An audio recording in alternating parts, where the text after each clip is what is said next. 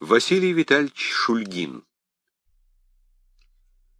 1920 Издательство «Современник», Москва, 1989 год. Дорогие друзья, клуб любителей аудиокниг желает вам приятного прослушивания говорящей книги серии «Нигде не купишь». Вместо предисловия. Бесполезно, конечно, напоминать, что мы живем в эпоху, которой будут весьма интересоваться наши потомки. Но, может быть, следует подумать о том, что о русской революции будет написано столько же лжи, сколько о французской. Из этой лжи вытечет опять какая-нибудь новая беда. Для нас это ясно. Мы, современники русской революции, начавшейся в 1917 году, прекрасно знаем, какую роль в этом несчастье сыграло лживое изображение революции французской. Поэтому в высшей степени важно для нашего будущего правдивое изображение того, что сейчас происходит перед нашими глазами. Разумеется, время для изображения нашей трагедии во всем ее объеме, так сказать, с журавлиной высоты, еще не наступило. Невозможно, с другой стороны, пока и интимное изображение нашей жизни, то есть как мы любили, ненавидели, страдали и радовались, ключ, без которого, конечно, будущие историки ничего не поймут. Или поймут в кривь и в кось, как это они всегда и делают. Но можно и должно записывать то, что каждый из нас видел воочию. И можно рассказать свои переживания, постольку поскольку индивидуальность автора терпит публичное раздевание. Настоящий очерк и представляет опыт записать в этих пределах кусочки жизни, пробежавшие перед моими глазами — я выбрал 1920 год как ближайший. Если из этого что-нибудь выйдет, вероятно, перейду к временам более отдаленным. Новогодняя ночь. Вечером 31 декабря 1919 года я был у Александра Михайловича Драгомирова. Драгомиров Александр Михайлович, генерал, участник Первой мировой войны, командующий армией, после Октябрьской революции уехал на Дон к генералам Алексееву и Корнилову, формировавшим Белую добровольческую армию, являлся одним из заместителей председателя особого совещания при ее верховном руководителе. После смерти генерала Алексеева стал председателем особого совещания, превратившегося в правительство при главкоме всеми силами Юга России, генерале Деникине. Мы сидели с ним вдвоем в его вагоне, в его поезде. Поезд стоял в порту в Одессе. Днем из окон было видно море, дальше поезду некуда было идти.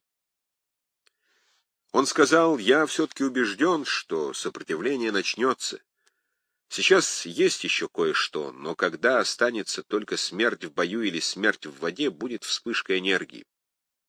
Сейчас вся масса хочет одного — уходить, но когда некуда будет уходить, Неужели же не проснется решимость? Вы как думаете? Я все надеюсь, что еще здесь начнется, потому что и здесь ведь уже некуда уходить. Ведь вся эта масса, что сюда отступает, она же не сядет на пароходы и в Крым не попадет, следовательно, ей придется выбирать между боем и морем. Беда только в том, что здесь совсем не то делается, что нужно. Вы думали, когда мы вышли из Киева, что будем сидеть с вами в порту в Одессе? Нет, я почему-то думал, что мы задержимся около Казатина. Но я понял положение, когда мы получили в якутском полку приказ. Это было, кажется, где-то около Фастова. Я тогда же развил своим молодым друзьям так называемую крымскую теорию. Это что? Крымская теория — это реставрация до екатерининских времен. Сидел же хан столетия в Крыму. Благодаря Перекопу взять его нельзя было, а жил он набегами. Он добывал себе набегами ясырь, то есть живой товар пленных, а мы, засев в Крыму, будем делать набеги за хлебом. Впрочем, и ясырь будем брать для пополнений. Вы уезжаете в Севастополь? Я каждый день уезжаю, но пока что еще не уехал, потому что пароход все задерживается. Здесь я ничем не могу помочь. Скорее, я только мешаю. Я легко могу прослыть центром каких-нибудь интриг, чего я вовсе не желаю — главноначальствующий областью без области. Фигура неудобная. Ну, а скажите, очень ругают? Вас? Ругают, конечно. При этих обстоятельствах это неизбежно. Одни бронят вас за то, что допустили погромы, а другие за то, что вы не позволяли бить жидов. Конечно, вы взяли миллионы за последнее. Неужели это говорят? Говорят. Вас это удивляет? А я привык. Меня столько раз покупали, жиды, немцы, масоны, англичане, что это меня не волнует. Но больше всего, конечно, зла гвардия. За что? За мой приказ? Он вам известен? Да. Вы, покидая области, сдавая командование, благодарите войска, а затем кончаете приблизительно так. Не объявляю благодарности первое волчанцам за всякие безобразия, а на втором месте стоят в приказе гвардия, которая покрыла позором свои славные знамена грабежами и насилиями над мирным населением. Что-то в этом роде. Александр Михайлович Драгомиров человек очень добрый, но у него бывают припадки гнева. Так было и сейчас. Я об этом не могу спокойно говорить. Я с очень близкими людьми перессорился из-за этого. Я пробовал собрать командиров полков, уговаривал, взывал к их совести. Но я чувствую, что не понимают. А я не могу с этим помириться. Я к этой гражданской войне никак не могу приладиться. Да, я помню. Вы, может быть, забыли, но я помню. Вы мне говорили больше года тому назад еще в Екатеринодаре, что вы тяготитесь гражданской вашей деятельностью, что вы хотели бы делать свое прямое дело, то есть воевать, но что условия войны таковы. Словом, вы сказали тогда, в октябре 1918 года, мне иногда кажется, что нужно расстрелять половину армии, чтобы спасти остальную. Половину, не половину, но я и сейчас так думаю. Но как за это взяться? Я отдавал самые строгие приказы. Ничего не помогает, потому что покрывают друг друга. Какие-нибудь особые суды завести. И это пробовал, но все это не то. А мое мнение такое. Вслед за войсками должны двигаться отряды, скажем, особого назначения. Тысяча человек на уезд отборных людей или, по крайней мере, в отборных руках. Они должны занимать уезд. Начальник отряда становится начальником уезда. При нем военно-полевой суд. Но трагедия в том, откуда набрать этих отборных. В том-то и дело. Нет, я часто думаю, что без какого-то внутреннего большого процесса все равно ничего не будет. Хоть бы орден какой-нибудь народился, какое-нибудь рыцарское сообщество, которое бы возродило понятие о чести, долге, но, словом, основные вещи. Но что хоть грабить стыдно или религиозное это должно быть движение, словом, это должно быть массовое, большое, психологическое и будет покаяние отверзими двери. Этим мы отличаемся от Польши. Я убежден, что если на этой равнине, что называется Восточной Европой, если устояли мы, а не поляки, то только благодаря нашей способности каяться. Поляки не раскаяны, они не могут каяться. Ведь, в сущности говоря, у поляков было больше шансов на гегемонию. Они раньше вышли к культуре, потому что ближе к Западу. Но они не раскаяны.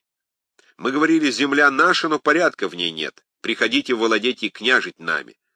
А они говорили, Польска стой нерзадем. Что это значит? Это старинная польская поговорка, которая употреблялась еще в XVI веке, значит «Польша стоит беспорядком». То есть они не только не хотели каяться во всех своих безобразиях, в вечной своей легкомысленной мазурке, но, так сказать, канонизировали свою анархию. Были отдельные голоса, которые кричали «Братья, что вы делаете? Губите себя». На одно мгновение карнавал останавливался, но потом кто-нибудь вспоминал, ведь «Польска, стой, нерзадем». И тра-да-да-да, тра-та-да-да, темпо ди мазурка.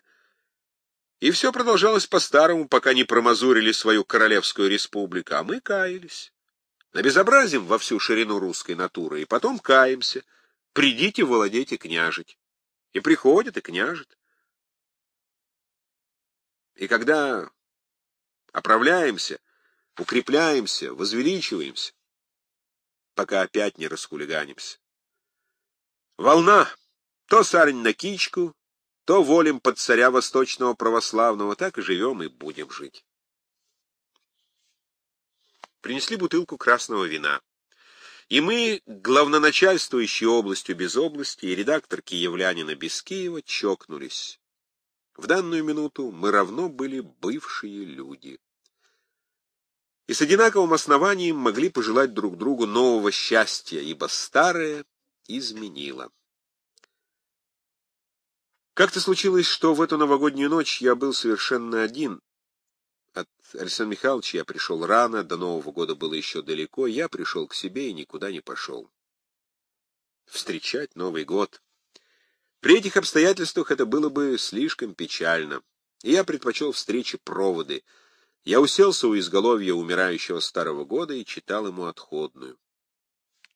Где-то на каком-то горном перевале стоит заиндевевший придорожный столб, к этому столбу всегда пробивается умирать старый год. На столбе сидит круг, одинокая птица, воет в юго, и круг каркает умирающему его дела, добрые и злые. Я чувствовал себя в этом роде, в роли круга. Личное перемешивалось с общим в эту новогоднюю одинокую ночь. Отчего не удалось дело Деникина? Отчего мы здесь, в Одессе? Ведь в сентябре мы были в Орле. Отчего этот страшный тысячеверстный поход, великое отступление орлов от орла? Орлов ли? Взвейтесь, соколы, орлами. Солдатская песня. Я вспомнил свою статью в «Киевлянине» в двухлетнюю годовщину основания добровольческой армии два месяца тому назад. Орлы, бойтесь стать коршунами, орлы победят, но коршуны погибнут. Увы, Орлы не удержались на орлиной высоте, и коршунами летят они на юг, вслед за неизмеримыми обозами с добром, взятым у благодарного населения. Взвейтесь, соколы, ворами, единое неделимое в кривом зеркале действительности. Красные. Грабители, убийцы, насильники. Они бесчеловечны, они жестоки, для них нет ничего священного — они отвергли мораль, традиции, заповеди Господни, они презирают русский народ, они озверелые горожане, которые хотят бездельничать, грабить и убивать, но чтоб деревня кормила их. Они, чтоб жить, должны пить кровь и ненавидеть. И они истребляют буржуев сотнями тысяч. Ведь разве это люди, это буржуи? Они убивают, они пытают. Разве это люди? Это звери. Значит, белые, которые ведут войну с красными именно за то, что они красные, совсем иные, совсем обратные. Белые, честные до Дон Кихотства, грабеж у них несмываемый позор.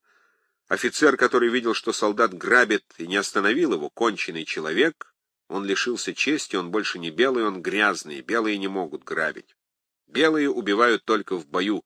Кто приколол раненого, кто расстрелял пленного, тот лишен чести, он не белый, он палач. Белые не убийцы, они воины. Белые рыцарски вежливы с мирным населением. Кто совершил насилие над безоружным человеком, все равно, что обидел женщину или ребенка. Он лишился чести, он больше не белый, он запачкан. Белые не опаши, они джентльмены. Белые тверды, как алмаз, но также чисты. Они строги, но не жестоки. Карающий меч в белых руках неумолим, как судьба, но ни единый волос не спадет с головы человека безвинно. Ни единая капля крови не прольется лишнее. Кто хочет мстить, тот больше не белый. Он заболел красной подучей, его надо лечить, если можно, и извергнуть из своей среды, если болезнь неизбывна. Белые имеют Бога в сердце, они обнажают голову перед святыней, и не только в своих собственных златоглавых храмах. Нет, везде, где есть Бог, белый преклонит душу, и если в сердце врага увидит вдруг Бога, увидит святое, он поклонятся святыне. Белые не могут кощунствовать, они носят Бога в сердце. Белые твердо блюдут правила порядочности и чести. Если кто поскользнулся, товарищи и друзья поддержат его, если он упал, поднимут. Но если он желает валяться в грязи, его больше не пустят в Белый дом. Белые не белоручки, но они опрятны. Белые дружественны и вежливы между собой. Старшие строгие и ласковы, младшие почтительные и преданы, но сгибают только голову при поклоне, спина у белых не гнется. Белых тошнит от рыгательного пьянства, от плевания от матерщины. Белые умирают, стараясь улыбнуться друзьям, они верны себе, родине и товарищам до последнего вздоха. Белые не презирают русский народ, ведь если его не любить, за что же умирать и так горько страдать? Не проще ли раствориться в остальном мире? Ведь свет широк, но белые не уходят, они льют свою кровь за Россию. Белые не интернационалисты, они русские. Белые не горожане и не селяне, они русские, они хотят добра и тем и другим. Они хотели бы, чтобы мирно работали молотки и перья в городах, плуги и косы в деревнях. Им же белым ничего не нужно, они ни горожане и ни селяне, ни купцы, ни помещики, ни чиновники, ни учителя, ни рабочие, ни хлеборобы. Они русские, которые взялись за винтовку только для того, чтобы власть, такая же белая, как они сами, дала возможность всем мирно трудиться, прекратив ненависть. Белые питают отвращение к ненужному пролитию крови и никого не ненавидят. Если нужно сразиться с врагом, они не осыпают его ругательствами и пеной ярости. Они рассматривают наступающего врага холодными, бесстрастными глазами и ищут сердце. И если нужно, убивают его сразу, чтобы было легче для них и для него. Белые не мечтают об истреблении целых классов или народов. Они знают, что это невозможно, и им противна мысль об этом. Ведь они белые воины, а не красные палачи. Белые хотят быть сильными только для того, чтобы быть добрыми. Разве это люди? Это почти что святые. Почти что святые и начали это белое дело. Но что из этого вышло? Боже мой! Я помню, какое сильное впечатление произвело на меня, когда я в первый раз услышал знаменитое выражение «от благодарного населения». Это был хорошенький мальчик, лет 17-18, на нем был новенький полушубок. Кто-то спросил его, «Петрик, откуда это у вас?» Он ответил, «Откуда? От благодарного населения, конечно». И все засмеялись. Петрик из очень хорошей семьи. У него изящный, тонкокосный рост и красивое, старокультурное, чуть тронутое рукой вырождение лицо. Он говорит на трех европейских языках безупречно, и потому по-русски выговаривает немножко как метис с примесью всевозможных акцентов. В нем была еще недавно гибко-твердая выправка хорошего аристократического воспитания. Была, потому что теперь ее нет. Вернее, ее как будто подменили. Приятная ловкость мальчика, который, несмотря на свою молодость, знает, как себя держать, перековалась в какие-то вызывающие наглые манеры. Чуть намечавшиеся черты вырождения страшно усилились. В них сквозит что-то хорошо знакомое. Что это такое? Ах да, он напоминает французский кабачок. Это апаш. Апашизмом тронутый этот обострившийся взгляд, обнаглевшая улыбка. А говор, этот метисный акцент в соединении с отборнейшими русскими в Бога, в мать, в веру и Христа, дают диковинный меланж сиятельного хулиганства. Когда он сказал «от благодарного населения», все рассмеялись. Кто это все? Такие же, как он. Метисные изящные люди русско-европейского изделия. Вольноперы, как Петрик, и постарше гвардейские офицеры, молоденькие дамы смольного воспитания. Ах, они не понимают, какая горькая ирония в этих словах. Они смолянки, но почему? Потому ли, что кончили Смольный под руководством княгини Н.Н., или потому, что Ленин Ульянов, захватив Смольный, незаметно для них самих привил им новосмольные взгляды? Грабь награбленная. Шульгин преувеличивает изначальную чистоту белого движения, которое с самого начала носило ярко выраженный монархический классовый характер и отличалось проявлением жестокости не только к комиссарам, командирам, солдатам Красной Армии, но и к мирным жителям. Еще зимой 1918 года, накануне выступления в поход на Екатеринодар, генерал Корнилов, выступая перед добровольцами, провозгласил лозунг «пленных не брать». По воспоминаниям самих участников Белого движения, у добровольцев перед взятием той или иной деревни начинало ломить в груди от предстоящей мести, и так было с самого начала и до самого конца гражданской войны. Вольноперы — вольно определяющиеся белой добровольческой армии. Разве не это звучит в словах этого большевизированного Рюриковича, когда он небрежно нагло роняет от благодарного населения? Они смеются. Чему? Тому ли, что, быть может, последний отпуск, тысячелетнего русского рода, прежде чем бестрепетно умереть за русский народ, стал вором? Тому ли, что, вытащив из мужицкой скрыни под рыданием Марусик и Гапок этот полушубок, он доказал насупившемуся Грицку, что паны только потому не крали, что были богаты, а как обеднели-то сразу узнали дорогу к сундукам, как настоящие злодеи, этому смеются. Смешно ли моде грабить мужиков, которые нас ограбили, смеются? Нет, хуже. Они смеются над тем, что это население, ради которого семьи, давшие в свое время Пушкиных, Толстых и Столыпиных, укладывают под пулеметами всех своих сыновей и дочерей в сапатифозных палатах, что это население благодарно им. Благодарно, то есть ненавидит. Вот над чем смеются. Смеются над горьким крушением своего белого дела — над собственным своим падением, над собственной отвратностью смеются ужасным апашским смехом, смехом бывших принцев, заделавшихся разбойниками. Да, я многое тогда понял. Я понял, что не только не стыдно и не зазорно грабить, а наоборот, модно, шикарно. У нас ненавидели гвардию и всегда ей тайком подражали. Может быть, за это и ненавидели. И потому, когда я увидел, что голубая кровь пошла по этой дорожке, я понял, что бедствие всеобщее. Белое дело погибло. Начатое почти святыми, оно попало в руки почти бандитов. Я не гвардеец, я так же мало аристократ, как и демократ. Я принадлежу к тому среднему классу, который жнет там, где не сеял. Все наше. Пушкин наш и Шевченко наш. Слышу гогот украинцев. Успокойтесь, друзья. Шевченок в роли украинского большевика я оставляю вам, себе беру Шевченко-бандуриста, его же и Гоголь приемлет. Все русское наше. Аристократия и демократия нам одинаково близки, поскольку они русские, поскольку они талантливы и прекрасны, поскольку они наше прошлое и будущее. Аристократия и демократия нам одинаково далеки, поскольку они узкоклассовы, поскольку они изящно, надменные или грубо фамильярны. Я скорблю над угасающими, сходящими на нет старинными родами. Я радуюсь на рождению новых, входящих, которые сами себе предки. Я жну там, где не сеял. Все высокое, красивое и сильное русское мое.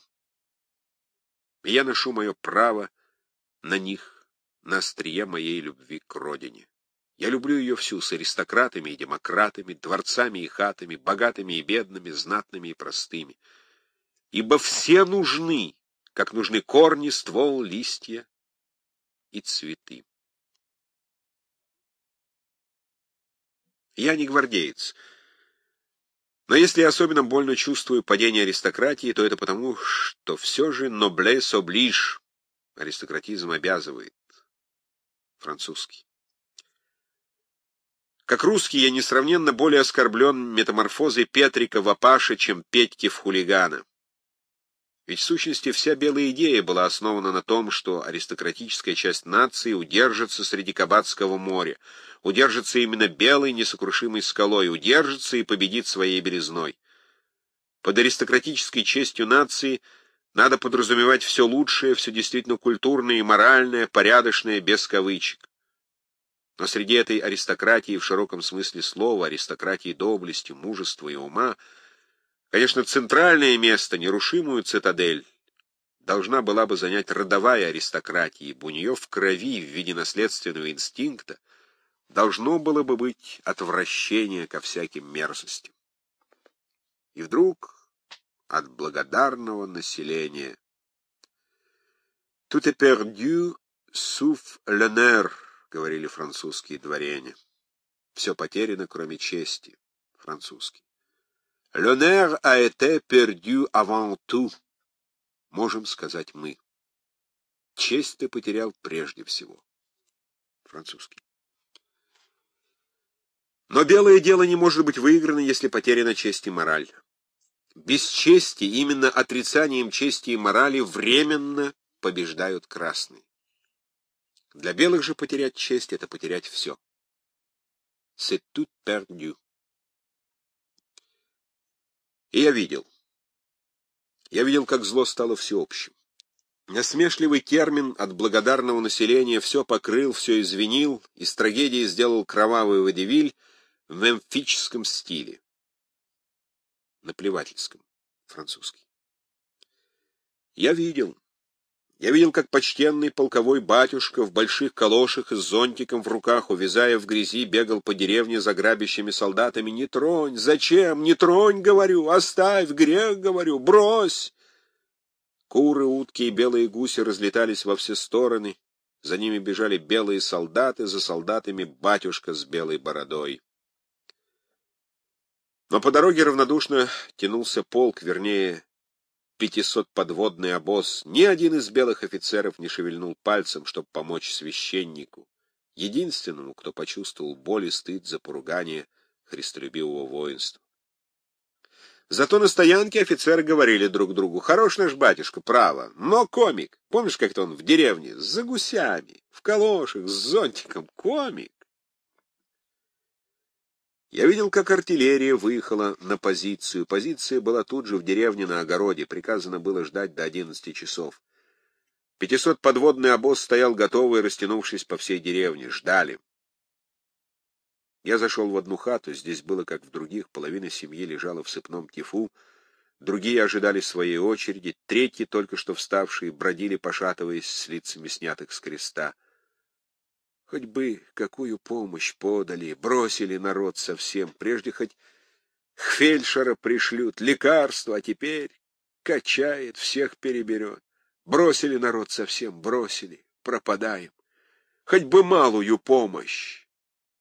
Дом вздрогнул от резкого, безобразно резкого нашего трехдюймового. Женщина вскрикнула. «Это что?» Это было одиннадцать часов. Это мы подавали помощь такой же брошенной, вымирающей от цепного тифа деревне за четыре версты отсюда. Там случилось вот что. Убили нашего фуражира. При каких обстоятельствах, неизвестно. Может быть, фуражиры грабили, может быть, нет. В каждой деревне есть теперь рядом с тихими, мирными, умирающими от тифа хохлами бандиты, гайдамаки, ведущие войну со всеми на свете. С большевиками столько же, сколько с нами.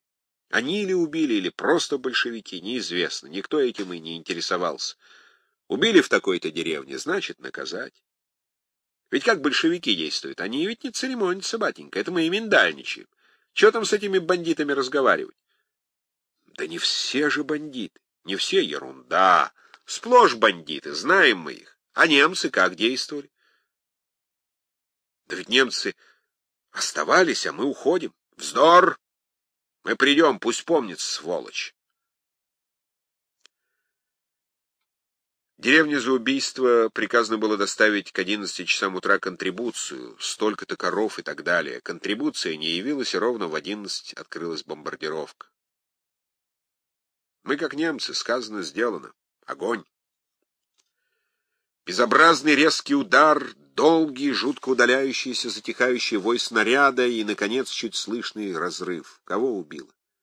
Какую Маруську, Евдоху, Габку, Приску, Оксану, чью хату зажгло? Чьих сирот сделало навеки непримиримыми, жаждущими мщения бандитами? Они все, батенька, бандиты. Огонь!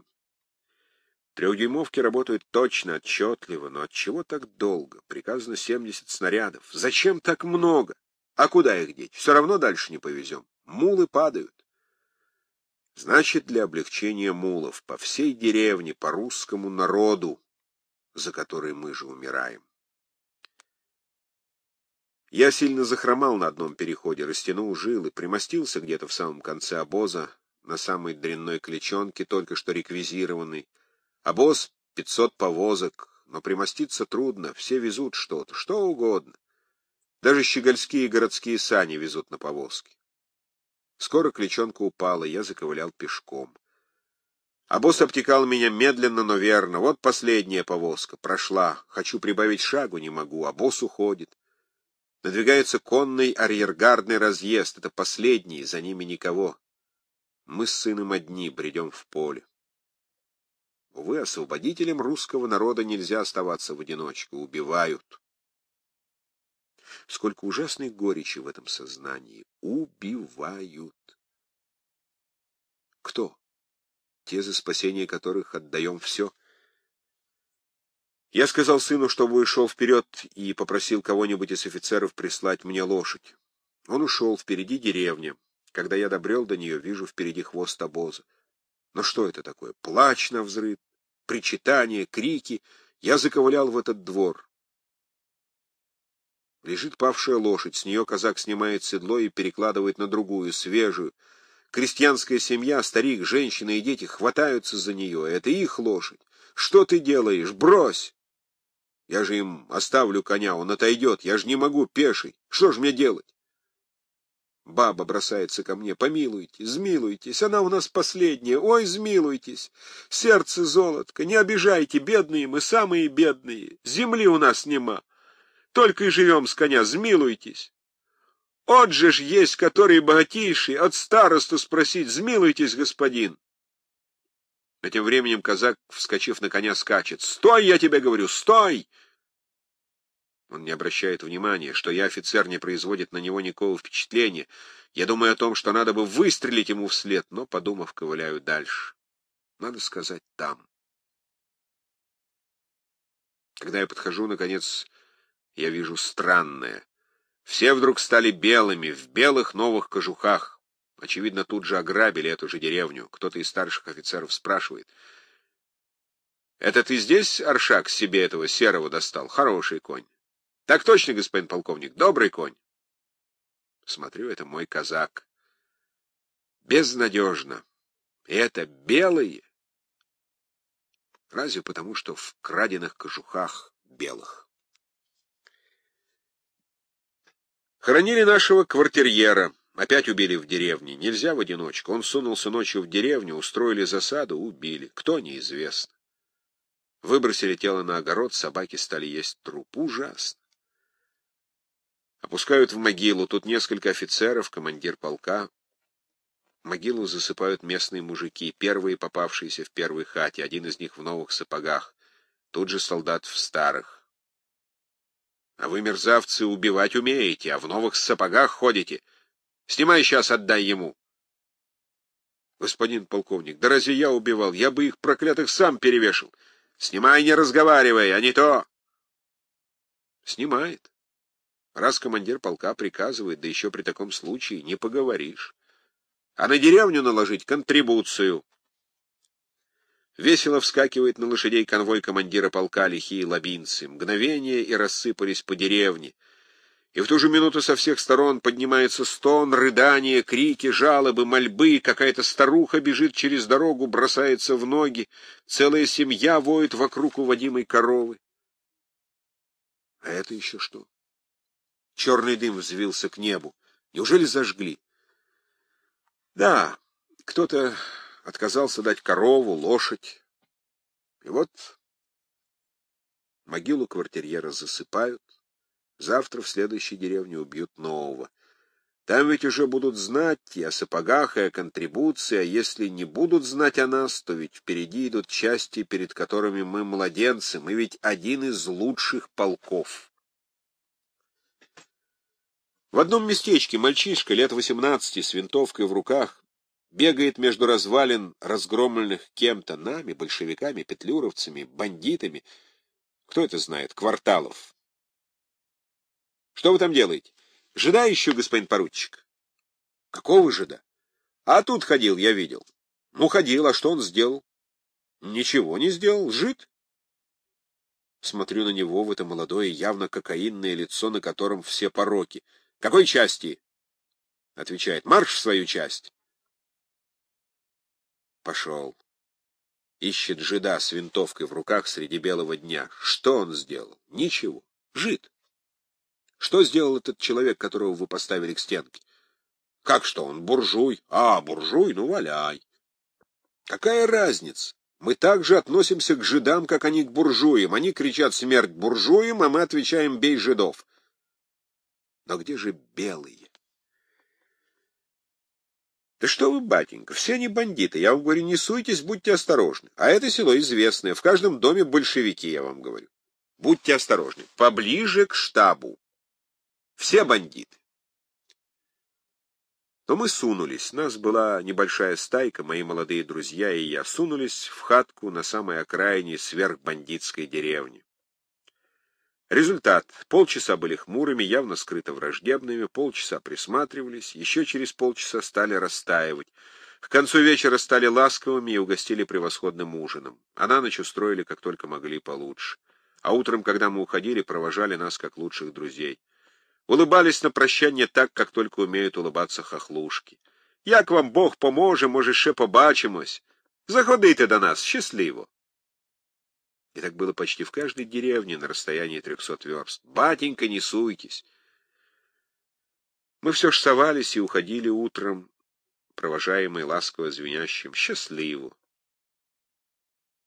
За это или за другое нас в полку за глаза насмешливо называли джентльмены. Я понимаю эту насмешку, эту скрытую враждебность. Мы шли триста верст, они, может быть, три тысячи. Мы имели при себе свои деньги — заработок киевлянина за последние дни, и притом керенки, у них денег не было, мы шли добровольно, только что променяв перья на винтовке, они тянули уже бесконечно эту безотрадную лямку. Поход, бой, вши, бой, вши, поход, вши, поход, бой. Этими тремя элементами ведь исчерпываются все комбинации войны а ла longue. В конечном счете французский. Легко быть джентльменами неделю, месяц, два. На год три-шесть лет, ведь некоторые воюют непрерывно с 1914 года. Еще хорошо, пока лето, солнце, тепло, есть речки, где выкупаться. Но осенью, зимою, в эти безотрадно грязные серые дни или безжалостно белые морозные, Какая тоска нападает, наконец, отвращение к этому роду занятий, жгучая потребность, непреодолимая жажда культурного центра, электричества, театра, нарядной толпы, музыки, книги, газеты. Все это локализируется в одной мечте — выпить кофе у Фанкони, настоящий кофе с сладкими булочками, чисто поданный, и прочитать газету. Об этом мечтают на всех бесконечных отступательных дорогах. Воевать надоело, противно. Прежде всего, конечно, этой до конца утомленной армии надо отдохнуть, она больше не может. Ведь они работают без конца, вечно без смены, вечно без смены. Но почему нет смены? Ах, я никого не осуждаю, не имею права осуждать. Быть может, если бы я воевал столько, сколько они, я сам бы опустился. Но пока Пока все же мне так приятно наблюдать своих молодых друзей, крещенных джентльменами. Мне приятно, что на тридцатой версте дневного перехода они такие же, как на первой. Леденящий душу мороз, крайняя усталость, разваливающаяся обувь, растертые ноги не способны вырвать у них ни одного грубого слова. Мне приятна их неподчеркнутая, но настоящая военная и невоенная вежливость, их строгое разграничение службы и дружбы — беспрекословное исполнение приказаний, братские отношения между собой и трогательная заботливость обо мне во внимание к моей старческой слабости. Но в особенности меня радует, как они умеют ладить с тем русским народом, ради которого и ведется борьба. Когда они за несколько часов шармируют неизбалованную лаской семью бандитов, я горд, как будто бы выиграл сражение — я, конечно, не выиграл сражение, но я выиграл пополнение, я выиграл смену. Потому что я убежден в этом, как в том, что миром правит добро, а не зло. Если бы армия не смеялась над джентльменами, у нее была бы смена. Мы отвоевали пространство больше Франции, мы владели народом в 40 миллионов слишком. И не было смены. Да, не было, не было, потому что измученные, усталые, опустившиеся, мы почти что ненавидели тот народ, за который гибли.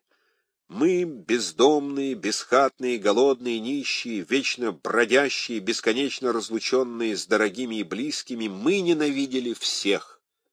Мы ненавидели крестьянина за то, что у него теплая хата, сытный, хоть и простой стол, кусок земли, и семья его тут же около него в хате. Ишь, сволочь, бандиты, как живут. Мы ненавидели горожан за то, что они пьют кофе, читают газеты, ходят в кинематограф, танцуют и веселятся. Буржуи проклятые.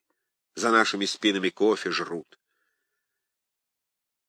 Это отношение рождало свои последствия, выражавшиеся в известных действиях. А эти действия вызывали противодействие, выражавшееся в отказе дать смену. Речь идет о мобилизации в армию. Первоначально Красная Армия строилась на добровольческих началах, затем с расширением масштабов гражданской войны и иностранной интервенции на основе обязательной воинской повинности. Постановлением в ЦИК от 29 мая 1918 года было объявлено об обязательном наборе в армию. На основании декретов 11, 17 и 29 июня объявлялся призыв на военную службу рабочих и трудящихся крестьян в 51 уезде Приволжского, Уральского, Западносибирского военных округов, в районах Белочехословацкого и Белогвардейского восстания, а также в Москве и Петрограде. Пятый Всероссийский съезд Советов в июле 1918 года законодательно закрепил в принятой им первой советской конституции всеобщую обязательную воинскую повинность трудящихся в возрасте от 18 до 40 лет. Белогвардейские армии также формировались на основе мобилизации, причем э, в отношении рабочих крестьян применялись насильственные мобилизации под страхом расстрела. В 1919 и 1920 годах проводились насильственные мобилизации даже среди военнопленных. Последними докомплектовывались и такие известные белогвардейские дивизии, как Корниловская и Дроздовская. Генерал Туркул, начальник Дроздовской дивизии, вспоминал. Батальон шел теперь на красных без офицеров. Одни солдаты, все из пленных красноармейцев, теснились толпой в огонь. Мне казалось, что это бред моей тифозной горячки, как идет в огне толпой без цепей наш второй батальон, как наши стрелки поднимают руки, как вбивают в землю винтовки штыками, приклады качаются в воздухе. Никогда ни в одном бою у нас не было сдачи скопом. Это был конец. Можно смеяться над джентльменами, но тогда приходится воевать без смены. Конечно, большевики, те добывают смену просто, террором, но ведь мы боремся с большевиками. Из-за чего? Неужели только из-за того, чтобы сесть на их место и делать все так же, как они? Но к чему ж тогда все жалкие слова? В одном месте, в одной хате, куда мы зашли погреться и отдохнуть, старик сидел на лавке и долго молчал. Но я чувствовал, что он за нами наблюдает, вслушивается, старается понять. Наконец он неожиданно спросил, «Кто вы, господа, такие?» Он это так сказал, что нас всех поразило. Кто-то ответил ему, «Мы? Мы Деникинсы». Но он хитро покачал головой, «Не, господа, вы не Деникинсы».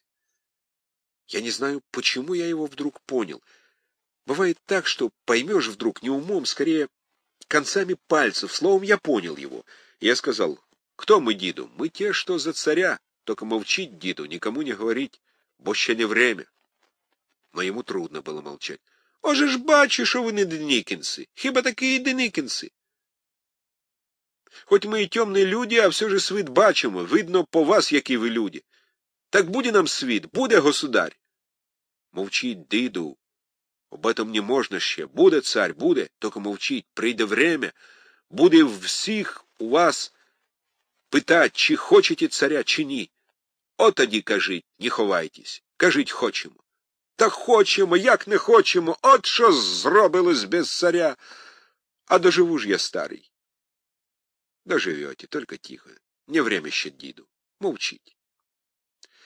И мы ушли таинственно, прикладывая палец к губам.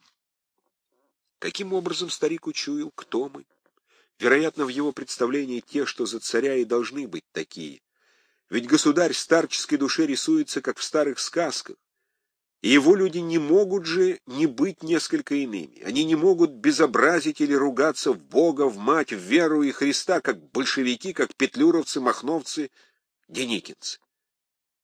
Ах, в этом и трагедия, что народ не делает между всеми ними особого различия. Шведель, наши шли здесь утром. Кто их знает, это всех нынче пахнет табачищем, ходит в мире, ходит грех. Если бы хоть мы, монархисты, следовали примеру первого русского императора и вместо грабежа, насилия и матерщины старались исправить репутацию Деникинской армии, тогда, может быть, и развел старик руками, шапку снял и смотрит в лес, смотрит долго в ту сторонку, где чудесный гость исчез. Я хочу думать, что это ложь. Но мне говорили люди, которым надо верить. В одной хате за руки подвесили комиссара, под ним разложили костер. И медленно жарили человека, а кругом пьяная банда монархистов выла «Боже, царя храни». Если это правда, если они есть еще на свете, если рука Немезида не поразила их достойно их смертью, пусть совершится над ними страшное проклятие, которое мы творим им, им и таким, как они, растлителям белой армии, предателям белого дела, убийцам белой мечты. Так думалось в одинокую новогоднюю ночь. Конечно, в этих мыслях был перехват. И одиночество, и горечь ретушируют больше, чем нужно. Бессонная ночь — плохой советник. Не так уж безнадежно. Выход есть, выход где-то есть. Ведь вот везде, и в том полку, где я был, есть люди. Есть комик-батюшка, есть и другие комики. Вот тот полковник, например, разве не золотой полковник? Шесть лет воюет, а все еще полон огня. Есть же такие бессносные люди. И у него не грабят в батальоне. Памятник при жизни таким ставить. Есть они, есть всюду.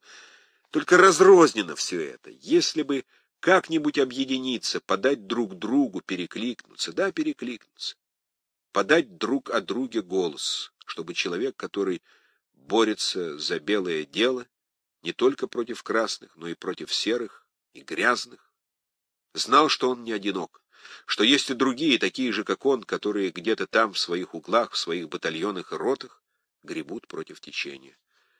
Други, гребите, с верою в наше святое значение, дружно гребите во имя прекрасного против течения. Алексей Толстой Ангел смерти Я пробовал зажигать фонарь и в роли Диогена искал человека. В Одессе его не было. Это стало особенно ясно, когда в Одессу приехал Степанов. Степанов, год рождения неизвестен, год смерти 1920 монархист, конституционалист, член ЦК партии кадетов, после февральской революции товарищ министр торговли и промышленности Временного правительства. После Октябрьской революции активный участник контрреволюционного движения, член учредительного собрания, вел агитацию в Петрограде, организовывал финансирование офицерских отрядов, отправлявшихся на Дон в добровольческую армию, член кадетско-монархического правого центра и контрреволюционного союза Возрождения России, один из руководителей кадетского национального центра, затем один из идеологов Деникинской диктатуры, поддерживал Врангеля, эмигрировал, являлся членом парижской группы партии кадетов. Со Степановым мне пришлось сделать кусочек политической жизни, несколько верст пути рука об руку. Он обладал счастливейшим и ценнейшим свойством возбуждать в других людях энергию мысли. Как-то с ним всегда все пересматривалось по существу, так сказать, сначала. Он был отнюдь не революционер, но мозг его был всегда счастливо открыт для новой мысли. Он никогда не застывал и все время эволюционизировал в лучшем смысле этого слова. Очень твердый, в основном стремлении, он обнаруживал большую гибкость в способах. И отнюдь не в том смысле, что цель оправдывает средства, а в том, что суббота для человека, а не человек для субботы. Александр Михайлович Драгомиров еще не уехал в то время из Одессы. Мы собрались втроем и слушали. Мнение присутствующих о том, что генерал Деникин находится в опасности. Такое отступление по всей вероятности, не может обойтись без личных перемен. Это закон истории. Может быть, три случая. Генерала Деникина убьют, он застрелится, он совершит отречение. Необходимо подготовиться к каждой возможности. Постановили поддерживать генерала Деникина до последней возможности и повиноваться ему до самого конца. Приемником ему почитать генерала Врангеля, как передать власть генералу Врангелю в случае трагического конца, сейчас установить невозможно. Если же будет отречение, то употребить усилия в том направлении, что перед отречением произошло назначение нового главнокомандующего. Слушали. В Одессе может организоваться отпор в том случае, если будет найден человек. Постановили зажечь Диогена в и искать человека. Слушали. Кроме Врангеля другого человека не найти. Постановили принять зависящие меры, чтобы генерал Врангель стал пока во главе Одессы. Эти зависящие меры были приняты. В точности мне неизвестно, привели ли они к какому-нибудь результату, но думаю, что генерал Врангель опоздал бы. Ангел смерти витал над Одессой.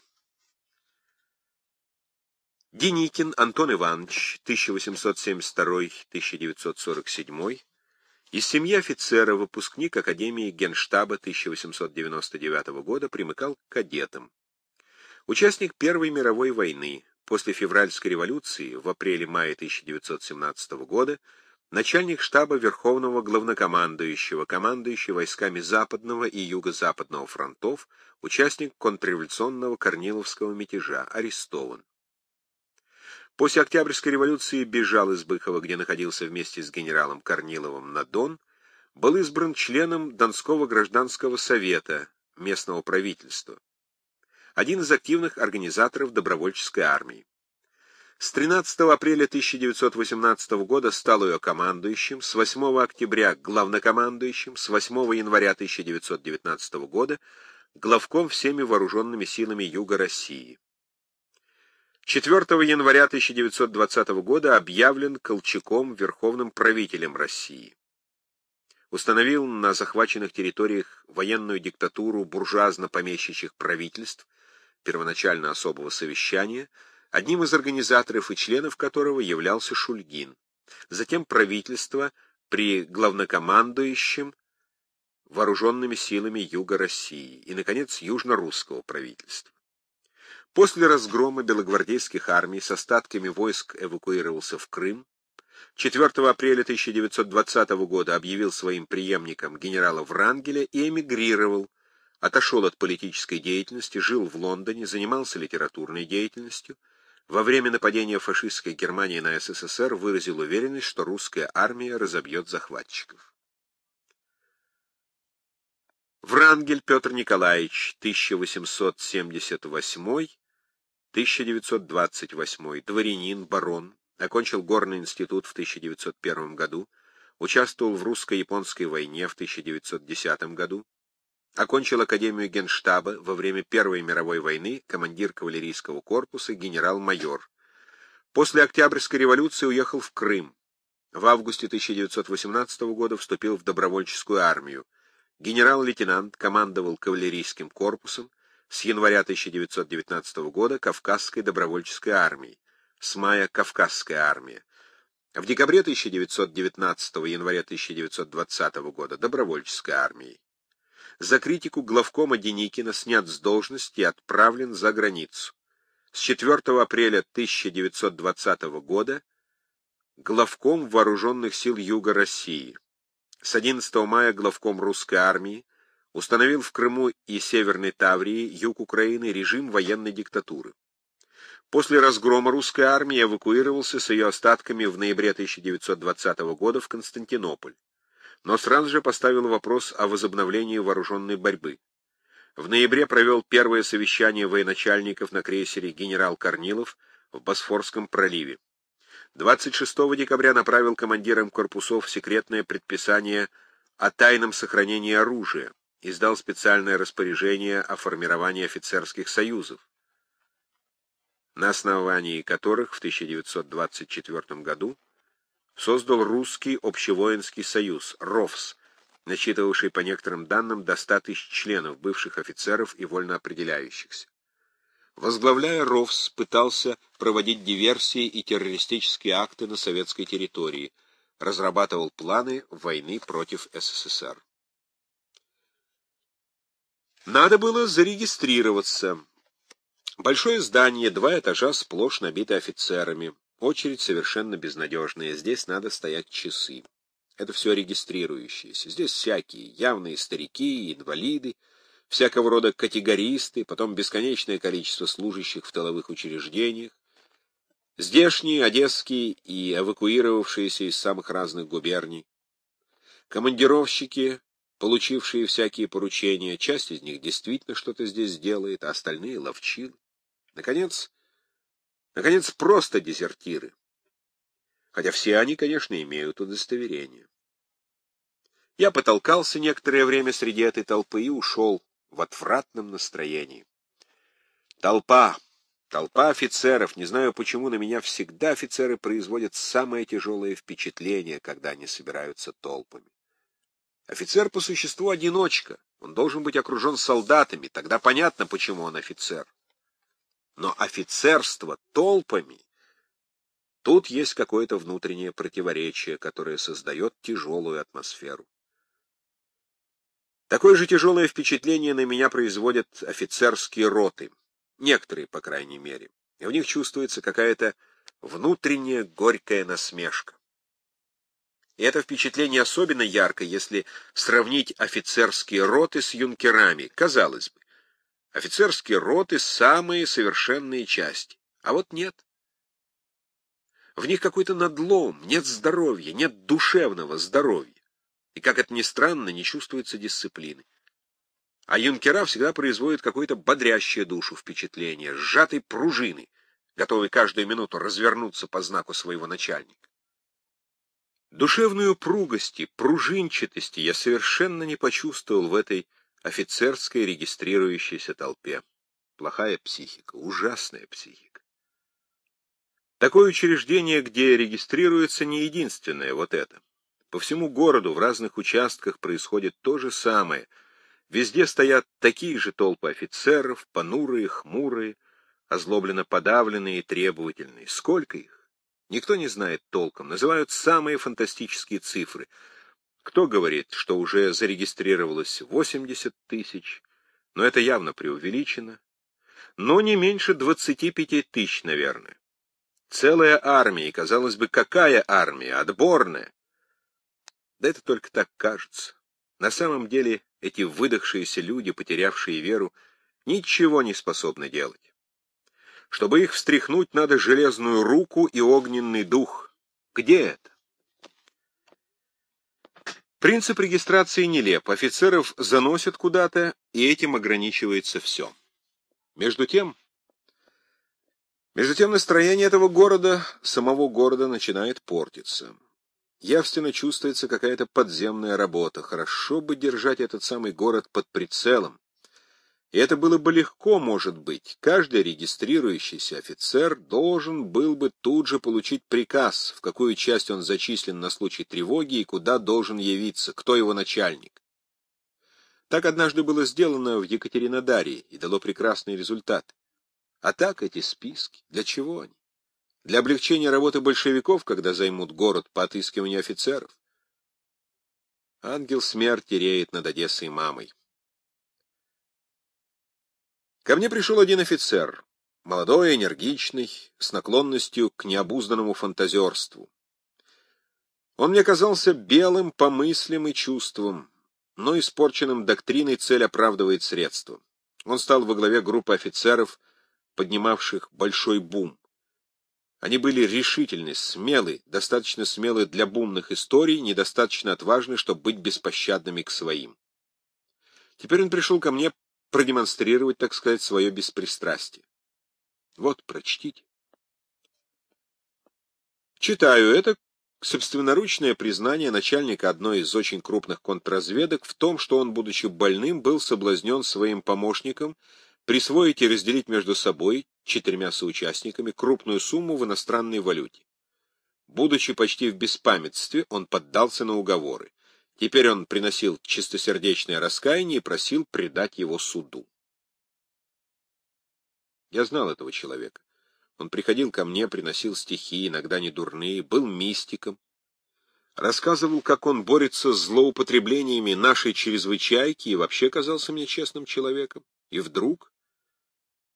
Этого мы помилуем, с ним это в первый раз. Кроме того, он рассказал мне на ухо историю, которую я по этой причине не рассказываю, а остальных расстреляем. По суду, надеюсь? Ну, конечно. Но вот будет другое дело, это уж не по суду.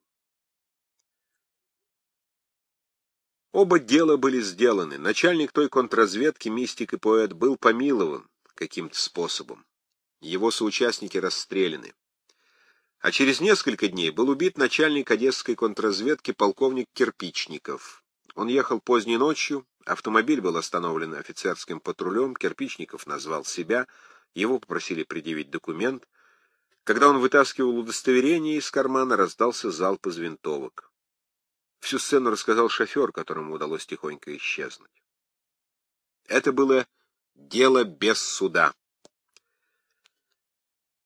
Участники его, вероятно, гордились этим подвигом. С точки зрения Брави он действительно был сделан чисто, но с точки зрения нашего белого дела это был грозный признак, свидетельствовавший о полном помутнении, если не покраснении умов. Кто был убит? Начальник контрразведки, то есть офицер или чиновник, назначенный генералом Деникиным. Кем убит? Офицерами генерала Деникина же. Акт убийства Кирпичникова является прежде всего актом величайшего порицания и недоверия тому, кому повинуешься. Это весьма плохо прикрытый бунт. Отсюда только один шаг до убийства ближайших помощников главнокомандующего, вроде генерала Шиллинга или генерала Романовского.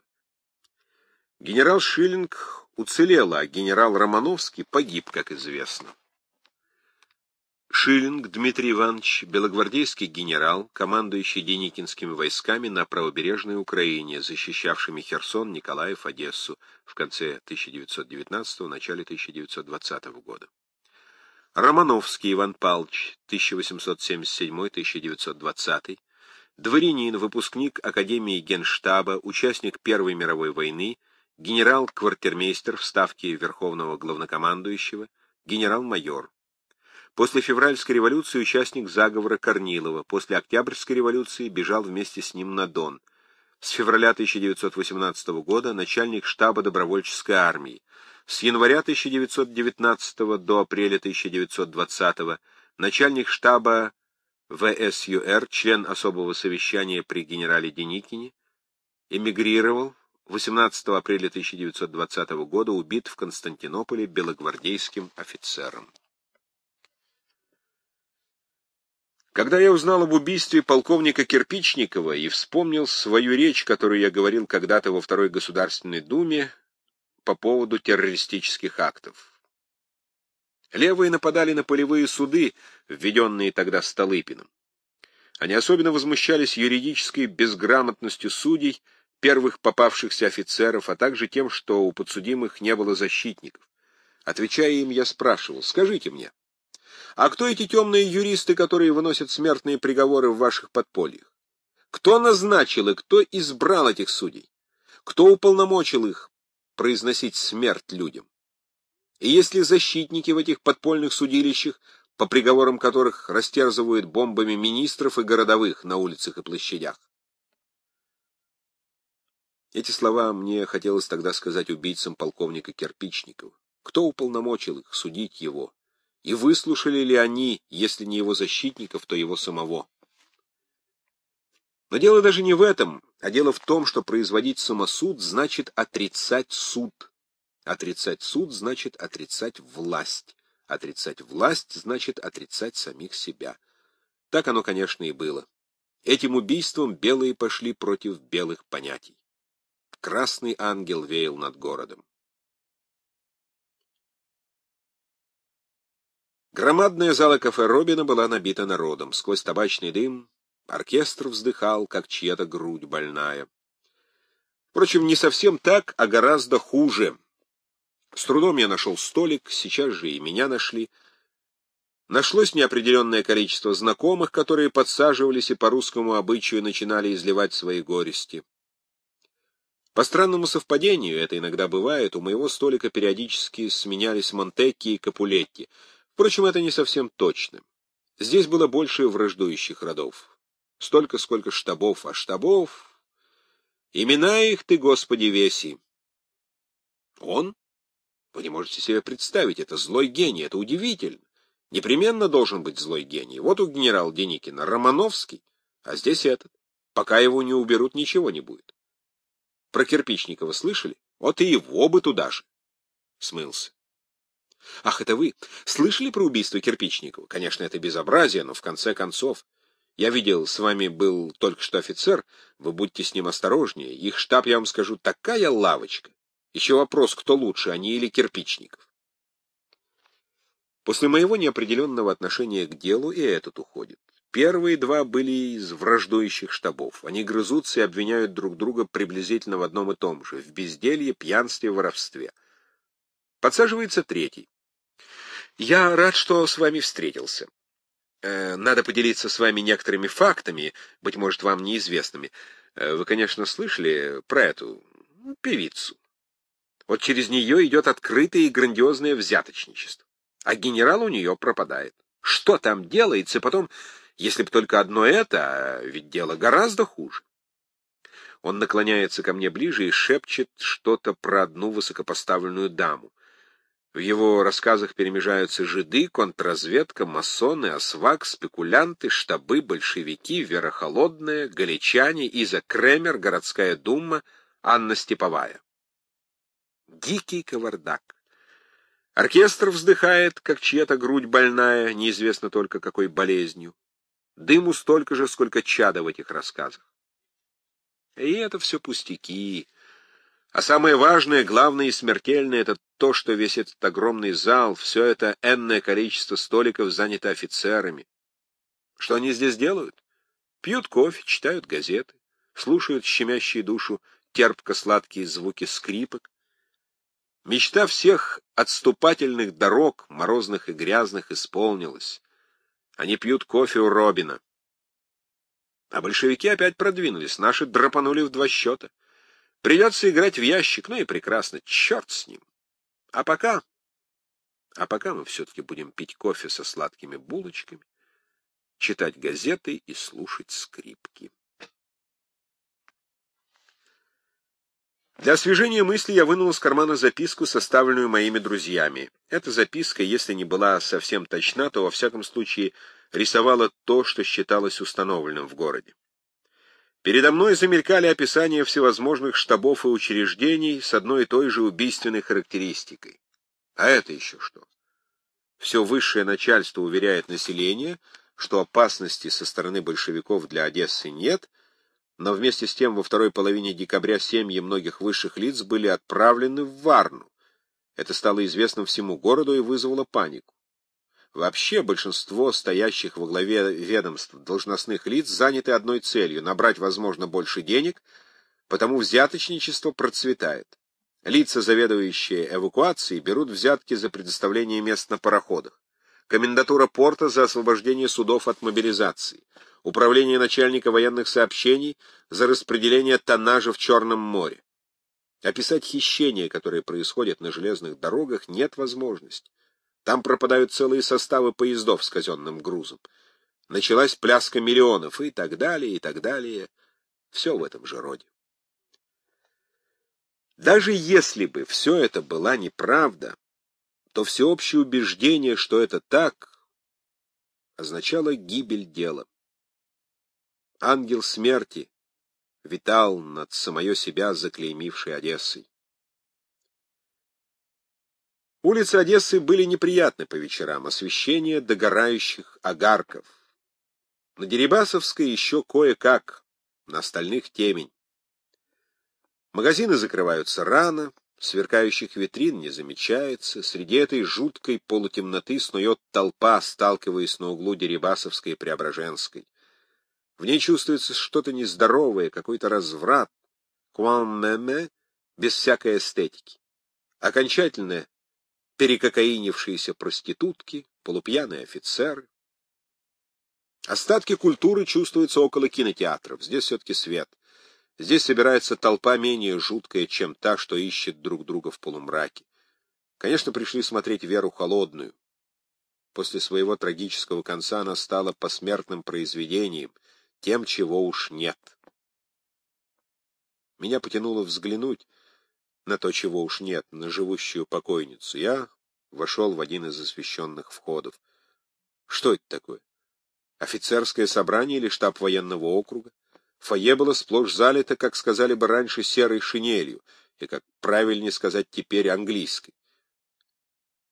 Нельзя сказать, чтобы Верочка холодная все же не доставила мне удовольствия. Как жадно стремимся мы все насладиться хотя бы в последний раз тем, чего уже нет. И много ли нас осталось бороться за то, чего еще нет? ангел смерти витал над поставленным к стенке городом. Отряда мания. Все чувствовали тогда в Одессе, что так дальше нельзя. Разложение армии по тысяче одной причине было ясно. Ясно было, что именно потому она и отступает, что наступила осень и зима не только в природе. В душе моей зима парила, уснули светлые мечты. Роман с барона Врангеля. Что делать? Прямой путь был ясен. Надо было встряхнуть полки железной рукой. Но для этого надо было, во-первых, где-то их собрать. На бесконечных отступательных дорогах этого нельзя было сделать, ибо можно было писать сколько угодно приказов, и они писались, но исполнять их было некому. Командиры частей частью сами заболели, частью были бессильны. Надо было иметь возможность, опершись на какую-нибудь дисциплинированную часть, привести остальных в христианскую веру. Таких мест, центров, куда стекала отступающая стихия, было, собственно, три — Кубань, Крым и район Одессы. Под Кубанью имеется в виду Новороссийск, который, как и Одесса, являлся портом, куда устремлялись отступающие белогвардейские войска и откуда они эвакуировались в Крым и в Константинополь. В каждом из этих центров было одно несомненное данное. Дальше было море. Дойдя до моря, надо было или сдаваться, или драться, но был еще третий выход — корабли. Конечно, ясно было, что всем не сесть на пароходы, но каждый думал про себя, что он-то сядет, а остальные, ну что остальные? Chacun pour soi, Dieu pour tout. Каждый сам за себя, один бог за всех. Французский. Однако, конечно, везде были элементы, которые не желали садиться на пароходы. Они готовы были драться и уже поняли, что спасение в покаянии и дисциплине. Были такие элементы и в Одессе. Если бы в Одессе оказался человек, сопротивление было бы. Но человек этот непременно должен был быть получен иерархическим путем, то есть сверху. Короче говоря, это должен был бы быть назначенный главнокомандующим Деникиным генерал. Естественным генералом был бы, конечно, начальствующий Новороссийской областью генерал Шиллинг, но генерал Шиллинг ни в какой мере нужным человеком быть не мог. Я совершенно не касаюсь всего этого дурного, что о генерале Шиллинге говорили. Все это я слышал, все это я впускал в одно ухо и выпускал в другое, твердо памятая, что человеческое гуще вообще легкомысленно лживо. Отступающая стихия непременно озлоблена несправедливо. А Одесса-мама, сверх того, всегда была виртуозна и изобретательна в смысле сочинения всяких мерзостей. Этому мутному потоку вообще не следует поддаваться. Но что генерал Шиллинг не был человеком в нужном смысле, человеком момента, это для меня совершенно ясно. Он не мог решиться на то, что должен был сделать — расстрелять нескольких командиров полков для того, чтобы привести остальных в сознание действительности.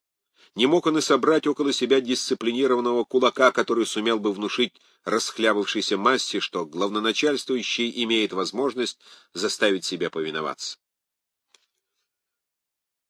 Раз генерал Шиллинг, то есть естественный человек, человек сверху, не мог ничего сделать, а революционный путь, то есть путь нахождения неестественного человека снизу или сбоку, был исключен, то мысль заработала еще в каком-то третьем направлении. Это еще какое-то направление действительно было какое-то, то есть несуразное. Возникла мысль почти у всех одновременно такая. Если старые части разложились, значит, надо формировать новый. В сущности говоря, это было повторение пройденного. Ведь когда погибла старая русская армия, генерал Алексеев сейчас же взялся за формирование новой добровольческой армии. Но существенная разница состояла в том, что тогда во главе стал бывший верховный главнокомандующий, старый техник, хорошо знавший свое ремесло. Теперь же здесь, в Одессе, за негодностью генералов, за дела схватились кто как мог, и получилась эпоха одесской отряда маний. Кто только не формировал отряды. И Союз Возрождения, и немцы-колонисты, и владыка-митрополит, высокопреосвященный Платон, и экс-редактор Киевлянина. Генерал Шиллинг помогал этим начинаниям так, как говорят хохлы, «як мокро горить». Шаг вперед, два назад.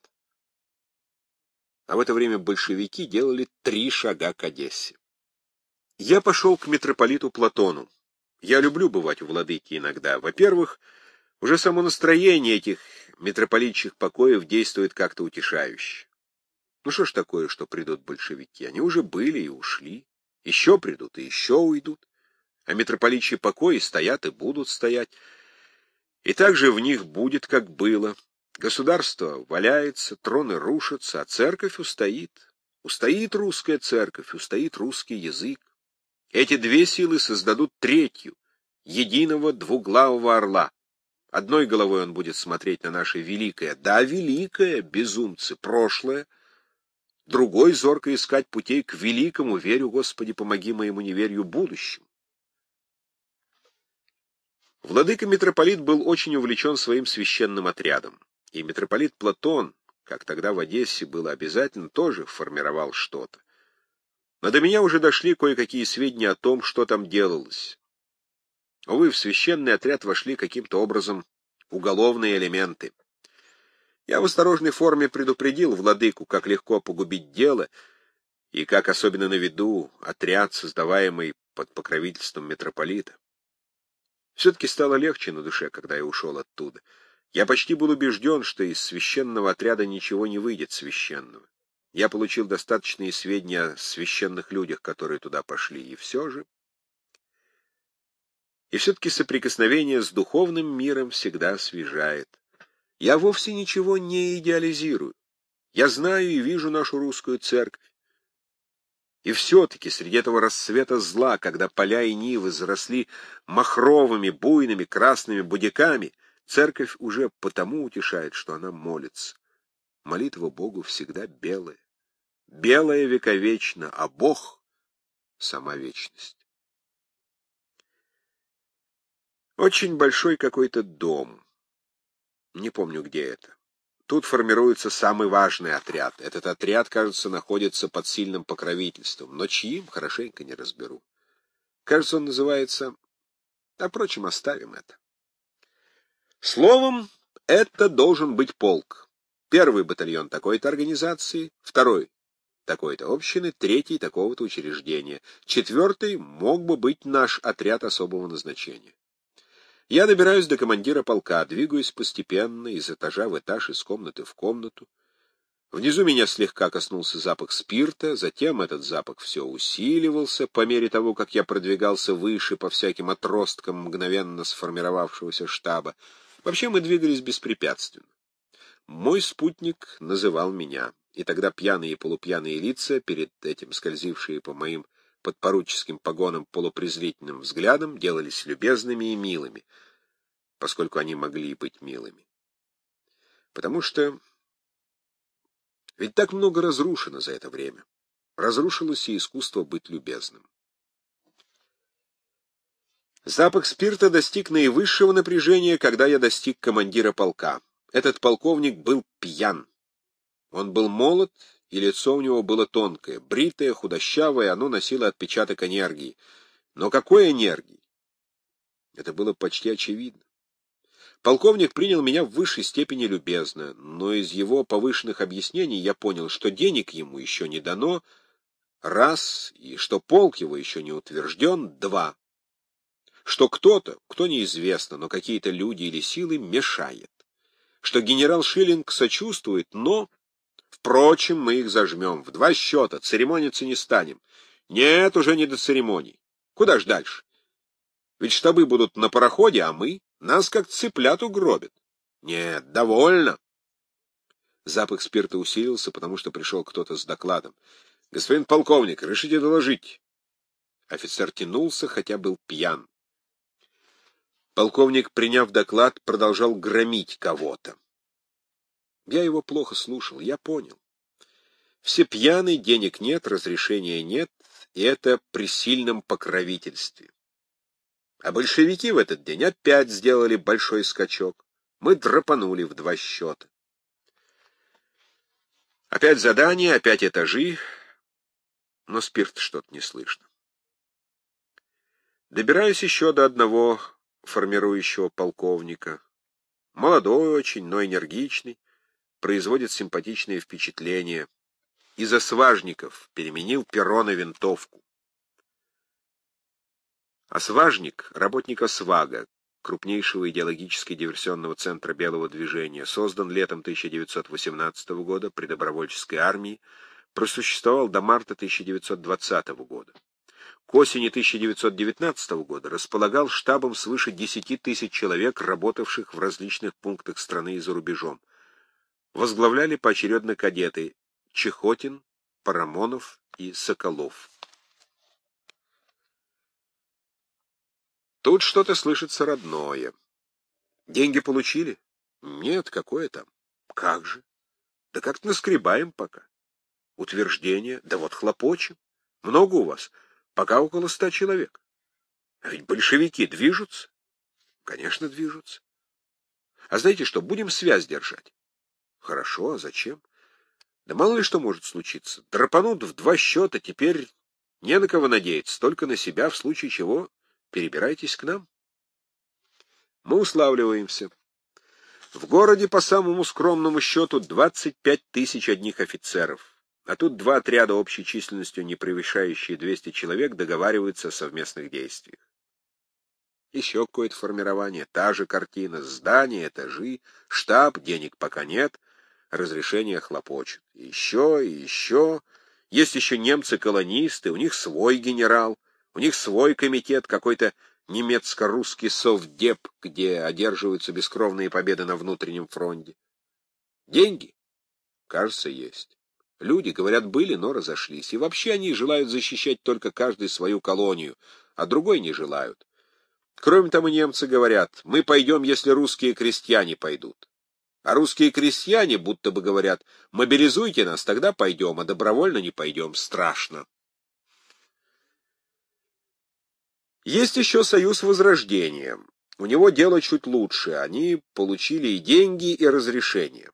В благодарность за явное покровительство белых генералов розовенькой общественности это последнее умеренно политиканствует. Создают какой-то совдеп. Как он называется? Комитет защиты Одессы, кажется. Чуть ли не комитет спасения. Они никак без этого не могут обойтись. Большевики уже давно поняли, что в Совдепе есть спасение, а у этих все еще к ним влечение рот недуга.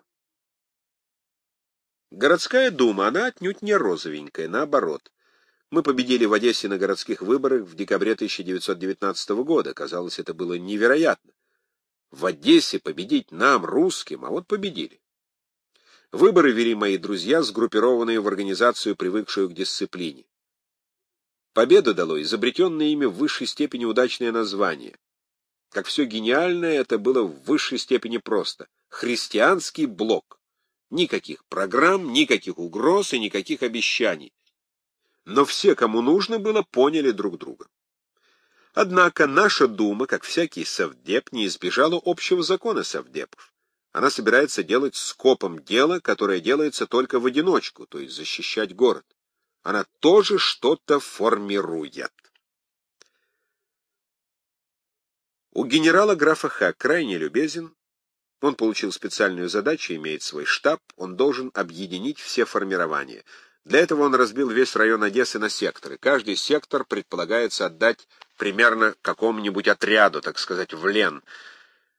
Но все-таки не совсем так. В каждый сектор будет послан полковник без отряда. Потом придет отряд и поступит в распоряжение полковника. А что же будут делать полковники, формирующие отряды? Да, это надо уладить. Уладить этого никак нельзя. Ведь если люди при этой агонии еще идут в какие-то формирования, то они идут к офицерам, которых они знают или авторитет которых высок. К каким-то полковникам они не пойдут, ибо авторитет погон потерян в развале отступления. Ищут людей. Но генерал-граф Х. не понимает, какую смесь французского с нижегородским он устраивает. Или партизанщина отряда мания, или все по уставу но это смесь митрополитов, редакторов, атаманов всякого сорта и совдепов всякого рода старорежимными генералами дает нечто несуразное. Да и вообще. Нет, общий сумбур не уменьшится от того, что изобрел новый штаб генерала графа Х. Куда еще? Да вот есть еще отряд инженера Кирсты. Это рабочие, которых он вывел из Киева. Их называют кирстовцы, еще крестовцы. В Киеве они назывались рабочая офицерская рота. Утверждение есть киевское, денег, конечно, нет, ни киевских, ни одесских. Отряд, если не ошибаюсь, сидит безвыездно в каком-то этаже какого-то здания за босостью. Вхожу с ними в контакт. Еще есть атаман Струк, малороссийский отряд. Он бывал у меня в Киеве. Тут он тоже что-то формирует, и, говорят, у него много народу. Разрешение киевское, деньги. Денег нет, но, очевидно, он им что-то обещает. Но что? Довольно. Пойду к себе в свой отряд. Отряд особого назначения был попыткой создать кадр просвещенных исполнителей хотя бы для одного уезда. Разумеется, теперь ясно, что это был кустарный дилетантизм, киндершпиль, покушение с негодными средствами. Киндершпиль — детская игра, немецкий. Как и вся одесская отрядомания, впрочем. Однако нельзя не сказать, что это обычный путь человеческой мысли, когда теряют надежду спасти целое, пытаются начинать с атомов. Мой атом формировался почти исключительно из учащейся молодежи. Денег мы пока не получали, содержали отряд всяческими ухищрениями, утверждение самого отряда бесконечно тормозилось в разных штабах, и то и другое было получено накануне занятий Одессы большевиками. Я вошел в гимнастический зал. «Смирно! Равнение налево! Господа офицеры!» Это командовал полковник А, назначенный начальником отряда. Кем он назначен? Пока никем. Мною. А я кто такой? Да вот тут-то и начинается часть неофициальная. Передо мной, вытянувшись, как полагается, замерла горсточка, мой атом. Это были почти сплошь гимназисты. Им нелепо было бы сказать Здорово, ребята, молодцы, орлы или что-нибудь подобное. Я сказал им «Здравствуйте, господа! Здравия желаем!» И смешались. Одни сказали господин подпоручик, другие господин полковник, третий ваш превосходительство. Так и должно было быть. Кто ж я был в самом деле? Если бы они были искренни, они бы ответили «Здравия желаем, господин редактор Киевлянина». Но этого, конечно, нельзя ответить. Почему? Да потому что редакторы не формируют отрядов, по крайней мере там, где все обстоит благополучно. И если произошел такой случай, что не только редактор, но и митрополит делаются начальниками отрядов, то значит все пошло шиворот на выворот. Так оно, конечно, и было. Но Le vin est tiré, il faut le boire. Вино откупорено, и нужно его пить. Французский. Исход. Дело становилось окончательно ясным. Одессу сдадут. Я, кстати, заболел и, лежа в постели, подписывал бесконечное количество удостоверений на английские пароходы. На этих удостоверениях английские власти ставили визу, и это служило пропуском на пароход, но приходилось выдерживать характер.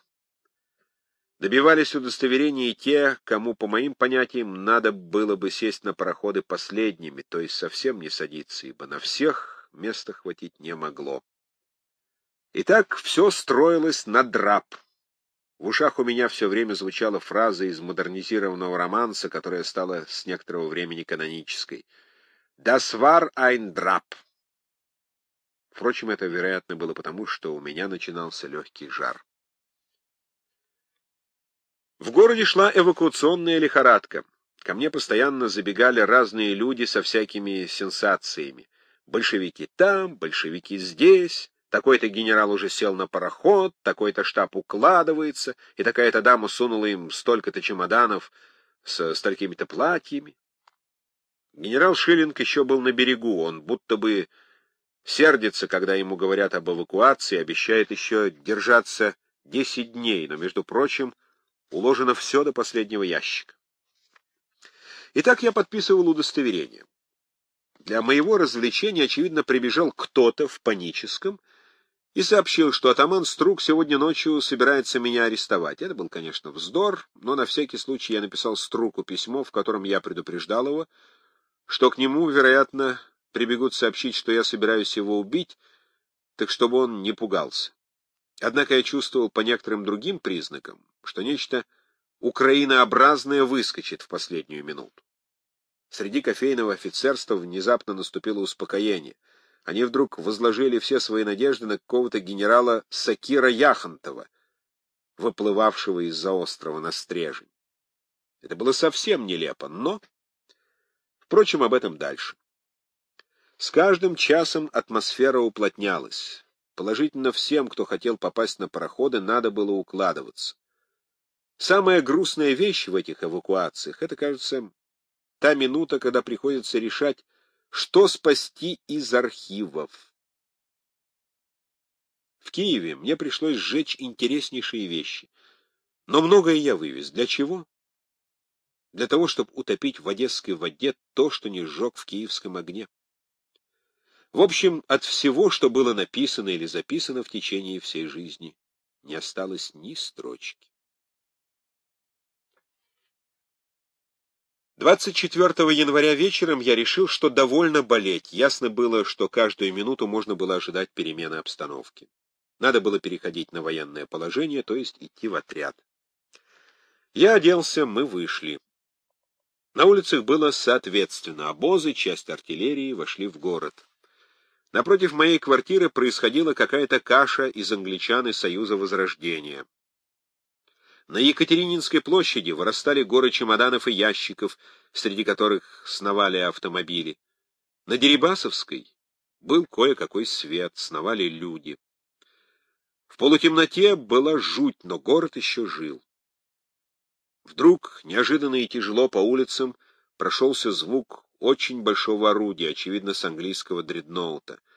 Это должно было обозначать, что большевики заняли такой-то квадрат, доступный обстрелу с моря. И сразу все изменилось, все огни потухли. Толпа куда-то смылась, и только мальчишка на углу, который перед этим продавал папиросы за сто рублей коробка, стал требовать триста.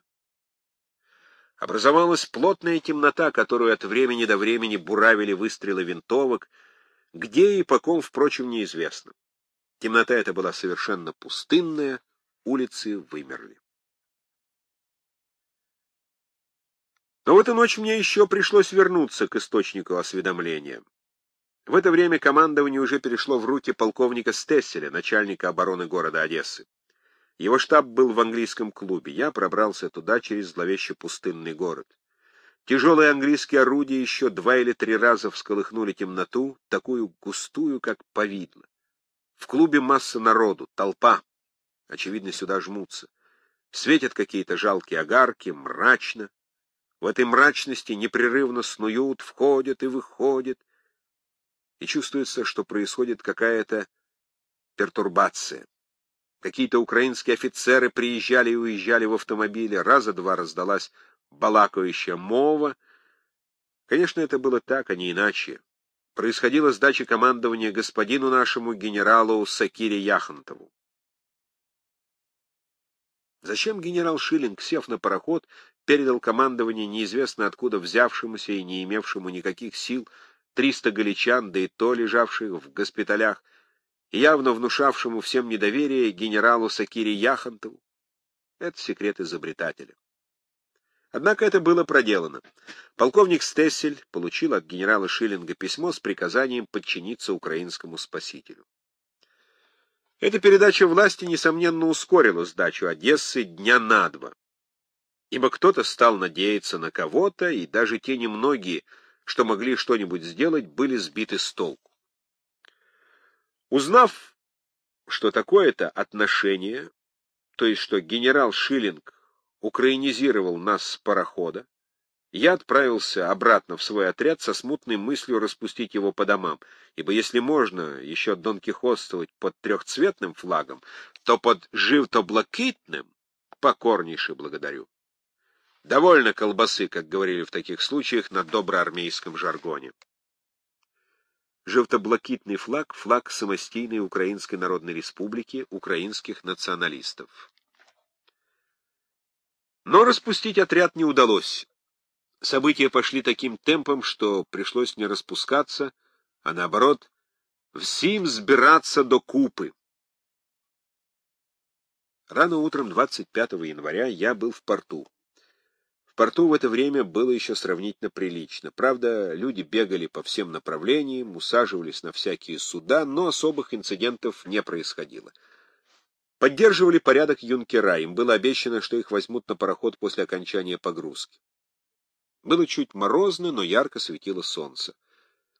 Я пришел на нашу собственную баржу, тут мне стало жутко. Баржу должен был тащить наш собственный пароход. И пароходик и баржа внушали невольную мысль, что они никак не выйдут в море, а если выйдут, погибнут. А между тем все было уже битком набито народом.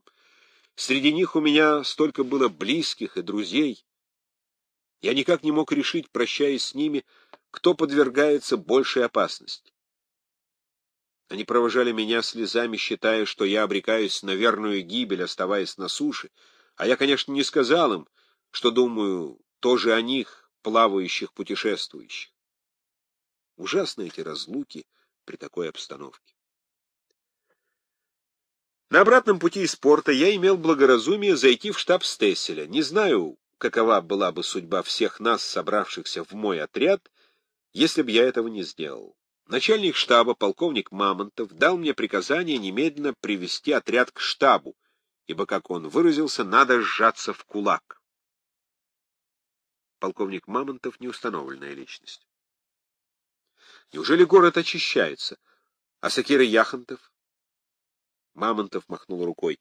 Принял командование ночью, а утром прислал сказать, что снял с себя командование. Кончилось счастье. Ну а районные коменданты, есть же что-нибудь? Он посмотрел на меня выразительно. Отжимайтесь к штабу и немедленно. К своему удовольствию я застал отряд весьма готовым к выступлению. Большевики были где-то неподалеку.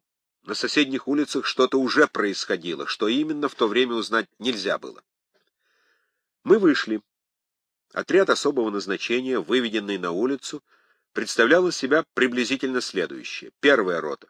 Человек 30 офицеров самого разнообразного происхождения — Несколько из них испытанных друзей, другие прибежавшие в последнюю минуту, не зная, куда деться. Вторая рота, около 50 человек молодежи, преимущественно гимназистов. Сверх того, около 10 дам, несколько мужчин штатского вида, способных и неспособных носить винтовку. Двенадцатилетняя Оля и четырнадцатилетний Димка, мой младший сын. Хозяйственная часть Одна подвода неизвестного происхождения, но переполненная вещами. Мы шли по городу, пулеметы трещали на соседних улицах, но пока мы двигались благополучно. Кто с кем там дерется, никак нельзя было сообразить. По тротуарам бежали люди с чемоданчиками и узелками, очевидно, в порт. Нормальной, обычной публики не было. Без особых приключений мы дошли до английского клуба на углу Пушкинской и Ланжероновской. Тут мы увидели главные силы. Полковник Стессель со своим штабом стоял уже на улице. За штабом находились какие-то части в таком количестве, что прибытие нашего отряда, в котором не было ста человек, оказало заметное влияние. Итак, это было все.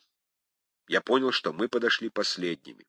В критическую минуту от 25-тысячной кофейной армии, которая толкалась по всем притонам города и от всех частей, вновь сформированных и старых, прибившихся в Одессу в распоряжение полковника Стесселя, начальника обороны, оказалось человек триста, считая с нами. Трескотня усиливалась, Стесель приказал сделать разведку по Ришельевской и Пушкинской. Я пошел с несколькими офицерами и молодежью по Пушкинской. Развернулись в цепь. Мальчики несколько путали, но держались смело. С Дерибасовской стали долетать пули. Тут поднялся крик «Из окон стреляют!» Я приказал ему крыться и стал присматриваться. У окон действительно появились какие-то дымки в верхних этажах. Я начал соображать, почему дымки при бездымном порохе, и почему дымки там, где окна закрыты и скоро понял, в чем дело. Эти дымки производили пули, ударявшиеся о штукатурку. По Дерибасовской из-за горки кто-то палил. Попадая в дома под острыми углами, пули рикошетировали, рождая эти желто-серые дымочки из пыли известкового камня. Ларчик открывался просто, а меж тем столько раз в гражданской войне оба противника обвиняли мирное население в стрельбе из окон. Это в некоторых случаях, конечно, бывало, но по большей части это были, вероятно, только штукатурные дымки. Мы не успели вступить в бой, как пришло приказание оттянуться. Вернувшись к Ланжероновскому спуску, мы увидели, что уже никого нет. Главные силы отступили в порт. На что мы, собственно, рассчитывали, мы хорошенько не знали. Должно быть, на посадку на пароходы. Словом, мы отошли вместе с прочими. В порту была каша. Куда-то тянулись части, повозки, отдельные люди, публика в нелепой смеси имен и лиц, племен, наречий, состояний. Где-то кого-то куда-то почему-то не пускали юнкера, потом пустили. В общем, мы очутились на том малу, который ведет к маяку. Другими словами, больше деваться было некуда. С трех сторон вода, с четвертой метущаяся каша людей, повозок, лошадей, орудий, броневиков и автомобилей. Мы расположились чего-то ждать около каменных сараев. Так выжидательно, бессмысленно продолжалось некоторое время. Очевидно, столько времени, сколько большевикам понадобилось, чтобы установить пулеметы в Александровском парке и вообще на высотах, окружающих порт. Мы поняли, что это сделано, когда они стали обстреливать нас. Люди бросились за каменные сараи, какой-то броневик поднял трескотню с нашей стороны. Эта наша трескотня была в высшей степени неприятная. Сознаюсь, мои нервы не созданы для такого шума. Большевики стреляли плохо. Они могли бы, выражаясь по-старозаветному, залить нас свинцом, но в общем ранили несколько человек. Однако этого было совершенно достаточно, чтобы все пароходы драпанули в два счета в море. В это время среди горсточки людей, дошедших до последнего предела и жавшихся к каменным сараям на малу, родилось, наконец, то, чего столько времени ожидали — инстинкт сопротивления. Вдруг вырвались какие-то люди, насколько помню, это были даже не офицеры, а солдаты-драгуны. Они, неистово жестикулируя, стали кричать, яростно кого-то упрекая. «Ну что же, господа, еще долго так будет? Куда еще? Море кругом! Дальше не пойдете, нет? Так что вот так и пропадем? Пойдем трам-тарарам, выбьем их трам-тарарам с их пулеметами к трам-тарарамной матери. Идем!» Хотя эта речь была брошена к толпе почти наполовину состоявшей из женщин, детей и никчемников, однако она произвела впечатление. Была подана мысль пробиться, был найден исход. Первоначально ругнулись по обычаю, жестко друг с другом. Помню, я ругал какого-то офицера, чтобы он не расстраивал частей и чтобы действовали по какому-нибудь плану. Но все же эта вспышка энергии произвела желаемое действие, и штаб зашевелился. Получено было приказание нашему отряду особого назначения выгнать всех способных носить оружие из-под сараев для атаки высот. Я пошел выгонять. Это было дело скучное и противное. Приходилось торговаться и спорить с офицерами всяких чинов, утверждавшими, что они больны или что-нибудь в этом роде. Скоро мне надоели эти обязанности особого назначения, и вместе с теми, кого удалось вытащить, я двинулся по молу, по направлению высот. По дороге к нам присоединялись еще какие-то люди, а во главе всех очутился полковник Мамонтов. Он неистово кого-то ругал и показывал кулак Одессе. Удивительно, что этого не было смешно, а наоборот производило впечатление чего-то подбадривающего. Большевистские пулеметы в это время замолчали, точно испугались того решительного вида, с которым наша горсточка быстро двигалась по молу. На самом деле это было не так. Драгуны, побежавшие раньше нас, уже были на высотах, большевики отступили еще перед ними. Но там что-то еще происходило, потому что навстречу нам бежали люди, которые неистово нас торопили, требуя помощи. Мы пустились бегом и стали подниматься по какой-то лестнице. Я помню, что у меня была только одна мысль — не задохнуться к концу ступеней. Наверху в парке, среди его редких деревьев, двигались какие-то цепи, по-видимому, без всякого руководства. Я со своей горсточки взял почему-то вправо, но мог с тем же успехом взять и влево. Мы прошли парк, причем нас все время уверяли, что большевики идут, но увидеть их я никак не мог. Таким образом, мы вышли на Мразлиевскую с ее большими домами и шикарными подъездами. Из какой-то поперечной улицы будто бы стреляли, по крайней мере, на углу столпилась горсточка наших и не решалась перейти улицу. Кто-то упорно утверждал, что они засели в таких-то окнах и оттуда палят. Это всегда бывает в таких случаях. Основное правило — не верить очевидцам в бою, ибо людям мерещится бог знает что. На самом деле никого в переулке не оказалось, и когда стало ясно, все двинулись гурьбой за нами, однако еще через поворот, наконец, мы вошли в соприкосновение с противником. Оттуда действительно постреливали. В это время около меня образовалась горсточка людей, которые почти все были мне незнакомы, но почему-то исполняли мои приказания. Я поставил одного из них на самом углу, а остальных спрятал вдоль стенки. Этому одному передавали заряженные винтовки, и он открыл пальбу. С колена, спокойно, на мушку. Это возымело действие. Какие-то черные фигуры, которые копошились через несколько кварталов, побежали и исчезли в боковых улицах. Мы двинулись дальше гуськом под стенами. Доходя до углов, осматривались вправо и влево и двигались дальше. Несколько трупов оказалось на тротуарах. Прошли еще несколько улиц, постреляли еще. Меня начало брать сомнение, не стреляем ли мы в прохожих. За газетным тамбурином через два квартала ютилась кучка людей. Я начинал думать, что это не большевики, а случайные прохожие, которых зажали ни туда, ни сюда. Я приказал прекратить стрельбу. Но какой-то пришедший в азарт продолжал расстреливать тамбурин. Взглянув ему в лицо, я увидел, что это восточный человек. Я снова приказал ему перестать. Он не послушался. Черномасляные восточные глазки горели неистово. Он был в трансе. Я вынул револьвер, это привело его в чувство. Он заявил мне, что он офицер, адъютант такого-то полковника, но стал слушаться. Вперед больше не приходилось идти. Мы потеряли связь со штабом, планы которого были мне совершенно неизвестными. Но, в общем, я думал, что взять весь город не входит в нашу задачу, а достаточно освободить порт от обстрела. Кроме того, нас могли обойти. Мы стали отходить.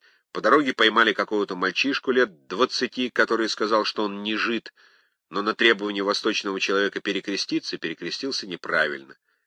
И я опять должен был употребить угрозу, чтобы этого еврейчика отпустили, ибо восточный адъютант был совершенно убежден, что это большевик, только что бросивший винтовку — тогда как для меня было совершенно ясно, что вздор. На Морзлиевской мы встретили еще другие группки. Всем страшно хотелось пить, какие-то дамы поили нас водой, но с большой опаской, боясь мести большевиков. Пришло приказание оттянуться на гребень Александровского парка и держать его. Мы отошли, заняв позицию неподалеку от Александровской колонны. Я пошел посмотреть, что делается в парке. Сверху все было видно. Все пароходы ушли из порта, на молах копошились люди и обозы. Как-никак мы чувствовали себя победителями, ибо заняли вершину и защитили порт, где у каждого из нас были близкие родные. Ужасно хотелось есть. И вдруг, как бывает в сказках, появились добрые феи. Это были три молоденькие барышни-мещаночки — путешествовавшие по гребню с огромным чайником и с белым хлебом. Мы сначала даже не поверили, что они вышли специально кормить нас. Но это было так. Я сказал им, вы очень рискуете, на что они ответили, умирать один раз, и ничего нам не будет. Этот чай был действительно вкусным. Уже не в первый раз я делал наблюдение, что средний слой гораздо более отзывчив и смелее, чем высший. То-то большевики боятся больше мелких буржуев, чем крупных. Речь идет о том, что в ходе классовой борьбы масса средних слоев населения, крестьяне, мелкие хозяйчики, торговцы, своей политики в силу классовой двойственности и промежуточного положения иметь не могут и попадают то в лагерь пролетариата, то буржуазии. В последнем случае она резко увеличивает социальную базу контрреволюции. Поэтому, сравнивая ее образно с армиями Деникина и Колчака, Ленин указывал, что она страшнее их вместе взятых. Полное собрание сочинений, том 43, страницы 24, 26 и 28. Так, в общем, дело дотянулось до вечера. Я очень беспокоился, что нигде не вижу своих сыновей. Становилось холодно, мы тщетно разводили какие-то костры, проявляя при этом обычную интеллигентскую никчемность. Через долгое томительное время пришло сообщение из штаба, что если до десяти часов вечера нас не заберут на пароходы, мы выйдем из города в направлении на Румынию. Вместе с тем стало известно, что полковнику Стесселю лично было неоднократно предложено сесть на пароход, на что он ответил, «Что вы меня под лицом считаете?» Это произвело хорошее впечатление.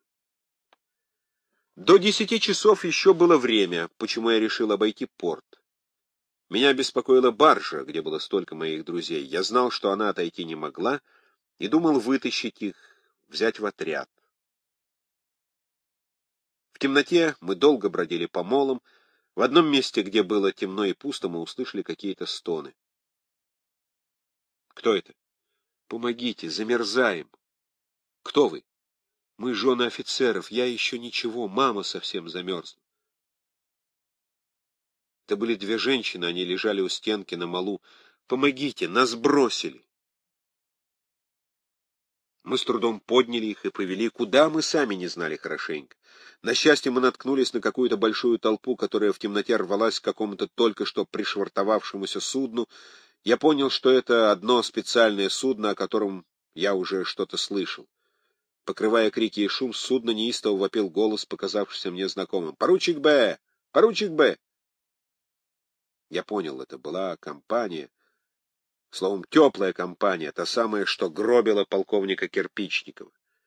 Они и здесь проявили свои качества, захватив судно в свое распоряжение, но на этот раз «фед юстиция» да восторжествует справедливость, латинский. Они делали благое дело, принимали на борт, кроме своей шпаны, женщин, больных и раненых. Английские солдаты составили цепи пропускали по указанию. Но, в общем, был кавардак. Толпа напирала и жаловалась на все голоса в темноте. Нам удалось протиснуть замерзших женщин. Тут же мы увидели несколько человек близких друзей, офицеров, шатающихся после всяких тифов и воспалений. Они тоже пробивались на пароход. Ужасно было оставить их такими беспомощными и слабыми, но немыслимо взять их в поход. Мы простились тяжело. Некоторых из них я видел в последний раз не выдержали дальнейшего. Баржи я не нашел. Около десяти часов мы тронулись. Наш отряд особого назначения вошел в колонну полковника Стесселя. Не пойму хорошенько, откуда и как образовался колоссальный обоз.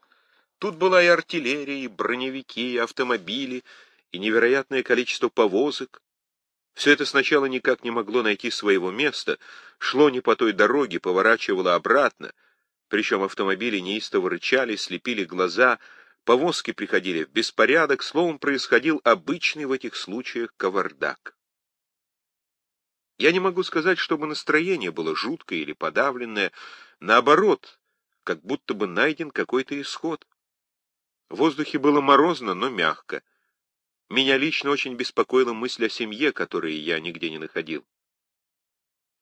Мы стали подниматься бесконечным обозом по военному спуску. Около моста я вдруг увидел характерную фигуру старшего сына Ляли, имя не очень подходящее для юнкера флота 18 лет, но что же я поделаю, если его так называют от века все? Он стоял с винтовкой в своей знаменитой папахе халды-балды, которая придавала ему вид османлиса. Оказалось, что он сторожит меня. Тут же оказались и остальные, другой сын, жена, племянник, Филя Могилевский. Все были в бою, все были живы, что и требовалось. Они были в какой-то вновь образовавшейся роте полковника Н.Н. Рота стояла тут же у парапета. Они мне рассказали все, как было. Страшно интересно, полковник правда симпатичнейший человек? Ляля моментально производит людей в симпатичнейшие и в свои личные друзья. Счастливое свойство молодости.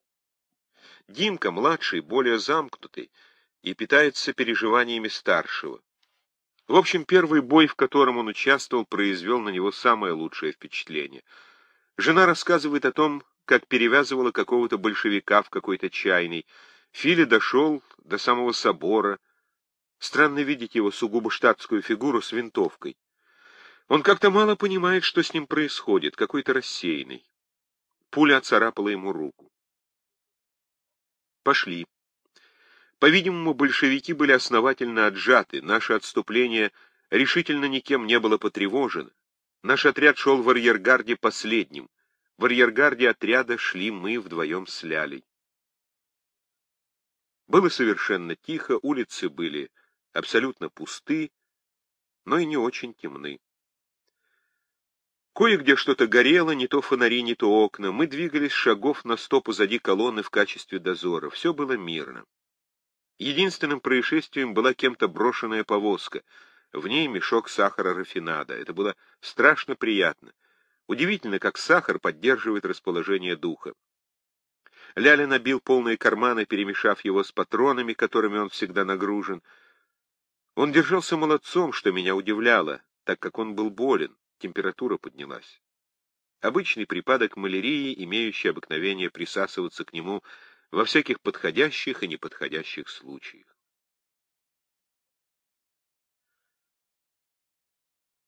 Постепенно колонна вытянулась за город, и пошли бесконечные фонтаны.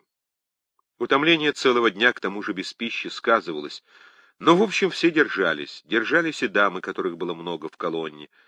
Бодро двигалась маленькая Оля, напоминавшая фрикетту из романов Буссенара. На какой-то станции под каким-то забором Ляля свалился. Я положил его как можно ниже головой, и обморок прошел. Боясь, что причитание матери его расслабит, я взял его под руку, и он пошел бодро. К счастью, мы натолкнулись на какое-то учреждение, какая-то больница, где, несмотря на поздний час, два или три часа ночи, кому-то давали чай.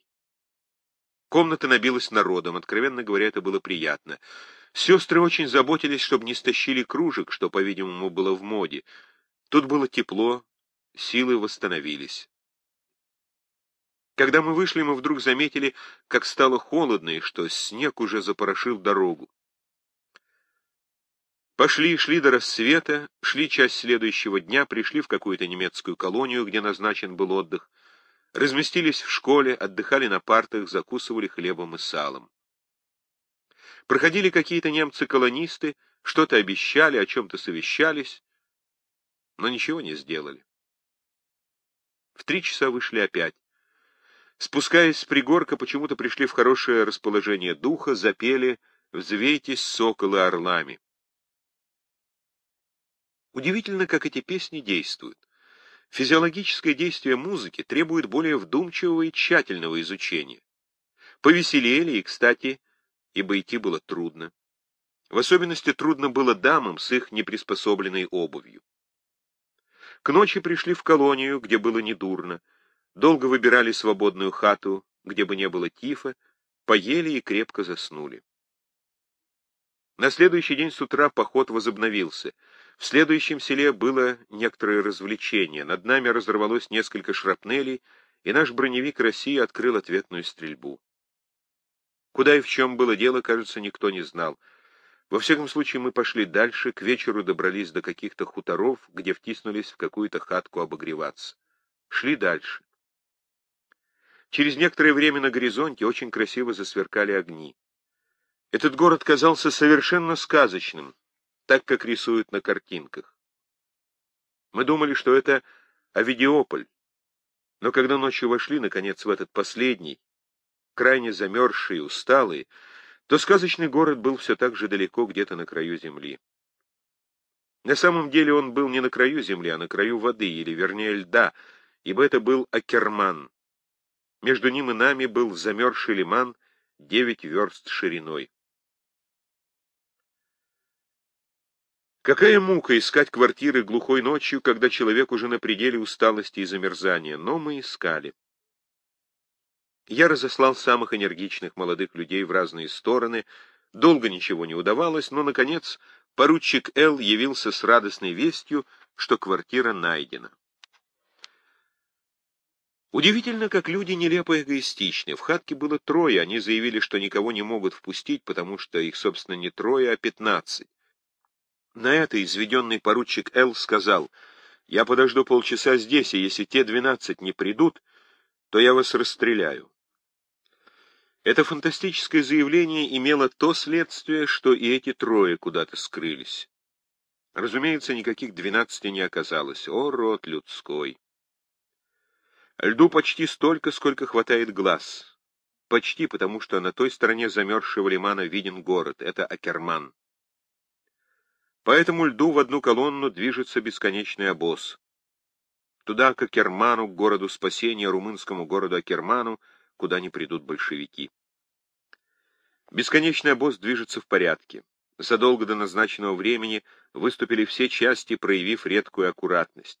Теперь они идут осторожно, соблюдая дистанцию, чтобы не провалить лед, почти торжественно. Идут с белыми флагами, которые несут как знамена. Печальные знамена.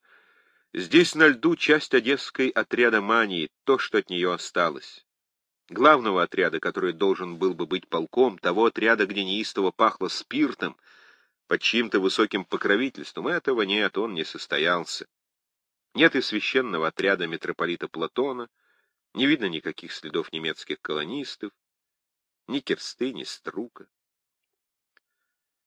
Зато торжественно уступает союз возрождения России. Тут же отважное начинание и отряд экс-редактора Киевлянина и другие.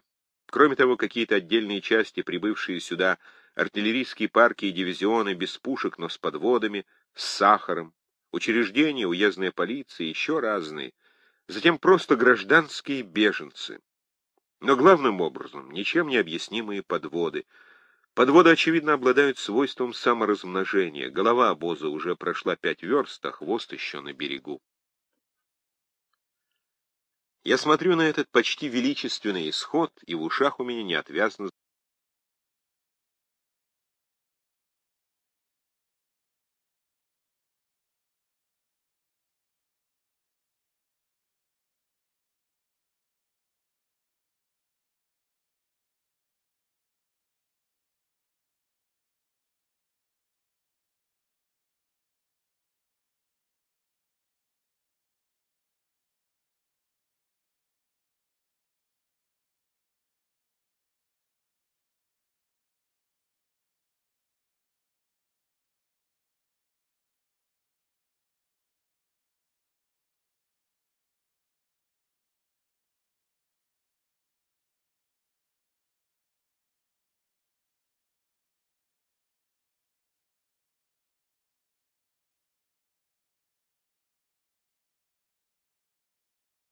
весьма приличном штатском платье и с изящным чемоданчиком в руках. Впереди всего шествия шли маленькие кадеты, они начинались с десяти лет, жалко было смотреть на эту детвору, замерзавшую на льду. И начался анабазис, великое отступление от Акермана. Надо, впрочем, сказать, что это торжественное шествие с белыми флагами имело в себе Нечто настолько унизительное, что обратный путь был как-то веселее. Остаток гордости, впоследствии вытравленный лишениями, еще таился тогда в некоторых сердцах. Совершенно неинтересно, что на другой день было проделано то же самое и с тем же результатом. Кажется, было еще холоднее на льду, было меньше порядка и больше усталости. У полковника Стесселя Совещание командиров частей. Полковник Стессель говорит, во-первых, к черту эти повозки, с ними пропадем. Совершенно правильно, господин полковник. Оставить только самое необходимое, говорит один из командиров частей. Да ведь у нас, господин полковник, ничего нет. Пусть и другие бросят, говорит другой. Все бросим, продолжает Стессель. Это во-первых. Во-вторых, переформироваться. Довольно балагана. Отряды называются. На самом деле роты нет. Согласны, господа? Вот вы первая рота, вы вторая, все согласны. Затем вот мой план пробиться. Раз румыны не пускают, надо пробиваться на север, вернее, на северо-запад, вдоль Днестра, на соединение с Бредовым, а если нет, в Польшу. Я уверен, что если захотим, то пройдем. Вы согласны, господа? Мы согласны. Нам даются сутки на приведение себя в порядок, главным образом на уничтожение подвод. Легче всего это было сделать моему отряду. У нас была одна подвода, которая, несмотря на все наши усилия, не размножалась. Рассвет. На пригорке начальник штаба Мамонтов делает как бы смотр в том смысле, сколько изничтожили подвод. Я остановился около Мамонтова. Печально, эти подводы бессмертны. На мой взгляд, число их не уменьшилось, а увеличилось. Бесконечной цепью они продвигаются в полутемноте. Ни конца им, ни края. Между ними редко-редко проходят часть, жалкие горсточки, а за ними все то же. Так было, так будет. Солнце заходит, шли целый день. В общем, благополучно, откуда-то издали большевики обстреляли из трехдюймовых, но обошлось без потерь. Пора отдохнуть. Удивительно, как держатся все эти женщины, дети, которых много. Они не теряют даже хорошего расположения духа. А маленькая Оля даже совсем нарядна, детское лицо остается свежим среди осунувшихся взрослых и веселит глаз. Но страшно смотреть на рот мистера Че. Он только что встал с постели после сыпного тифа, идет, пошатываясь то вправо, то влево, но твердо держит свою кавалерийскую саблю. Глаза опущены, на изможденном лице какая-то внутренняя сосредоточенность, как будто бы он решает трудную задачу. Он идет напряжением воли. Другой бы не смог идти. Немецкая колония. Какие они характерные, тоску наводящие, необычайной одинаковостью всех домов. Богатые дома, каменные, массивные, с явным отпечатком вековой традиции. Если бы наши крестьяне так жили. Но, боже мой, от чего от них такая скука? Вздор, сентиментализм, остатки вековечной потребности, садочка, ставочка, вишеньки. Ой, сказала мене мати, та й приказувала, щоб я хлопцев до садочку не приваживала. Тут этого не услышишь. Ночь, опять идем, темно, Впереди идет какой-то автомобиль с прожектором, который часто останавливается, берет куда-то в бок, что-то ищет. Эти его похождения в темноте с этим бродящим лучом вызывают какое-то жуткое чувство. Что ему надо? Чего он бродит? Когда он останавливается, вся колонна останавливается, усталость уже очень большая. Как только станут, люди ложатся там, где стоят, прямо на дорогу. Я помещаю наших дам между двумя ротами, ставшими после переформирования, слава богу, взводами. Если нам трудно, то каково им? Но они держатся, ложатся на дорогу, как и мы, тотчас же засыпая. Я временами отыскиваю глазами белый полушубок ротмистра Че, боюсь, что он не встанет. Чудовище там впереди заревело, поводило своим страшным взглядом и пошло — Встать шагом марш! И все поднимаются, мальчики, женщины, дети. Каша. Обозы стоят, образовалась какая-то толпа. Она всего гуще у высокого, тонкого здания, которое неясным черным пальцем торчит в небе. Это водокачка, которая снабжает водой Одессу. Что такое происходит? Пролезаю между перепутавшимися вазами, переступая через спящих повалку людей — я пробиваюсь к митингу, что около башни. Нет, это не митинг, это толпа, окружающая и жадно прислушивающаяся к совещанию генералов и полковников. Прижавшись к стенке башни при свете какого-то огарка, они рассматривают карту. Что произошло? Прислушавшись, я понимаю следующее. Впереди деревня, где засели большевики, надо их выбить часть совещающихся за то, чтобы выбить, но генерал Васильев, командующий всей колонной, не решается. Кто-то возражает, по-видимому, после чего генерал Васильев впадает в обиду и хочет совершить отречение. Если я, быть может, не умею руководить или не угоден, то могу отказаться. Я прошу выбрать вместо меня начальника. Его убеждают, что наоборот он очень хорош. Генерал Васильев — неустановленная личность. К такому поучительному разговору жадно прислушивается окружающая толпа. Обычная картина. Уступательные Книксоны там, где надо взять на себя ответственность и приказывать, наконец принимают решение. Двигаться куда-то без дорог, прямо через поля, по компасу, чтобы обойти деревню. Печальная мысль. Расходятся, обозы начинают распутываться и устремляются двумя параллельными колоннами в поля, покрытые снегом. Рассвет, привал. Ясно, что мы сбились с направления, какие-то Обещанные хутора, которые должны были быть недалеко от башни, словно заколдованные, шли всю ночь, никуда не пришли. Бесконечная белая степь, все изнемогли. Наша семья собралась вместе, лежим на снегу. Нас тут восемь человек родственников. Сильно устали. Мучает жажда, кроме голода. В виде лакомства преподносят друг другу кусочки чистого снега, лица очень осунулись. У Ляли начинают становиться глаза страдающей газели. У него опять припадок малярии, хотя его и пичкают хиной. Но, в общем, держится. Добрались до каких-то хуторов. Домик. Боже, какая теснота! Не сесть, не стать, но хоть тепло. Среди этой бисовой тесноты Ната, мать Оли, самоотверженно печет какие-то оладьи. Голодные люди смотрят на них жадными глазами и получают по мере того, как они зажариваются. Смрад дикий, но хоть малый отдых. Впрочем, не все отдыхают. Часть послали в сторожевое охранение, ибо где-то поблизости большевики. Иду в штаб к полковнику Стесселю. Он спит, совершенно выбившийся из сил. Я рад, что Раиса Васильевна Стессель приютила Олю.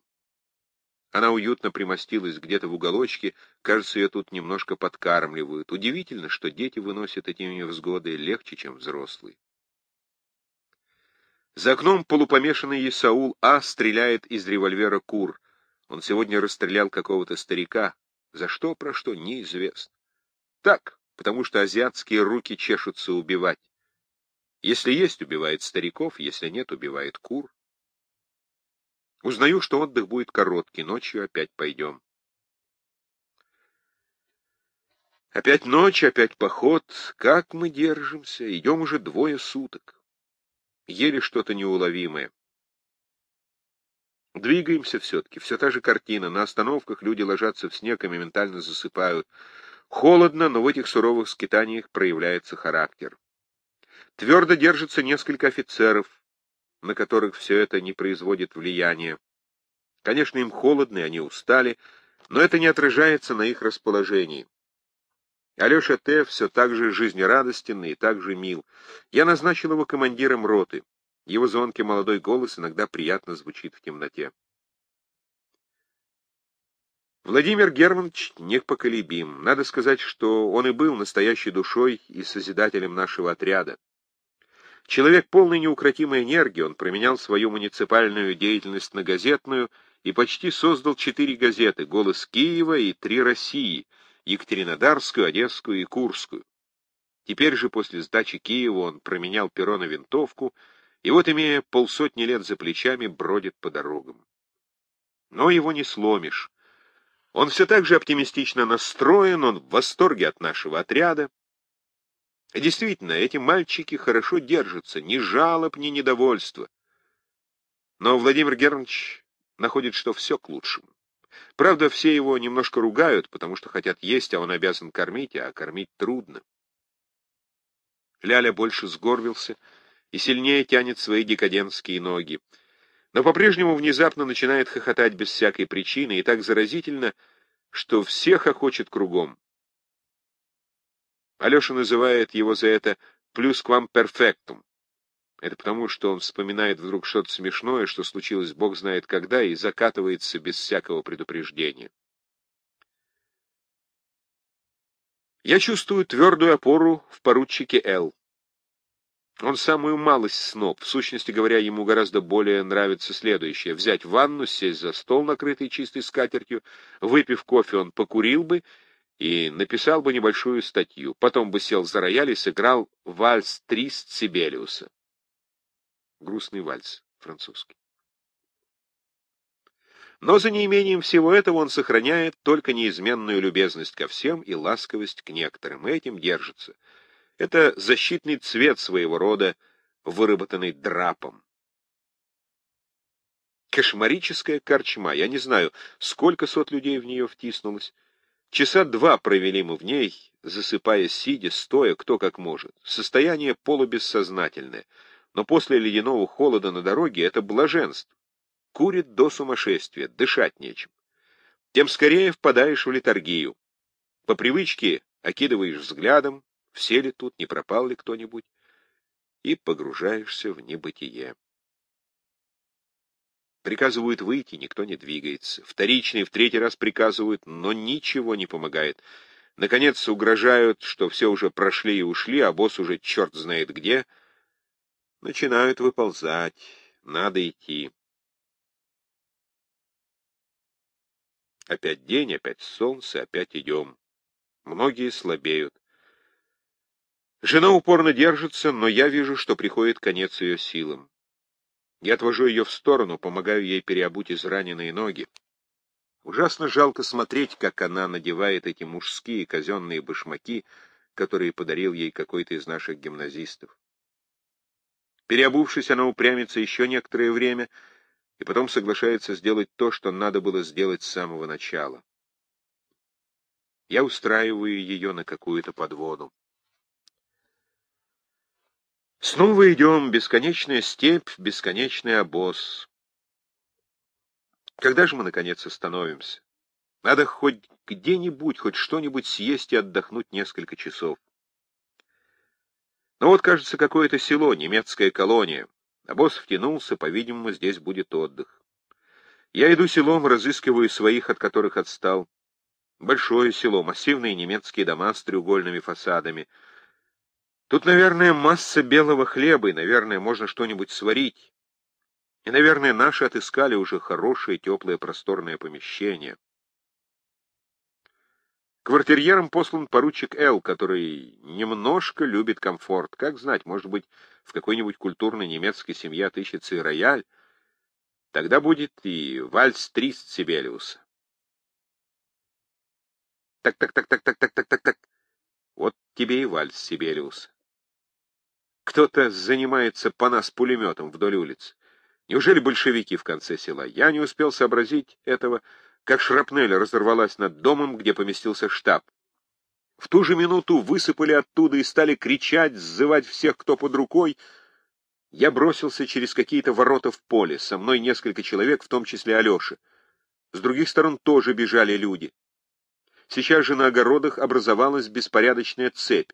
Это было нечто скифское, все вопили, стреляли куда-то в пространство, никаких организованных звеньев не было.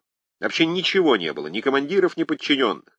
Все командовали, то есть все вопили и, в общем, стихийно двигались вперед. Кажется, нас обстреливали. Даже, наверное.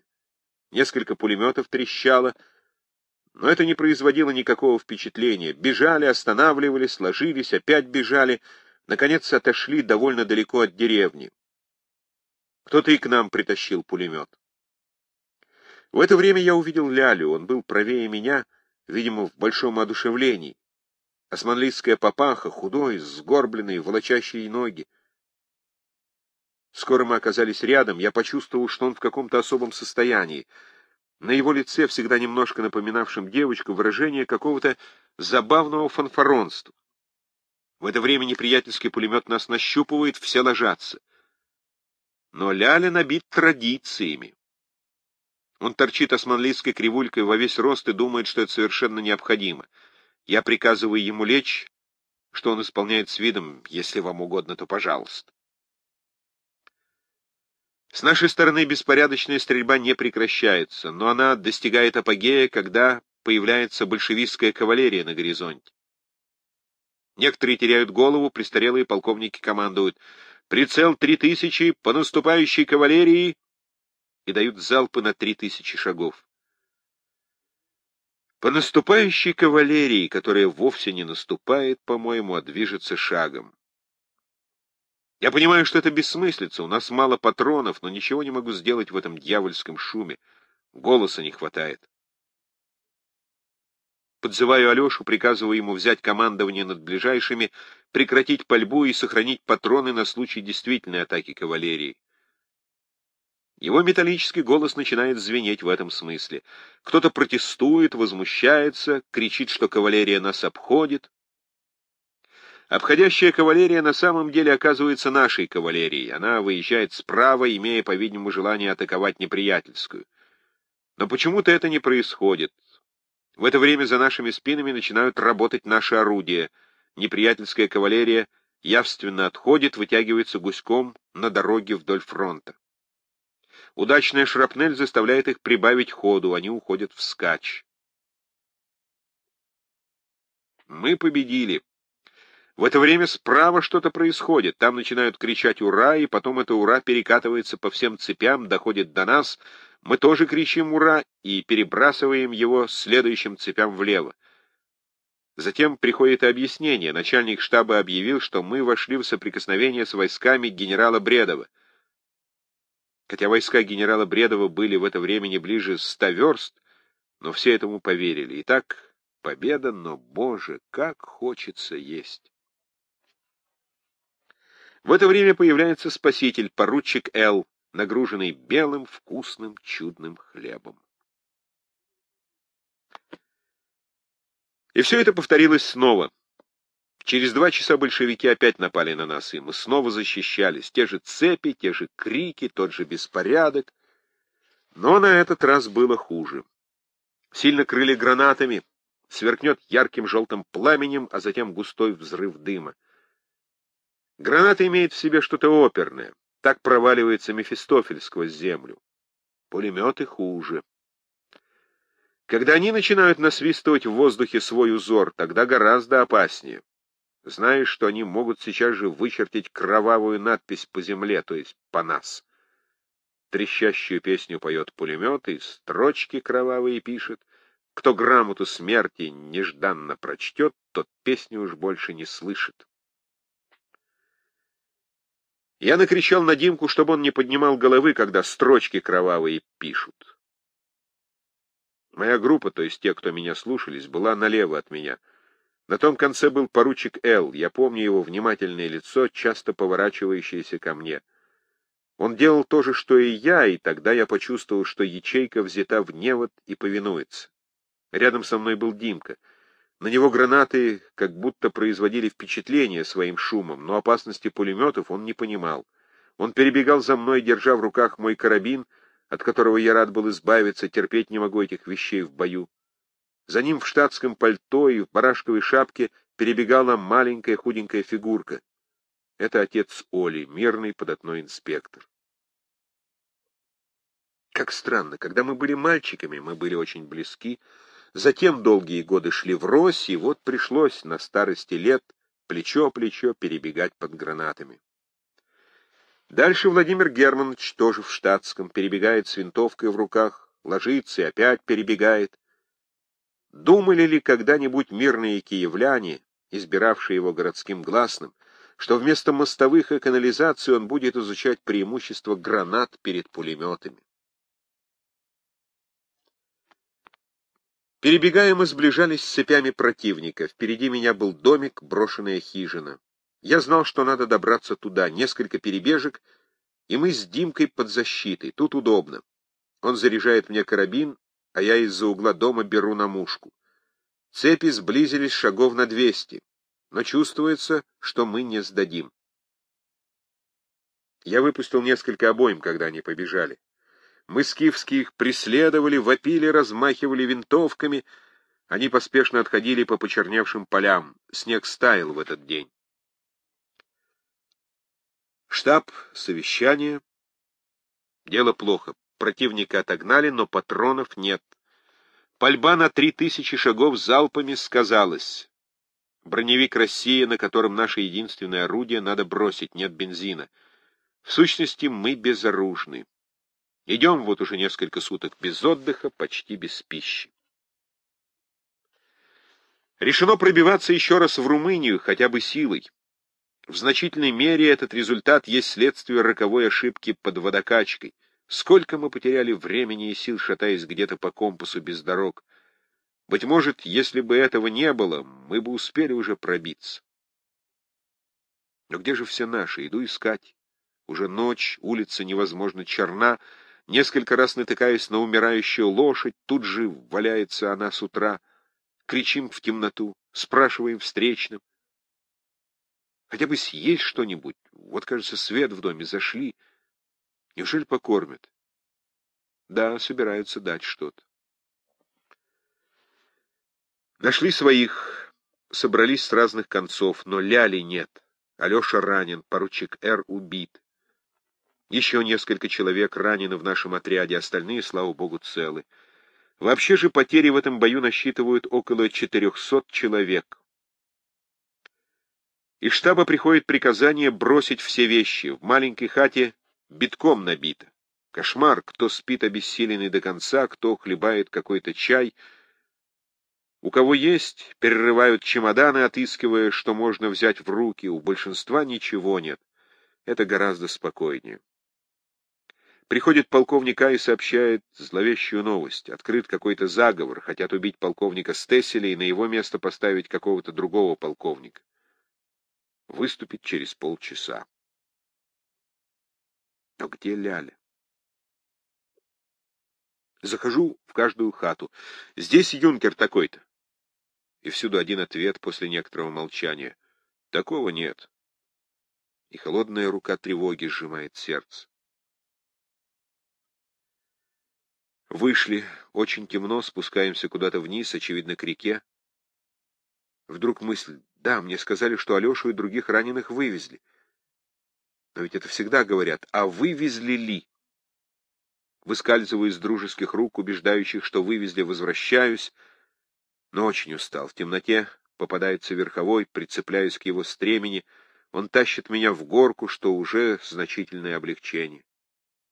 Ищу долго, безуспешно.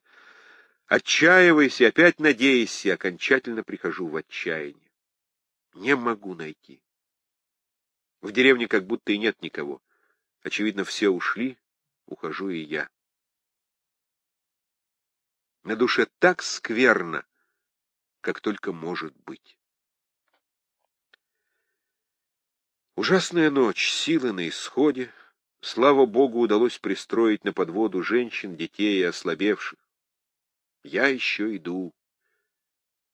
Я не особенно понимаю, как я это делаю. Все горы и горы. Я все иду по обочине дороги. Я ясно понимаю, что все меня обгоняют, но в конце концов я оказываюсь впереди всех. Почему? Они останавливаются, а я нет. Они лежат на снегу каждый раз, когда обоз станет, а я боюсь лечь. Мне кажется, что я не встану. Минутами снег озаряется каким-то зеленоватым светом. Мне кажется, что всходит луна, но я скоро понимаю, что нет луны, а что это мгновениями я впадаю в забытье на ходу, и мне мерещится этот свет. Вот, наконец, голова обоза, перекресток. Стали. Куда идти? Тут надо лечь. Это что? — Экипаж, тесно окруженный кучкой людей, держащихся за крылья, на козлах полковник в лохматой шапке, кто-то говорит, это раненую сестру везут. А я слышу, как из глубины экипажа знакомый бас ругается. Куда вас черт несет? Рессоры поломаете. Я понимаю, в чем дело. Это близкие к полковнику Стесселю офицеры охраняют его по случаю заговора. А он страшно зол на все это и потому ругается.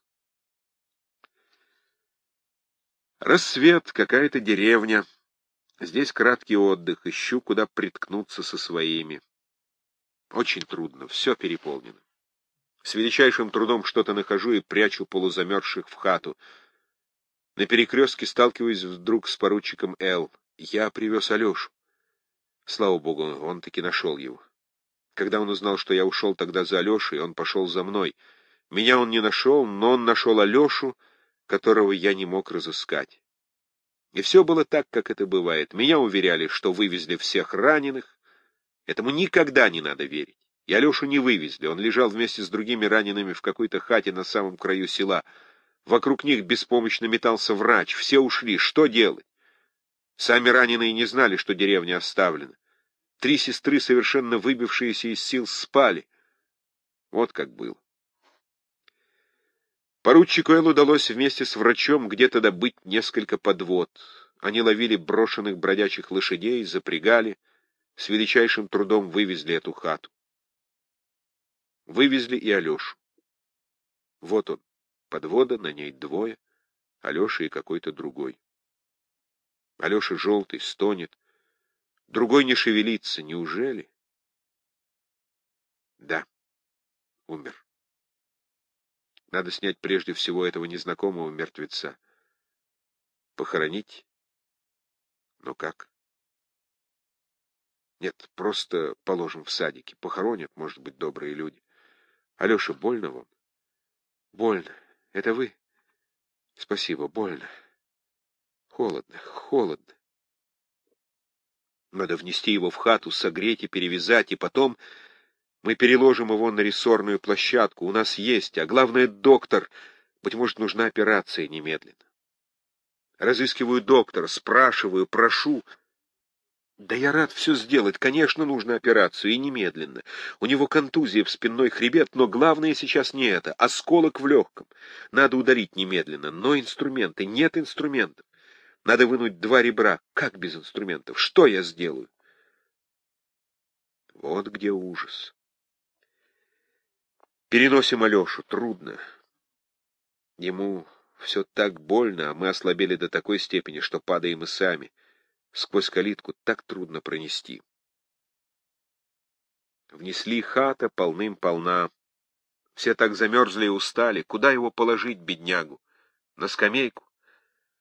Ах, больно, пожалуйста, не надо, на пол лучше. Василий Витальевич, спасибо. Вам тяжело, не беспокойтесь. Ах, больно.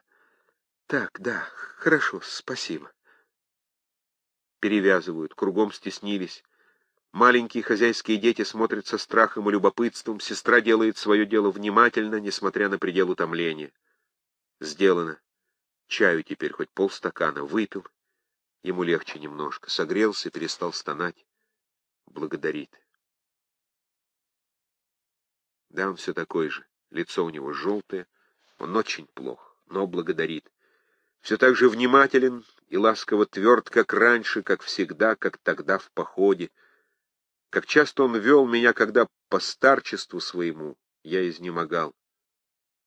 Он не такой, как почти все. Это у него не внешне, а в крови. Вот он умирает, и все тот же. Он, значит, настоящий такой, это его настоящая природа. Он никогда себе не изменит, никогда. Да и когда уже? Уже некогда. Кругом стоят, сидят, лежат, как все страшно устали, засыпают сейчас же, хоть на мгновение. Почему я держусь? Не знаю. Что-то меня держит изнутри. Но где же Ляля? Убит? Где-то брошен раненый, как Алеша. Мать плачет тихонько, засыпает, опять плачет. Нет, я не верю. Найдется. Но надо двигаться, бедный Алеша. Опять его надо мучить. Переносим, уложили на площадку, укрыли тепло. Здесь все же будет ему легче. Спасибо, Василий Витальевич, спасибо, Вовка. Неужели нельзя его спасти? Лицо все так же красиво и выразительны правильные губы. Брови только свелись над закрытыми глазами. Но это желтизна, восковое лицо. Нет инструментов. Из-за этого надо, чтобы он умер. Ляля! Да, это был он. Худой, сгорбленный, декадентская кривулька больше, чем когда-либо, но все с той же заражающей детской улыбкой. Где ж ты был, глупый, отчего не нашел меня? Дайте ему что-нибудь. Ел. Ел. Ах, очень интересно. Знаешь, полковник Н. симпатичнейший человек. И кроме того, он мой личный друг. Уже? Говори по порядку. Рассказывает. Он был вместе с Алешей сначала. Там было тяжело. Когда Алешу ранили гранатой, он бросился к нему. Сначала думал, что убило, лицо было в крови, он был в беспамятстве. Потом пришел в себя. И он, когда пришел в себя, увидел меня, сказал, «Ляля, передайте Василию Витальевичу, что я умираю за Россию», и потом дал мне портрет один. Еще сказал, чтобы я передал, и чтобы... Словом, он завещал мне, нам. Это боевое завещание, правда?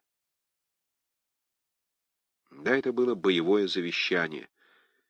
И это завещание в жизни больше мистического, чем думают. Но это потом. Ляля рассказывает дальше. Потом я его относил. Куда? В деревню. Я очень беспокоился, где ты и Дима. Но нельзя было искать, я опять вернулся. Куда? В цепь. Но уже никого не было из наших. Я попал в Союз Возрождения, там был один полковник, очень симпатичный, он мой личный друг. Где же вы были? Там, в этой другой деревне. Мы их далеко загнали. Наконец, ночь уже. Знаешь, я там заснул очень хорошо, два часа, и поел. Они были в том конце деревни, а мы в этом. Когда же вы вышли? Мы поздно, позже всех, только что пришли. Я так боялся, где ты? И так он жив, Ляля, на этот раз. Но в следующий... Есть хочется до нетерпимости. Отчего ничего нельзя достать? Денег не берут. Мы с Владимиром Германовичем шарим по избам и, наконец, находим несколько фунтов кукурузной муки. Баба уступает ее за чашку какую-то, что нашлась у меня, насыпаем в ладошку. И такая понюшка уже блаженство. В сущности говоря, человек может есть удивительно мало, и все же днем легче. И опять идем, бесконечно идем, даже непонятно, откуда берутся силы. Ведь вот ночью я шел почти в полубессознательном состоянии, а сейчас иду почти бодрый.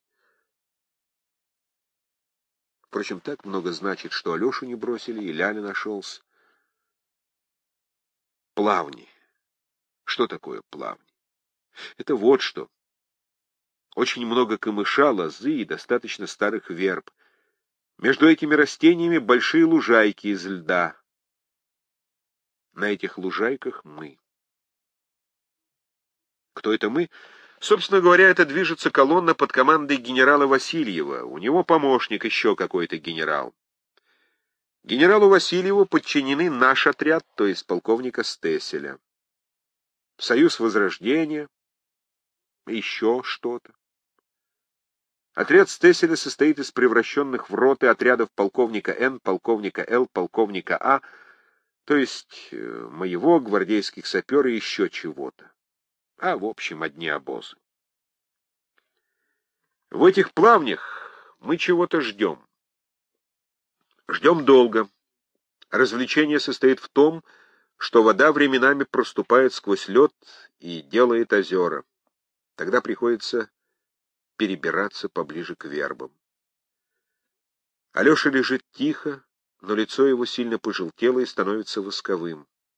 Неужели он умрет?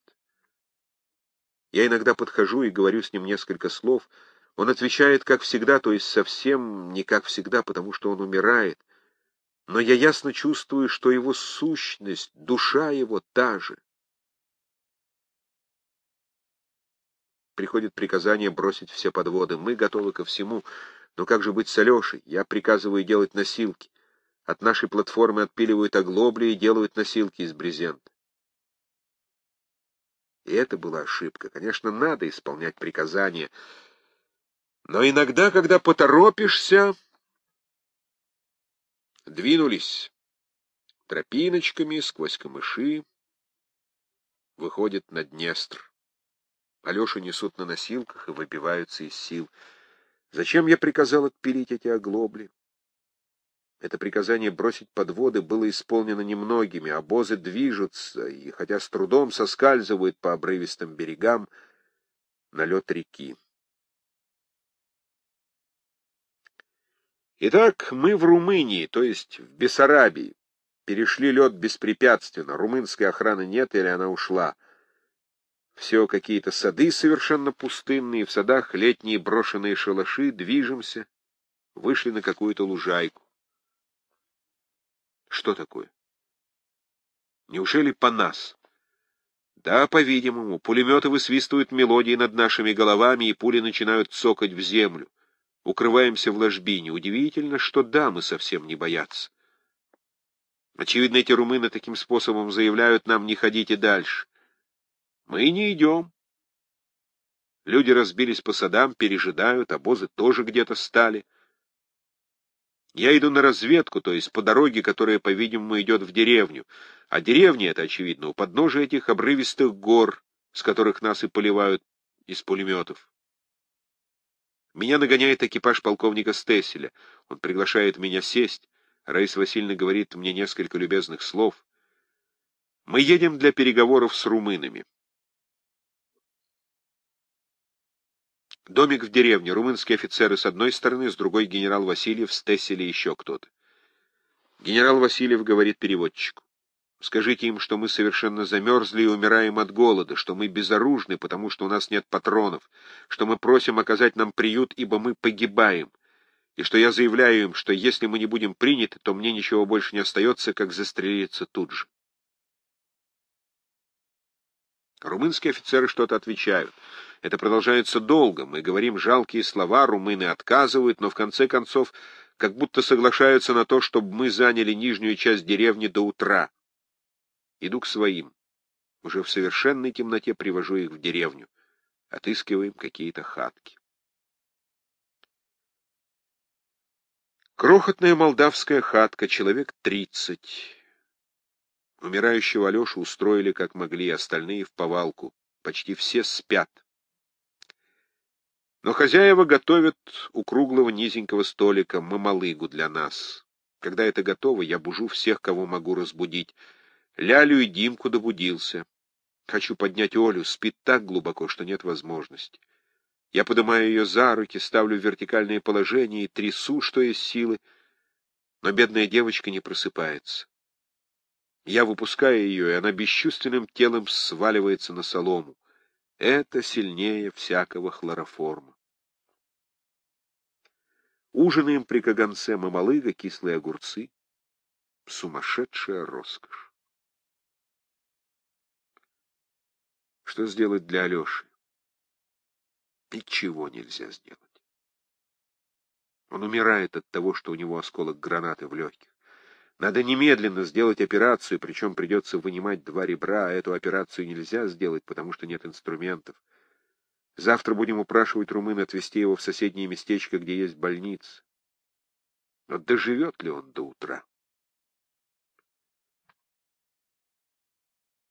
Все уже спят, многих так и не добудились. Хозяева сбились все на кровать, там старуха, молодые женщины, дети. Весь пол густо-густо уложен телами. Алеша на скамье. Мы устроили его на подушках, как могли. Моя жена легла около него на полу. Она спит чутко, чтобы помочь. Хата чуть освещена каганцом. Я укладываюсь рядом с сыновьями. Усталость сильнее всего. Засыпаю, проваливаюсь в пропасть. Но ненадолго. Алеша стонет и просит воздуха. В хате действительно душно так, что и здоровым нечем дышать. Я говорю, чтобы отворили дверь. Струя свежего воздуха входит в эту юдоль земную. Ах, хорошо, хорошо, так вот. Спасибо, хорошо.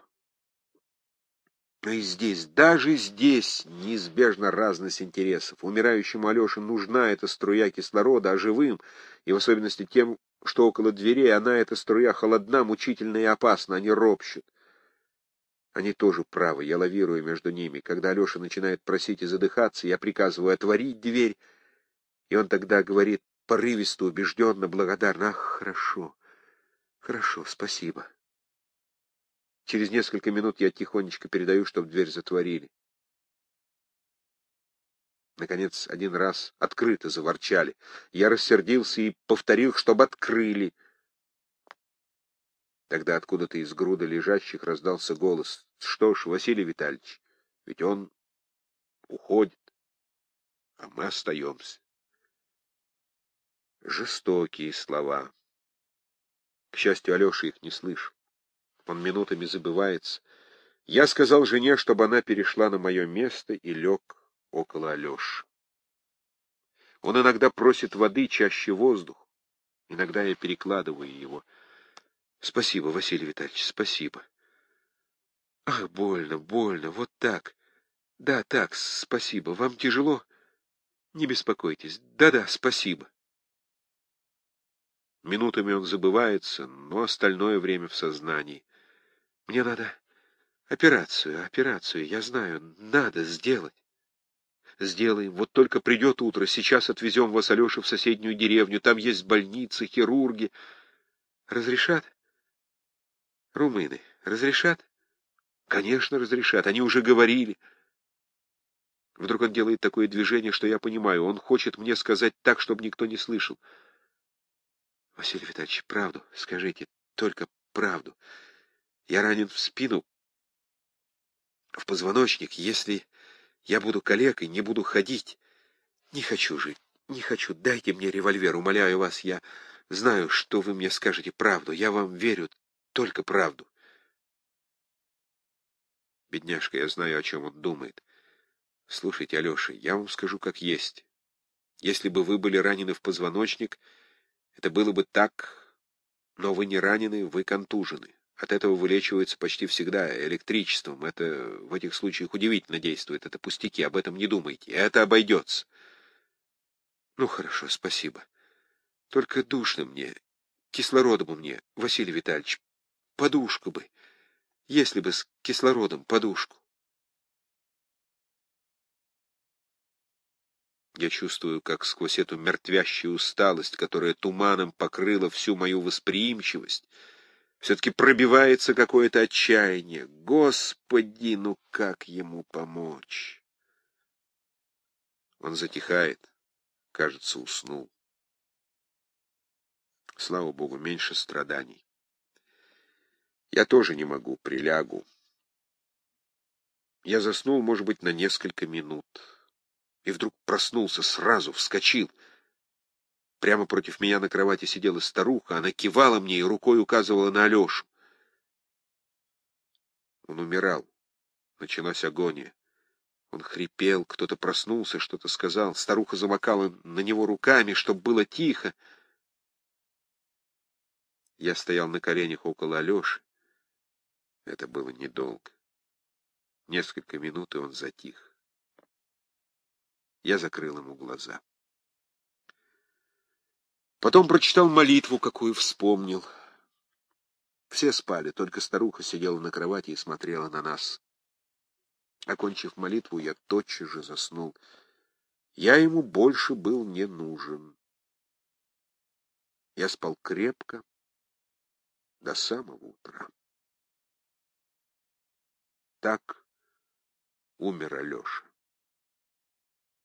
Он был белый.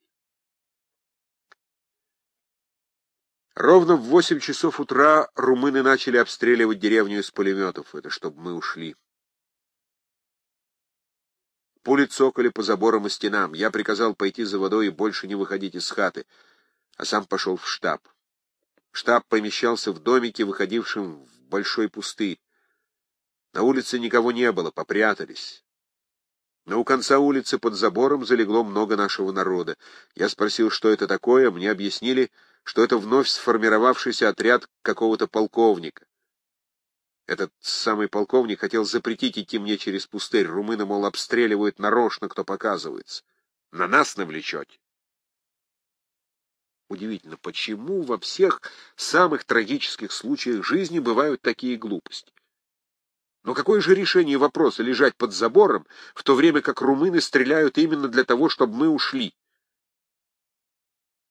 Я объяснил ему, что иду в штаб по приказанию полковника Стесселя.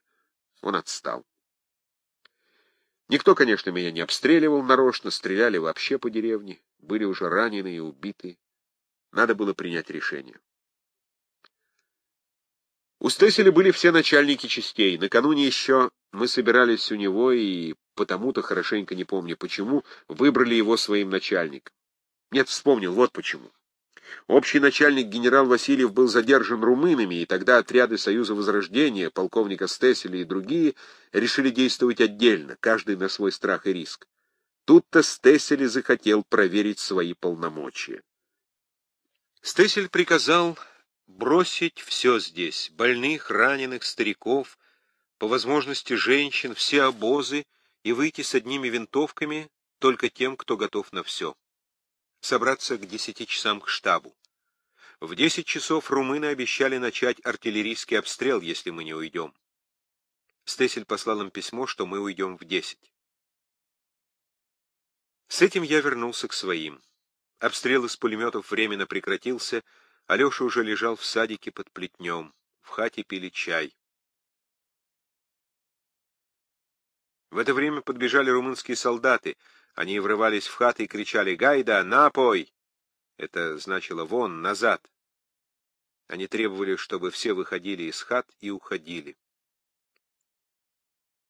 Тут наступило самое тяжелое. Жена, Ната, Оля, эти не могли больше идти. Я знал, что им нужен отдых, во что бы то ни стало. И потом, куда мы идем? Если мы и пробьемся, то ведь только самые железные, остальные погибнут в дороге, это неминуемо. Их надо оставить здесь. Неужели же эти румыны выгонят женщин и детей? Я стараюсь объяснить румынскому сержанту, что мы уйдем, но что домны, дамы, должны остаться. Он понимает меня, но и слышать не хочет. «Все, все, Гайда, напой!» Несчастные женщины выходят тоже на улицу. Не понимая ужаса будущего, они рады не расставаться. Румыны бегут дальше по хатам выгонять. Но к нам набегает новая партия, я опять к ним.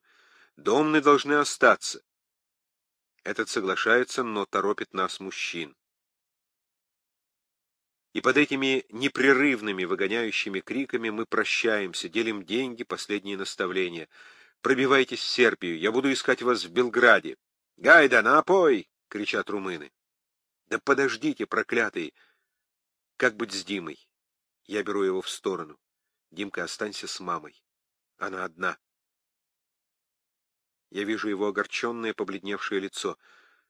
Тебя убьют, и Лялю. Какие глупости, выкрутимся. Ляля со мной, ты с мамой. Ну, прощай. Гайда, напой!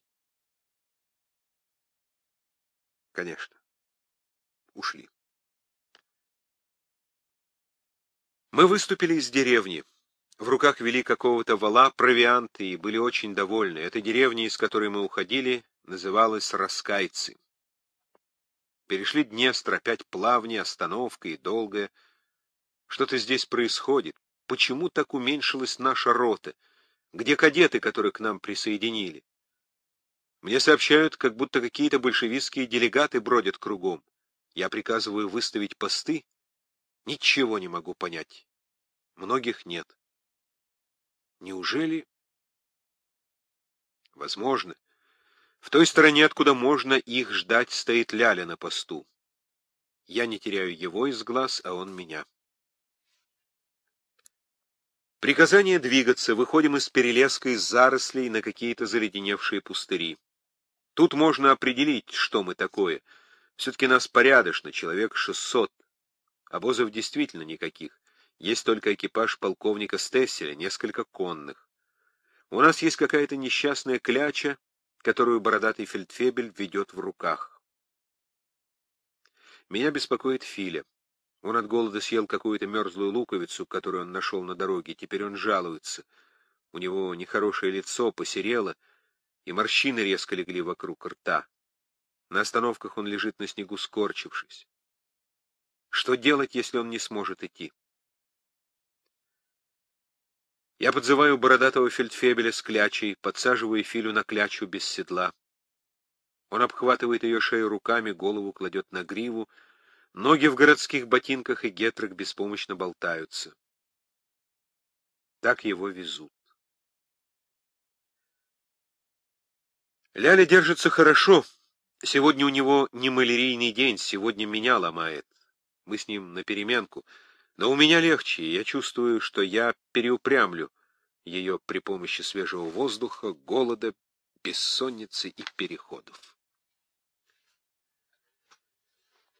Это был сад, занесенный снегом, как полагается в Бессарабии. Отряд полковника Стесселя как-то сбился в кучу, где-то за деревьями что-то происходит, какие-то крики, но выстрелов не слышно. Никто ничего хорошенько не понимает, но идут разговоры о том, что кто-то у кого-то взял пулемет. Я чувствую, что-то делается непонятное, но не могу определить, что. Ясно, что это связано с большевиками, но от чего нет боя? От чего мы остановились? Мои сталпливаются поближе ко мне, поглядывают на меня — а я поглядываю на Стесселя. Что все это значит? Вдруг на лужайке появляются два всадника. Они приближаются, направляясь прямо к нам. Они без оружия, подъехав, они останавливаются и глазами кого-то ищут. «Где тут полковник Стеселев?» Стесель ответил своим характерным басом, чуть хриплым, как будто с одышкой. «Это я? Что вам?» Это были и по виду как будто унтер-офицеры, но без погон. Один из них начал так. «Ну что ж, товарищ полковник, надо кончать. Зачем вы против нас цепи выслали? Так что вы в таком положении, что мы с вами драться не желаем». «Да кто вы такие?» «Мы те самые, с которыми вы позавчера бой вели, дивизии товарища Котовского. Товарищ Котовский нас прислал, чтобы, значит, кончать». Котовский Григорий Иванович, 1881-1925, легендарный герой гражданской войны, командир кавалерийской бригады, прославившийся в 400-километровом походе от Днестра до Житомира в 1919 году, в боях при освобождении Тирасполя и разгроме петлюровцев в 1920 году. Тут он повернулся ко всем нам, к толпе. Если которые господа офицеры опасаются, что им что будет, то пусть не опасаются.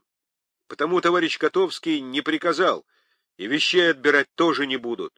Ежели при господах офицерах, которые дамочки есть, то тоже пусть не опасаются. Ничего им не будет. Приказал товарищ Котовский сказать, чтоб все до нас шли, чтоб не опасались. В это время кто-то из толпы, кажется, единственная сестра милосердия, которая была с нами, спросила — да кто вы такие? Мы? Мы большевики. Так как же, если вы большевики? Как же вы обещаете то, другое? А вчера кто убивал, кто резал, кто отнимал? Мы? Нет, мы не обижали. Как не обижали? Вы же коммунисты. Какие мы коммунисты? Мы большевики, а не коммунисты. Мы с коммунистами сами борьбу ведем. Вот, к примеру сказать, господа офицеры, Разве среди вас все хорошие люди? Есть, которые хорошие, а есть, сами знаете. Так и у нас коммунисты. Сволочь коммунисты. Мы большевики, а не коммунисты, довольно распространенное непонимание соотношений понятий большевизма и коммунизма у представителей мелкобуржуазных слоев, участвовавших в борьбе за советскую власть в годы гражданской войны. В нашей толпе произошло заметное волнение. Эти слова произвели впечатление, делегаты Котовского, очевидно, это поняли. «Вот, господа офицеры, тут наш штаб недалеко, и ваш полковник Мамонтов там, вчера его взяли. Кто к нам, пожалуйста, всем хорошо будет. Кто хочет к нам на службу, принимаем, а кто не хочет, так себе пусть идет домой. А не желаете, ну, тогда драться будем». Полковник Стессель, очевидно, в эту минуту принял решение. «Вот что». Вы себе поезжайте, а мы поговорим. Неудобно нам при вас. А что решим, сообщим вам. Те сейчас же согласились. Пожалуйста, пожалуйста. И поехали. Настала решительная минута. Ко мне подошел поручик Л. и спросил деловым тоном. Василий Витальевич, уже пора стреляться? Я ответил почти сейчас же, но помню, что в это мгновение я как-то сразу все взвесил, и, вернее, взвесил только одно, именно что большевики нас еще не окружили, что в одну сторону дорога еще свободна, и ответил, надо немного подождать. В это же мгновение ко мне подошел Владимир Германович. Мне кажется, что дальнейшее сопротивление бесполезно, сделано все возможное, дальнейшее бесплодно. Я ответил, с этой минуты я предоставляю каждому свободный выбор. Сам же я буду держаться Стеселя до конца. Я подошел к Филе, сказал ему, что освобождаю его от обязанности следовать за мной ввиду его болезни, советую сдаться и пробиваться в Одессу. Дал ему денег, мы простились. Он слез с лошади и сел на снег. В эту минуту Стессель своим хриплым задыхающимся басом обратился к толпе. «Ну вот что!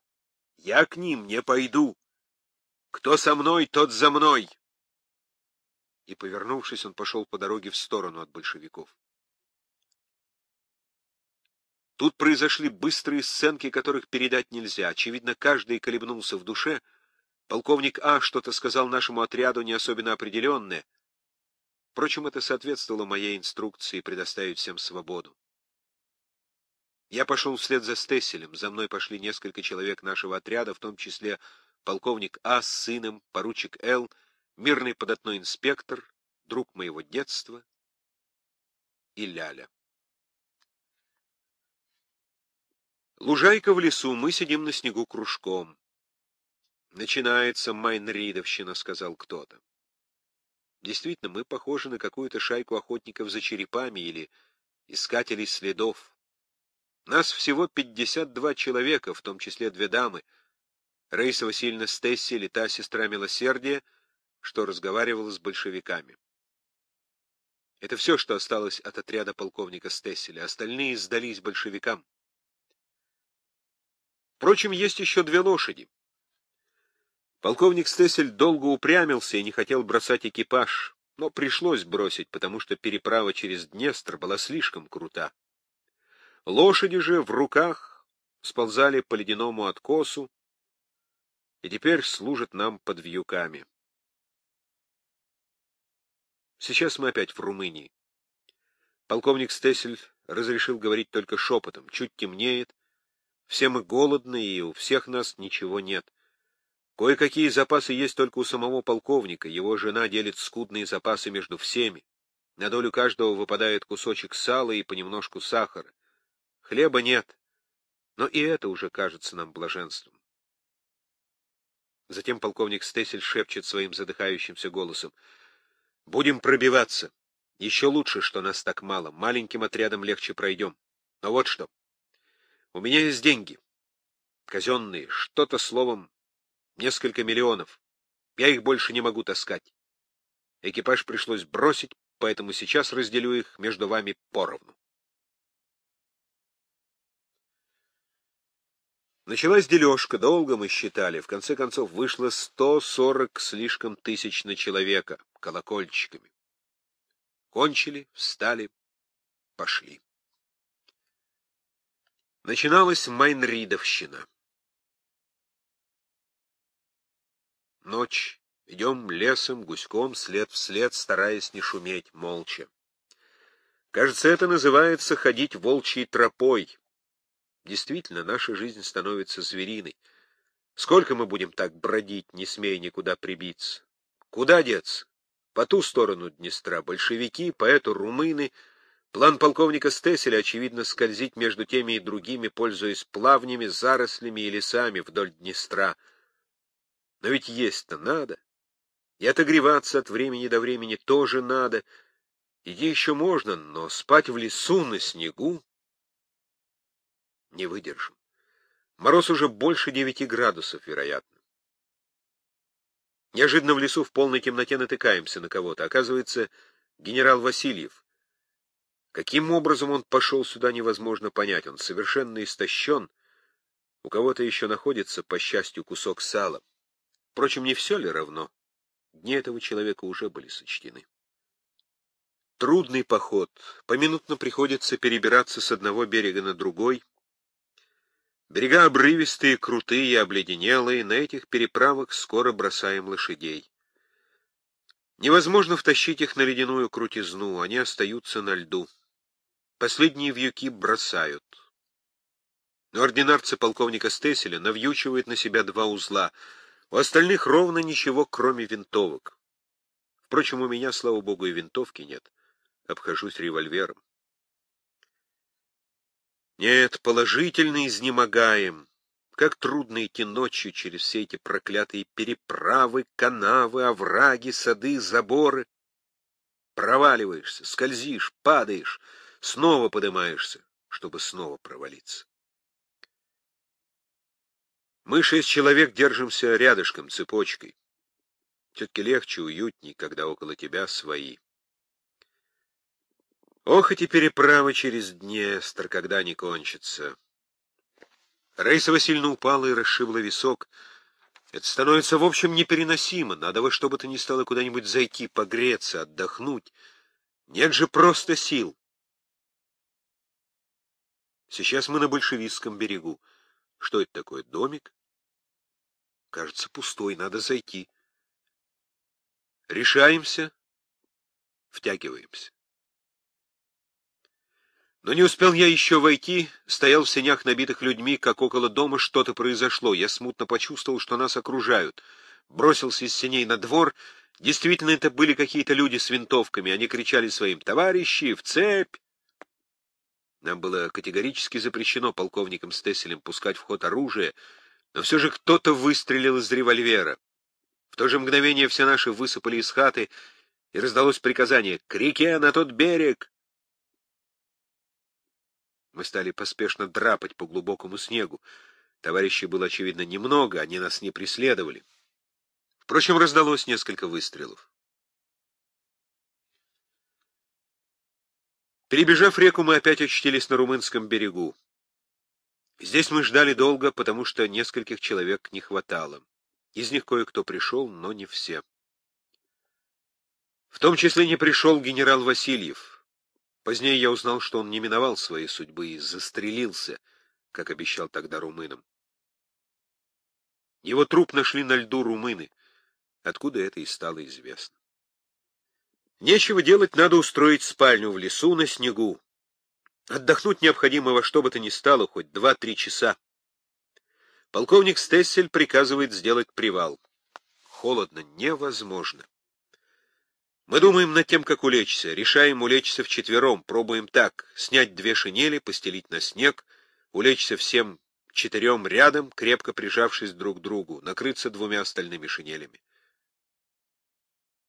Улеглись, задремали, но через короткое время кончилось счастье, нет возможности. Средние еще кое-как, но крайние замерзают.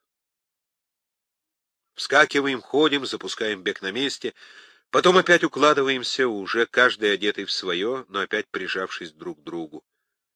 Задремали. Нет возможности, определенно замерзнем. И так до рассвета, что за пытка? Рассвет, пошли. Осторожно пробираемся в румынском лесу. Вышли на какую-то полянку, за которой начинаются сады. Вот брошенный шалаш. Дождемся здесь солнца. Вот оно взошло. День ясный, красиво ложатся синие тени на снегу. Ах, если бы это солнце поскорее грело! Как это Ляля выдерживает своей несчастной английской шинель? Страдающая газель с каждым часом усиливается в его лице. Дегоденские ноги беспомощно смотрят внутрь. Османлийская шапка плотнее наехала на брови. Что за несчастная замерзающая кривулька? Но иногда он все-таки разражается хихиканьем. «Ляля, что с тобой?» Алеша, если бы был жив, сказал бы «Ляля, плюс к вам перфектум». Бедный Алеша. Полковник Стессель все рассматривает карту. Тут где-то неподалеку должна быть деревня Талмазы, в верстах в трех. Идти туда нельзя, румыны выгонят. Но если бы послать кого-нибудь в одиночном порядке за провизией... Кстати, среди нас оказывается офицер, который говорит по-румынски. Он называется у нас поручик-переводчик. Решаем так, добраться до первой дороги и послать поручика-переводчика в Талмазы, остальным ждать его возвращения в лесу. Ждем, ждем давно, уже за полночь, слава богу, день яркий. На солнце стало тепло. Мы четверо держим бессменный караул на лужайке, где солнце особенно греет. Прислонившись к дереву, можно и подремать. Какое это счастье, в особенности для Ляли, у которого опять припадок малярии. Счастье еще усиливается, когда поручик Эл приносит откуда-то полчашки снега, смешанного со спиртом. К тому же еще оказывается у кого-то кусочек сахара. О, блаженство! Когда солнце заходит, становится хуже. Мороз сразу забирает ход. Он метит подобраться к 15 градусам. Поручика-переводчика все еще нет. Темнеет, все холоднее. Что делать? Костра развести нельзя. Я иду поговорить со Стесселем. Поручика-переводчика не будет. Он или сбежал, или его захватили. Надо двигаться. Замерзли. Подождем до восьми вечера. Легко сказать. Я жалуюсь ему, что сын замерзает. Давайте его сюда. У Стесселя есть большая шуба. Он заворачивает лялю в нее и укладывает его на снег. Из ляли и шубы образуется соблазнительная подушка, которой немедленно пользуется человек двадцать пять. Теперь он не замерзнет. Мы бродим вокруг этого сосредоточия тел, жмущихся друг к другу полковнике Стесселе все-таки чувствуется центр и начальник.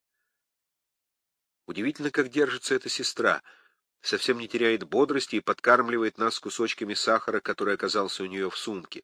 Двое вестовых жадно грызут какие-то кости. На них ничего нет на этих костях, но все-таки многие смотрят на вестовых с завистью. Мы пробуем с поручиком Л улечься вдвоем. Задремали, вскочили, замерзли. Нет, лучше попробовать там со всеми в общей куче. Я кладу голову на чью-то спину, кто-то, в свою очередь, наваливается на меня и к моему удовольствию накрывает мои ноги. Так легче, я засыпаю.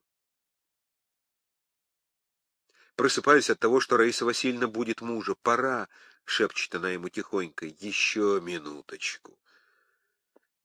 Он, большой полковник с хриплым басом, в эту минуту совсем как ребенок. Что-то теплое и человеческое проходит где-то около сердца, несмотря на 15 градусов мороза. Нечего делать, пошли, поручика-переводчика нет, сгинул куда-то. С ним потеряна и надежда на провизию. Голод мучает, но надо идти, а то замерзнем. Куда идти? Стесель решает обойти лесом Талмазы, в которых он предчувствует румынскую стражу, и добраться до другой деревни, верстах в пяти от Талмаз. Но как же мы будем держать направление ночью в лесу? По компасу. Вот полковник пойдет вперед. А вы, пожалуйста, еще возьмите кого-нибудь и будете цепочкой между ними и остальной колонной. Мы будем идти немножко сзади, потому что передовым надо прислушиваться. Пошли. Теперь я знаю, что значит ходить по компасу ночью в лесу, да еще зимой. Первая беда, что темно, этого самого компаса не видишь. Вторая беда, что держать прямое направление через чащу, кусты, овраги, упавшие деревья, болота и реки совершенно невозможно. Третья беда, что постоянно проваливаешься в снег. А четвертая беда в том, что полковник генерального штаба думает, что ведет нас по компасу, а я думаю, что, наверное, мы крутим на одном месте. Как бы то ни было, мы идем. Бесконечно идем. Бог его знает, что нас еще держит. Мороз все усиливается, но мы становимся какими-то нерассуждающе обреченными, идем и больше ничего. И вот кончается лес, и начинается серия полузамерзших болот и речек. Кружим тут без конца. Двадцать раз переходим по тонкому льду, готовому ежеминутно провалиться. В других местах бесконечно обходим колено ручьев, не замерзших, отыскивая переправу. Какой тут компас? Волчок, а не компас. И вот еще какая-то речка. Я долго ищу более или менее надежного льда, но вот нашел, прошел. За мной прошел Ляля, потом мой податной инспектор. За ним на лед входит поручик Л. Но в эту минуту его нагоняет полковник Стессель, спеша почему-то к голове колонны, с ним его жена. И в то же мгновение все трое проваливаются по пояс. Через несколько минут мы находим какой-то шалаш, где супруги переодеваются. Благодаря Богу у них что-то нашлось сухое, но у поручика Л сухого нет. 15 градусов мороза. Это грозит совсем скверной историей. Я настаиваю, чтобы бросить этот проклятый компас, выйти на дорогу и идти в первую попавшуюся деревню. Если румыны позволят нам остаться хоть до утра, мы все-таки на этом деле выиграем, потому что в противном случае мы определенно замерзнем. Стесель соглашается, и скоро мы выбиваемся на дорогу. Хотя трудно сказать, что это, в общем, река или дорога, сплошь лед. Нет, кажется, дорога. Вот начинаются заборы, сады, хоть эти сады бесконечны, но все же будет какая-то деревня. Так и есть, несомненно, деревня близко. Стесель приказывает мне идти в разведку вчетвером. Мы идем, податной инспектор, поручик Эл, Ляли и я. Колонна остается на месте. Да, вот деревня. Пора, мы еле передвигаем ноги. Положительно, это последние силы. Вот какой-то глубокий овраг, через него мост. Мы тихонько пробираемся по мосту. Что такое? Крик, выстрел. Румыны, конечно. Надо драпать. Мы драпаем, но как, боже мой? Так как ходят калеки или глубокие старики. Ноги не отделяются от земли. За нами бегут, стреляют, нам не уйти. И притом куда бежать? К своим? Но Стесель запретил наводить на колонну. Значит, что? Значит, надо сдаваться. Мы останавливаемся, и набежавшие румыны берут нас в плен, отбирают оружие и почему-то часы. Затем ведут через этот самый мост и вводят в какой-то домик, очевидно, караульное помещение. Горячий воздух совершенно опьяняет нас блаженством. Это надо испытать, чтобы понять. Тепло после стольких бесконечных часов замерзания имеет в себе что-то чарующее. К тому же выясняется, что можно купить хлеб за 10 рублей фунт царскими деньгами. Эти люди, в общем, весьма приличны. Когда мы поели, они предложили нам спать. На полу, конечно, но что-то постелили, сами улеглись на скамейках. Мы заснули свинцовым сном, сняв только обувь. Чистое блаженство, если бы только не... не... Почему-то всегда, когда описываются великие вещи, вроде войны революции, забывают об этом. Ни у одного писателя вы этого не найдете, а между тем вши — это один из факторов мировой истории, о котором не следует умалчивать. Смейтесь, господа, смейтесь, но все же надо твердо себе навсегда заметить, что война и революция — процессы вшивые. Странно, я проснулся и вижу все кругом знакомые лица. Вот полковник такой-то, там поручик такой-то. Как они сюда попали? Соображаю, что, очевидно, прибились ночью, когда мы спали. Может быть, пошли нас искать, а то просто не выдержали мороза. Постепенно просыпаются, приходит румынский офицер, мы начинаем с ним разговаривать по-французски, конечно, — он выражает нам какое-то сочувствие, я по просьбе остальных начинаю писать телеграмму румынскому генералу Коанда, с которым когда-то был знаком. Румынский генерал Коанда — неустановленная личность. В телеграмме изложена просьба ходатайствовать перед властями о разрешении временно остаться в Румынии. Я не дописал телеграммы, потому что выяснилось, что ее не пошлют. Но где полковник Стесель? Оказывается, он лежит где-то неподалеку, совершенно больной. Его жена полузамерзла. Последние прибившиеся сюда передали просьбу прислать подводу. Я встаю. К удивлению моему, мои ноги сравнительно благополучны, но другие... Уляли скверно с ногами, сильно проморожены. То же самое с поручиком Эл. Румыны выпускают меня в соседнюю хату, где я нахожу поручика-переводчика, захваченного накануне. Тут же Одинец, киевский деятель. Он надеется, что его не выбросят отсюда, так как он бывший украинский министр. Попал он сюда вместе с отрядом Союза Возрождения, судьба которого была, очевидно, вроде нашей. Одинец, киевский деятель, украинский министр при Петлюре эмигрировал, был связан с Савенковым, участвовал в формировании ударных отрядов для переброски на советскую территорию. Из его слов я понимаю, что нас ждет. По-видимому, нас отправят обратно к большевикам. С этой веселой новостью возвращаюсь к своим. День чудный, солнце ярко светит, часов двенадцать. В караулке битком набито, жадно едят и пьют вино, которое крестьяне приносят в флягах военного образца, кажется, рублей двенадцать за флягу царскими деньгами. Умиляемся дешевизной. Входят румынские солдаты, офицеры и что-то такое говорят в том смысле, что нас отведут в Бендеры, где есть иностранный консул, к которому мы и можем обратиться. Это в ответ на усиленные жалобы и просьбы не отправлять к большевикам.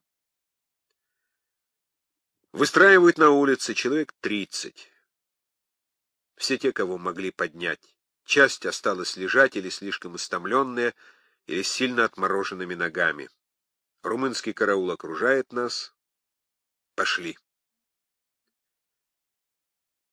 Какая же это была деревня? Оказывается, те самые талмазы, которые мы в течение нескольких часов обходили по компасу.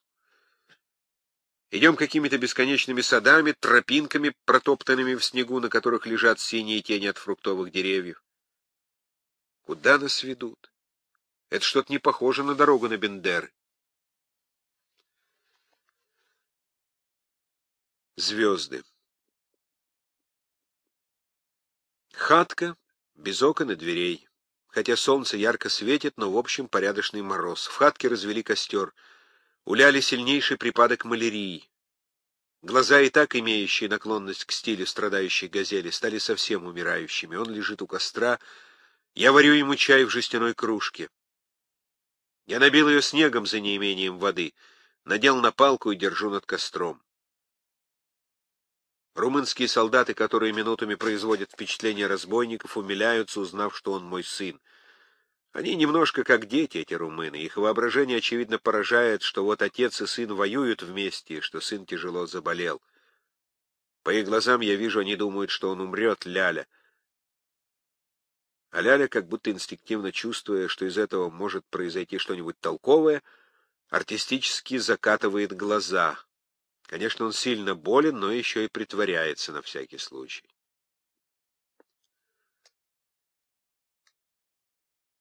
Этот всякий случай представился.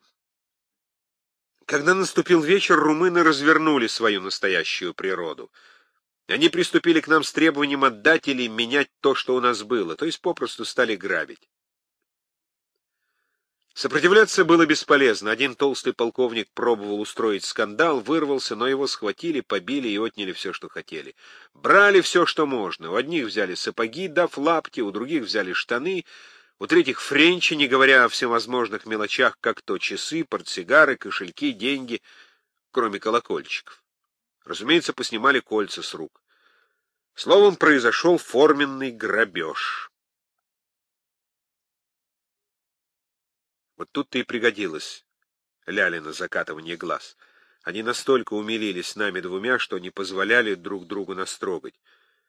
Я отделался только тем, что с меня стащили обручальные кольца, хотели снять и третье кольцо, особенно мне дорогое. Но когда я показал имеющееся на нем изображение Божией Матери, не взяли. Наступила темнота. Тогда румыны вывели нас из хаты и повели куда-то. Куда? Что это такое? Ясно. Это Днестр. Весьма энергичными жестами они показали нам, что мы должны идти к себе, в Россию, к себе, в Россию. Значит, к большевикам. Делать было нечего, мы пошли. Спустились с крутого берега, вступили на лед. Чтобы мы не вздумали вернуться, очевидно, румыны пустили нам несколько выстрелов вслед. Не скажу, чтоб самочувствие наше было сладкое, Вправо и влево от нас река, напротив чуть виднеется большевистский берег. Там... Ясно, что там может быть. Что делать? Мы пошли так просто, прямо перед собой, по льду. Ни в каком порядке, а кто куда. Мне вдруг показалось, что идти так — это самое нелепое из всего. Я позвал их и сказал им, что хотя мы и без оружия, но все-таки мы военные, и мы должны избрать кого-нибудь своим начальником, так как в этом случае у нас все-таки больше шансов на спасение, чем если каждый будет действовать в одиночку.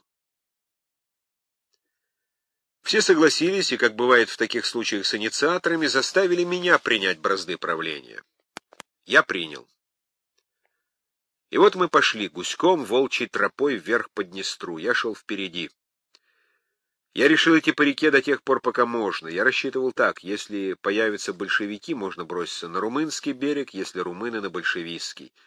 На всякий случай я запретил кому бы то ни было, с кем бы то ни было разговаривать, сказав, что все переговоры буду вести я лично. Так мы и шли. Вдруг справа от нас берега, то есть с большевистского, кто-то спросил из темноты, «А куда ж вы так идете?» Я ответил, «А куда ж нам идти? С одного боку румыны в нас стреляют, с другого вы. Вот так и идем рекою». После некоторой паузы из темноты донесся ответ, «Да не все же вас стреляют». Я понял. Приказав колонне оставаться на месте, я подошел к человеку. Кто вы будете? Здешний, хлебороб. Ваша хата далеко? Не, тута. Нельзя ли к вам зайти погреться? Замерзли сильно. Та можно. Только чтобы чого не було. А что? А вчера такі до меня зайшли, так прибігли да розділи до рубашки. Кто? Та эти свои хлопцы. Дивизии Котовского? Не-не, Котовский хороший человек. Котовский не приказывает, чтобы раздевали. Ну, заходите ж до мене. Много вас? Человек тридцать. Ну, як-нибудь. Погрейтесь. Уютная, хотя маленькая хатка. Мы набили ее до отказа, все втиснулись. Молодая хозяйка смотрит на нас с печки добрыми, сочувствующими глазами. Я говорю... Итак, господа, вы ставите мне задачу довести вас до Котовского, чтобы вы могли сдаться ему. Это общее мнение всех? Все соизволяют единогласно. Хорошо. Я вас выведу к Котовскому, но предупреждаю, что лично для себя оставляю свободу действий. Ну, дорогой хозяин, как же нам пройти к Котовскому? Оказывается, это очень трудно. Котовский находится в Террасполе, отсюда верст двадцать. Две серьезные опасности в пути. Во-первых, вот это ближайшее село, на окраине которого мы сейчас находимся. Здесь живет самый раздевальный народ. Все они вооружены, и если попасться к ним, пустят нагишом по морозу. Вторая опасность — на большом шлиху, что ведет в Террасполь, большое село Слободзея. Его непременно нужно обминуть. Там такие разбойники живут, что никак не пройти. Всю ночь караул держат и грабят до нога. Я предложил ему проводить нас хоть часть пути, он колеблется. Мы упрашиваем. У меня есть керенки, последняя выручка киевлянина. Я предлагаю вознаграждение. — Та иди вже, треба людям допомогти, — говорит молодица с печки. За тысячу керенок он соглашается. Отогрелись, надо идти. Но вот еще одно дело крайне неприятное. Надо снимать погоны. Недолго я их носил. Но все же как-то ужасно неприятно их спарывать, ощущение полученной оплеухи.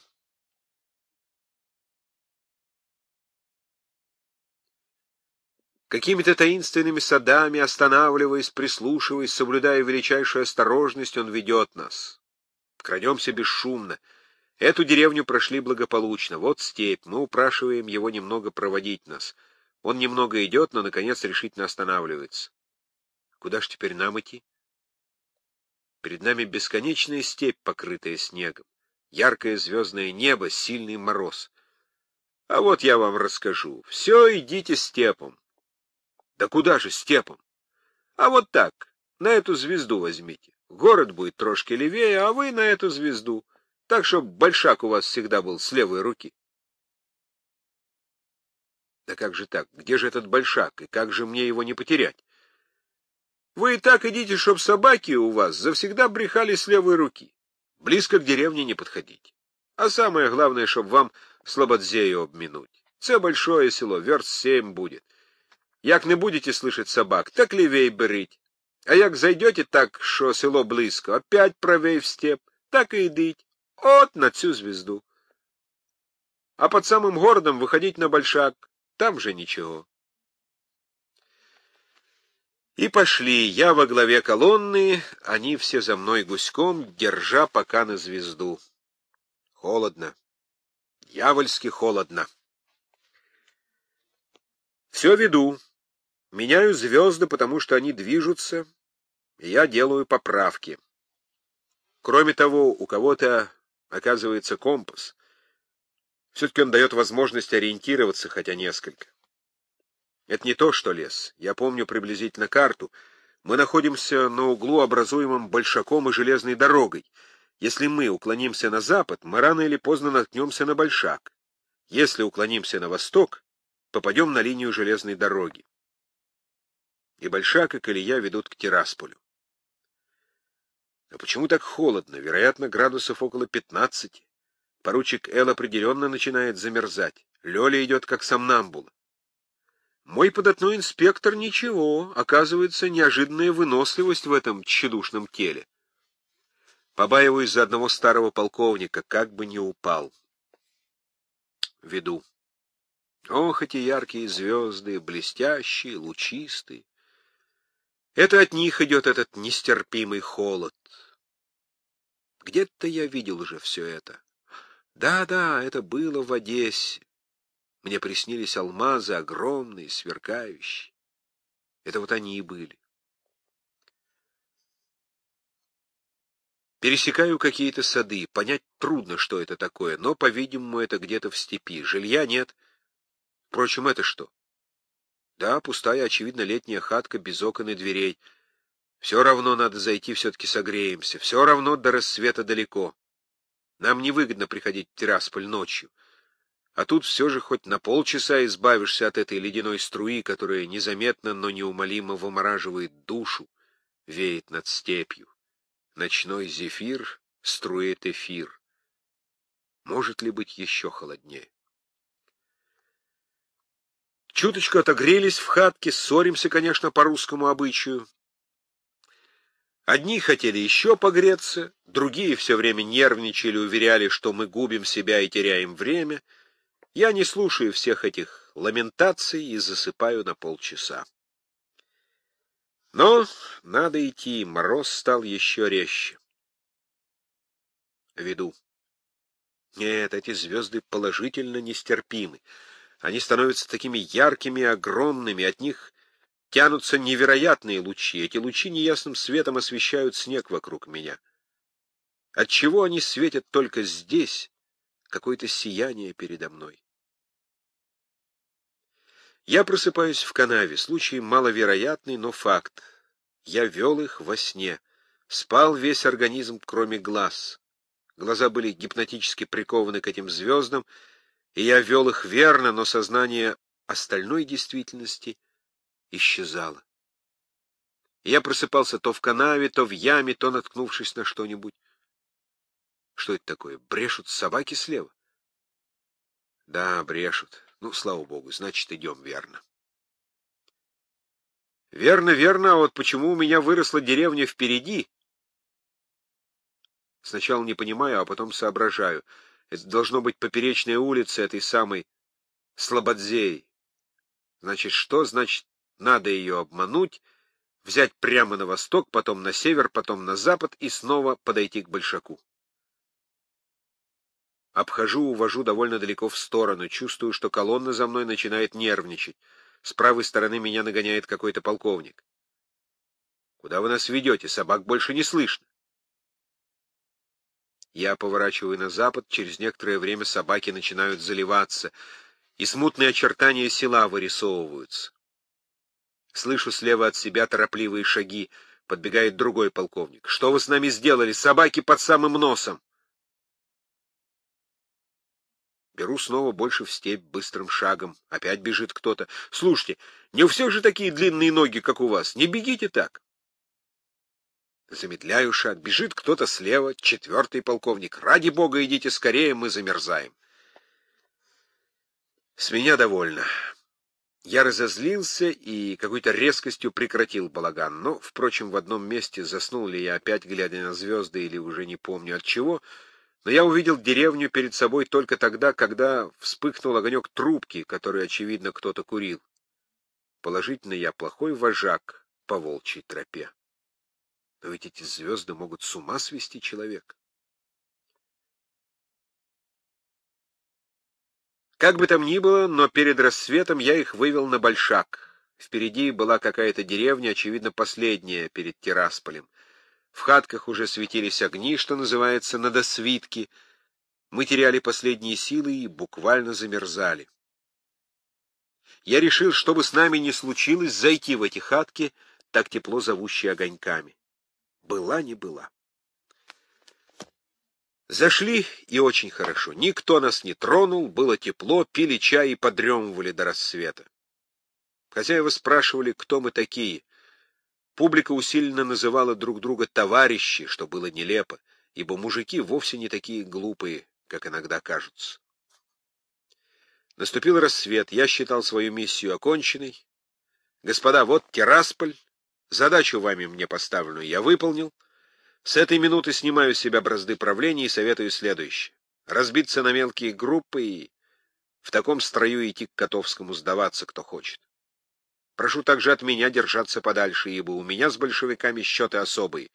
Я могу совершенно без нужды отягчить чью-нибудь участь. Так и сделали. У Котовского.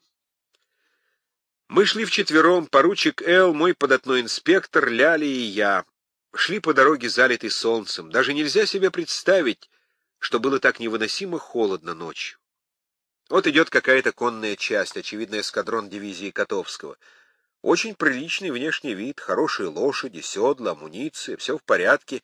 Если бы они носили погоны, это напоминало бы старую русскую армию. Мы бредем по дороге вдоль плетней. «Вы кто такие?» Это спрашивает офицер, не офицер, ну, словом, то, что у них заменяет офицера, товарищ командир. Мы... мы пленные. Это тут так принято отвечать. Не в первый раз нас уже спрашивают. Эта дорога в Тирасполь очень напоминает мне что-то такое. Где это было? Да, это было в Галиции, когда мы брали в плен австрийцев. Они вот так шли по дорогам от одного этапного коменданта к другому. Никто их не трогал, шли себе, так и мы идем. И много таких же стаек, как наша. Так вы пленные полковника Стеселя? Да. Ну так вам к коменданту, в Тирасполь, прямо.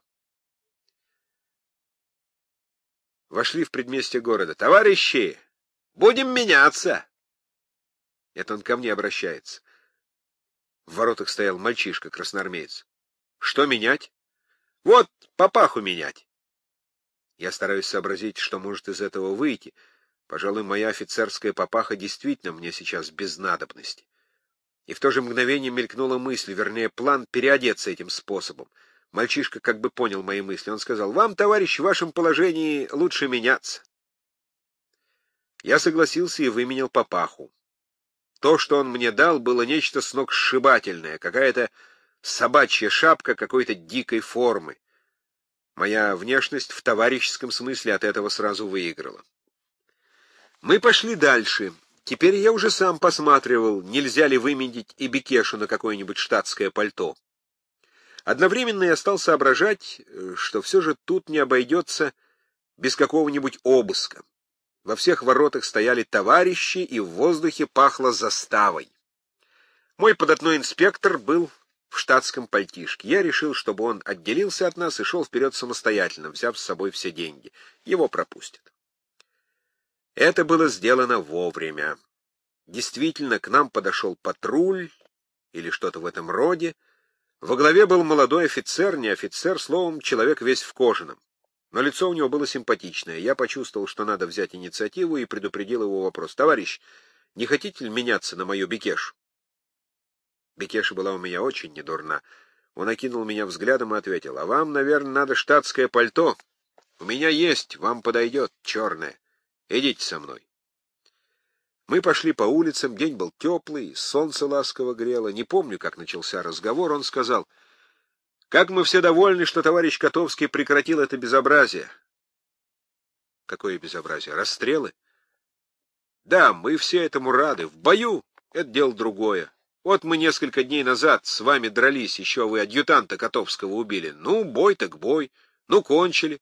А расстреливать пленных — это безобразие. Котовский хороший человек? Очень хороший. И он строго-настрого приказал. И грабить не разрешает. Меняться это можно. У меня хорошее пальто, приличное. Не знаю, почему разговор скользнул на Петлюру. Он был очень против него восстановлен. А от чего вы так против Петлюры? Да ведь он самостейник. А вы? Мы? Мы за единую неделимую. Я должен сказать, что у меня, выражаясь деликатно, глаза полезли на лоб. Три дня тому назад я с двумя сыновьями, с правой и левой руки, с друзьями и родственниками, скифски эпически дрался за единую неделимую, именно с этой дивизией Котовского. И вот, оказывается, произошло легкое недоразумение, они тоже — за единую неделимую. Мы подходим к караулке. Тут он, э, правда, пониженным голосом стал чистить коммунистов. К этому уже я был несколько подготовлен. Я вспомнил тех двух делегатов Котовского на берегу Днестра, сволочь коммунисты. Этот говорил в том же роде. Я смотрел на него сбоку. Не наш ли ты? Нет, он не был офицер. Это красный командир большевистской формации. Мы вошли в караулку, как я и предвидел, без обыска не обошлось. Наступила решающая минута, когда дело дошло до паспортов. У меня их была целая куча. Я решил пойти напрямик. Я сказал ему, товарищ, я скрываться не буду. Вот мой настоящий паспорт, а это подложный. А это совсем мне не нужный, случайный. А вот эти женские паспорта, их мне надо отдать. Так вы этот заберите, ненужный, остальные мне отдайте. Я внимательно смотрел ему в лицо, когда он просматривал мой настоящий паспорт. Василий Витальевич Шульгин. Нет, он, по-видимому, не знал, ничего не слыхал обо мне.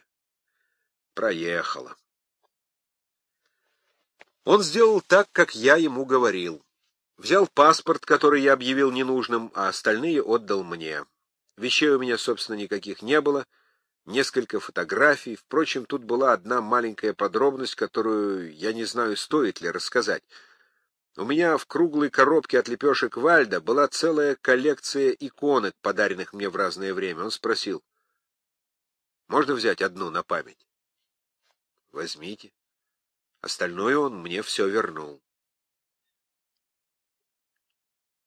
Затем началась смена. Я обменял Бекешу на черное штатское пальто не очень приличное, но возможное, самое подходящее к моему положению. Обменял Френч на нечто достаточно невозможное, уже не в порядке мены, а просто потому, что вам, товарищ, это не подходит, и все равно дальше отберут, содрали с меня кожаные хорошие краги. Их мне было жалко. В это же время происходила мена с поручиком Эл и с Лялей. Тут дело не обошлось без некоторых легких недоразумений. Поручик Эл отказался менять свое пальто, которое было, во-первых, штатское, во-вторых, теплое. А у товарищей из караулки разгорелись глаза, они стали примушивать. Чисто украинское слово от немецкого «мюшен». Тогда товарищ командир вступил с товарищи. Нельзя принуждать. Помните, приказано только по соглашению. У Ляли оказались колокольчики, которых он не успел передать. Их быстро разобрали, в карты гулять. В общем, переодетые мы продолжали путь. Ляля, впрочем, плохо переоделся. Ему дали вместо его английской новой шинели рваную серую. Еще произошел маленький инцидент. У Ляли была золотая ложечка, которую ему подарила какая-то барышня на счастье, почему он ею дорожил. Один из товарищей отобрал ее у него в караулке. Но не прошли мы и ста шагов, как он нагнал нас. Возьмите вашу ложечку, товарищ. Не хочу. Все шло благополучно, но на каком-то перекрестке к нам прицепились субъекты мрачного вида. В лаптях, в шинелях с обтрепанными полами, худые, видимо, голодные. Они задержали нас. «Давайте деньги!» «Какие деньги? Нас уже обыскали там!» Один из них мрачно смотрел на меня из-под лоби. «А я вам говорю, товарищ, что у вас есть деньги». «Почему?» потому что вы казначей кадетской партии. Почему он вообразил меня казначеем кадетской партии, вряд ли может объяснить даже Милюков. Но чем бы это кончилось, неизвестно, если бы поручик Эл вдруг не впал в злость. Он стал кричать на них и показывать какие-то случайно оказавшиеся у него доисторические документы советского происхождения. Устрашенные не то печатью, не то его криками, они оставили нас в покое. Мы пошли дальше и вскоре встретились с податным инспектором, который благополучно пронес наши деньги сквозь все заставы. Грязный еврейский заезжий двор в предместье Тирасполя. Комнатка крохотная, как каюта, кипит самовар, сравнительно тепло, сладкий чай, белый хлеб. Морозные испытания, а в особенности эти ужасные звезды, начинают казаться только кошмаром. Неужели это было? Но живой свидетель этому совершенно израненные ноги с почерневшими ногтями и гноящимися пальцами. Кроме того, это ясно видно по психическому состоянию, в которое впали молодые, Ляля и поручик Эл. Как странно, мы, двое старших, почти стариков, психически как-то меньше подались. Очевидно, все же наша впечатлительность значительно притуплена. А молодые, которые великолепно держались весь поход, попав в эти безопасные условия, впали в какое-то состояние не в себе. Ляля совсем отсутствует. Правда, у него не прекращаются припадки малярии. Я пичкаю его хиной, знаменитой ложечки. У него уже глаза не страдающие, а полупомешанные газели. Поручик Л, которого пора уже называть Вовкой, хотя бы уже потому, что в новом нашем положении он стал моим племянником, тоже слегка помешался. Такова реакция тепла, сытости и безопасности после всех испытаний. Впрочем, есть еще одно условие — грязь и вши. Если бы помыться и надеть чистое белье, пожалуй, сомнамбулизм сразу прошел бы. Но где наши, где остальные? В Тирасполе мы жили десять дней под чужими фамилиями. Старорежимные паспорта оказывались хорошими документами, пока. Мы ходили свободно по улицам, иногда встречая кое-кого из офицеров, участников нашего совместного похода. За это время мы присмотрелись к тому, что происходит в городе. Увы, пожалуй, сравнение, а его делали местные жители, было бы не в пользу белых. Судя по рассказам, наши части, которые стояли здесь раньше, произвели обычный для этой эпохи дебош. А дивизия Котовского никогда не обижала, это нужно засвидетельствовать, ни еврейского, ни христианского населения. Мы несколько раз ходили к коменданту, чтобы выяснить, что делается. У коменданта стояла, как полагается, бесконечная очередь в два хвоста. Хвосты вели к столику, где сидело два еврейчика. Субъекты эти записывали имена и фамилии солдат, а также куда они хотят ехать. Все это были наши солдаты, сдавшиеся в плен. Офицеров тут не было видно. Мы с Лялей охотно посиживали у коменданта, потому что там было тепло. Мы отслужили по Нехиду, по Алёше и по другим. Священник служил как-то особенно хорошо и удивительно приятно было в церкви. Церковь среди большевизма имеет какую-то особенную, непонятную в обычное время прелесть. Если бы от всей нашей земли ничего не осталось среди враждебного чужого моря, а остался бы только маленький островочек, на котором все по-старому — так вот это было бы то, что церковь среди Красного Царства. Да, они пока не обирали, не расстреливали, не грабили. Может быть, в такой дивизии Котовского гораздо больше близкого и родного, чем мы это думаем, но все это пока. Пока здесь работает что-то человеческое, вернее сказать, что-то общее всем нам, русским. Но ведь за этим стоит страшное изуверское сектантская сила, кровожадная, злобная, ненавидящая, которой, увы, подчинены все эти котовские и близкие ему по духу. Кстати, о Котовском. Этот человек окружен легендой. Но вот что мне удалось более или менее установить. Он родом из Бессарабии, кажется, получил какое-то среднее агрономическое образование. Будучи еще совсем молодым человеком, он убил. Убил человека, который оскорбил его сестру. Был сослан на каторгу, бежал, вернулся в Бессарабию под чужим именем, поступил управляющим к одной помещице. Образцово управляя имением, он вместе с тем производил самые дерзкие нападения и грабежи во всей округе.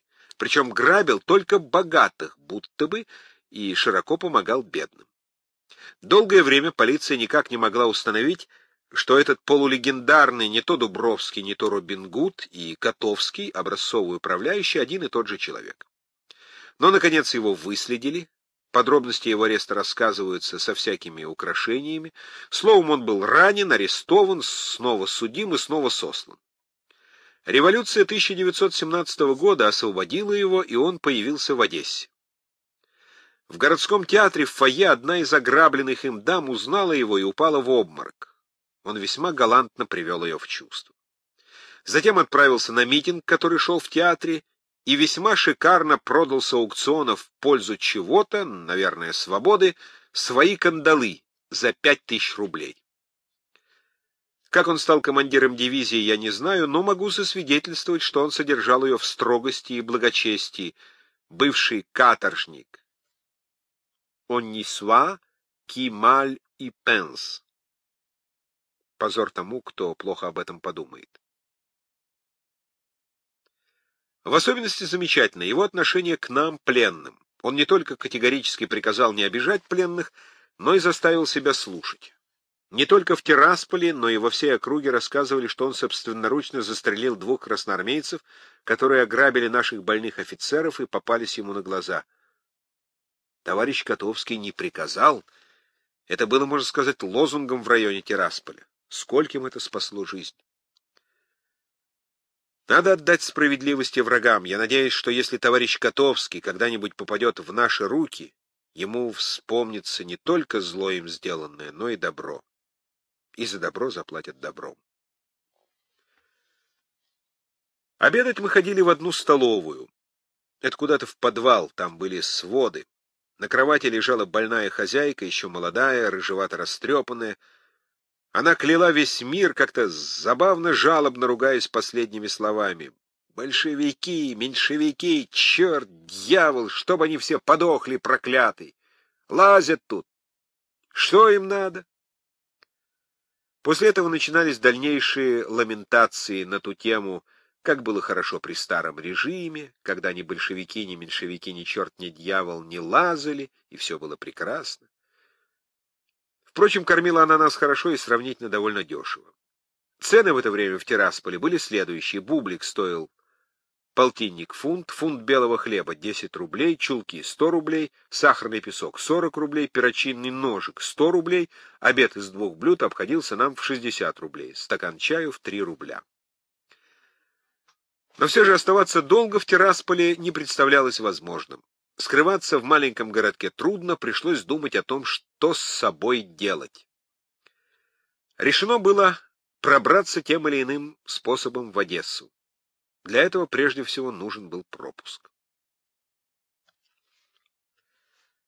Вагон где-то на запасном пути, около дверей, как всюду и везде очередь, топчутся на морозе часами жаждущие пропусков на выезд из Тирасполя, Впрочем, нашелся благодетель, один из товарищей красноармейцев, роздал билетики, чтоб те, которые сегодня не достоялись, уже завтра не мерзли.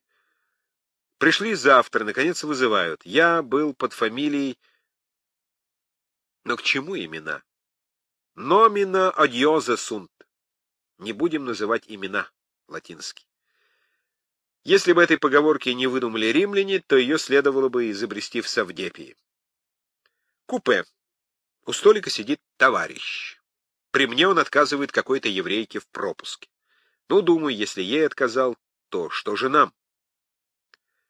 Еврейка ушла, товарищ вопросительно смотрит на меня. Прошу пропуск в Одессу. Обстоятельства следующие. Тут я ему рассказал целый роман о том, почему я пробивался в Румынию и как румыны меня выгнали. Он выслушал всю мою тираду, не прерывая, затем взял мой паспорт и стал меня экзаменовать. Элементарный прием. Часто люди забывают вызубрить фальшивый паспорт и на этом попадаются. По-видимому, я выдержал экзамен вполне, но дело было не в этом. Весь трюк состоял в том, что в этом фальшивом паспорте была румынская виза от ноября 1918 года. Эта виза подтверждала вполне мой рассказ о том, почему я пробивался в Румынию. Словом, товарищ комиссар написал мне пропуск. Разрешается такому-то с племянником Владимиром свободное следование в Одессу. Поставил печать и подписался. Это был первый советский документ, который я получил в своей жизни. По шпалам. Выехать из Тирасполя было не так просто. Много раз мы приходили на станцию, ободранную, грязную, словом, революционного вида — в Тирасполе было очень много вагонов, конечно, без окон, разбитых, исковерканных, но масса. Все это столпилось сюда, очевидно, при отступлении бредовских частей. Торчали, впрочем, кое-где и роскошные вагоны, заново отделанные, это по большей части были кают-компании бронепоездов. Тут же красовались каким-то чудом уцелевшие вагоны штаба гвардейской дивизии. Ни надписи, ни гвардейские Андреевские звезды не были даже замазаны — и было как-то больно на это смотреть. Вот эти всякие вагоны сгоняли в составы, к ним прицеплялась какая-нибудь калека в виде локомотива, и такой караван от времени до времени посылался куда-то по рельсам. Надо было втиснуться в один из этих, с позволения сказать, поездов. Да еще билет надо было брать, что было уже совершенно возмутительно с точки зрения социалистического строя. Мы втискивались, ждали несколько часов в этих нетопленных, искалеченных коробках, потом приходили товарищи и выгоняли нас, заявляя, что поезд не пойдет. Однажды лежали мы в вагонах полночи. Было, конечно, совершенно темно, но полно народом. В одном углу шел усиленный разговор. По голосам я понимал, что это какие-то интеллигентики беседуют с военнопленными солдатами, прибывшими из Франции. Дикой ненавистью ко всему на свете были наполнены разговоры этих солдат. Я от времени до времени засыпал и просыпался, и сквозь сон слышал. А я бы его, если бы запопал, то так бы не убил, а мучил бы, долго мучил бы. Сначала нос бы отрезал, а потом уши, а потом глаза бы выколол. Интеллигентки возмущались и ахали, впрочем, осторожно и в таком тоне. «Неужели бы вы так сделали, товарищ?» А он отвечал убежденно, сделал бы. Я лежал и думал о том, что если бы его как-нибудь выманить из вагона и пойти с ним в черную ночь, то я бы его не мучил, но застрелил бы, как собаку. Хай злое не живе на свете. Наконец, отчаявшись в социалистическом транспорте, мы прибегли к историческому русскому передвижению пехотой, словом, пошли по шпалам. Шли до вечера, заночевали в какой-то хатке около какой-то станции. Этот день прошел без приключений. Впрочем, мы встретили два раза конных товарищей, которые двигались по пути, очевидно, в качестве патруля. Вид у нас был, скорее всего, мелкоспекулянский. Три субъекта в штатских пальтах, с физиономиями достаточно небритыми. Плох был Ляля. Его какая-то страдающая шинель и лицо больного юнкера явно выдавали нечто деникинское, но нас выручали пропуска. Просмотрев их, товарищи пропускали. Приключения начались утром, потому что мы проспали единственный поезд. Однако на станции был еще паровоз, который собирался Кучерганскую, изрыгая белый пар. Я назвал машиниста товарищем-механиком, и он пустил нас на паровоз. А если бы я сказал «товарищ машинист», отказал бы. Паровоз очень стонал и, кажется, собирался совершить надрыв. В этих случаях он пускал массу пара, становилось тепло, и тогда... Впрочем, об этом довольно. Я уже сказал однажды, что революции и паразиты неразлучны. Не следует повторяться. Но, в общем, паровоз догнал тот поезд. Он стоял на станции среди других составов, таких же разбитых, вопиющих к небу, мы пошли лазать из вагона в вагон, отыскивая место потеплее, наконец нашли. К удивлению, в этом вагоне были целы все окна, и какие окна, великолепные, толстые, зеркальные, солнце грело сквозь них, и было совсем ничего. Но внутренность вагона — это было нечто ламентабельное. Это, видимо, когда-то был очень роскошный вагон, должно быть служебный, ибо здесь были и маленькие салончики, и купе, в былое время снабженные всем слипенкаровским комфортом. Сейчас ничего не было, кроме кое-где торчащих пружин. Одно купе показалось мне целее других, тут можно было хотя сесть. Однако, осмотрев его внимательнее, я ушел. Тут, очевидно, несколько часов тому назад произошло убийство или самоубийство. Мозги и кусок черепа валялись тут же. В этом вагоне мы доехали до Раздельной. На этой станции мы несколько часов ждали какого-нибудь поезда. Тут стояла целая армия всяких составов, и целые воинские части жили в поездах. Кажется, это были галичане, военный раз кого-то предавшие. Но никакого поезда не шло. Мы ходили пить чай в местечко. И вдруг встретились. Да, это был Владимир Германович. Он тогда в саду у Днестра сдался делегатом Котовского — Солдат отпустили, офицеров, изъявивших желание поступить в Красную армию, куда-то отправили, а отказавшихся держат на положении арестованных, заставляют что-то работать и собираются отправить в Одессу. Однако надзор слабый, что и дало возможность поговорить с ним. Здесь же целый ряд других из нашего отряда. Пока никого не расстреляли, но вид у них был ужасный. Недоедание, тяжелая работа. Однако бессменный Владимир Германович не терял бодрости духа. Мы не дождались поезда, пошли пешком. Был дивный солнечный день, но когда мы прошли несколько верст, я почувствовал ломоту в пальцах. Потом как будто стало немножко холодно, идти стало гораздо труднее. И заходящее солнце с его желто-красными переливами почему-то было противно. Мы отдыхали где-то на рельсах, и против нас бродили индюки. Меня тошнило от этих индюков. Я чувствовал, что заболеваю. Ночевали в казарме у какого-то старшего рабочего, это такой железнодорожный чин. Он посмотрел наши пропуски и принял нас очень радушно. Хозяйка сделала нам ужин и чай. За ужином старший рабочий говорил много и вразумительно, ссылаясь на священное писание. Он читал «Апокалипсис» вслух и объяснял нам, что все, что сейчас происходит, вся эта резня и убийства, и грабежи, и ужасы, и ненависть, все это предсказано. Потом он прочел из Библии то место, где в пророчестве Даниила говорится, что придет великий князь Михаил. Под этим он подразумевал великого князя Михаила Александровича. Тогда кончатся все беды. Надо сказать, что я уже не в первый раз наталкиваюсь на таких людей. Сидят где-нибудь в какой-нибудь станционной будке и в священном писании ищут утешение и объяснение всех тех ужасов, которые происходят. Нет, это проклятое пятно, белое пятно на солнце среди черных полей сведет меня с ума. Идем по шпалам. Я болен, чувствую жар и невероятную слабость. Иду от версты до версты. На этой прямой, как стрела линии, далеко видно верстовой столбик. Я иду только потому, что знаю, вот этот столбик с дощечкой, где написано «верста». Надо дойти до него. Там я лягу на рельсы и буду лежать. Пять минут по часам. Потом дальше, до следующего.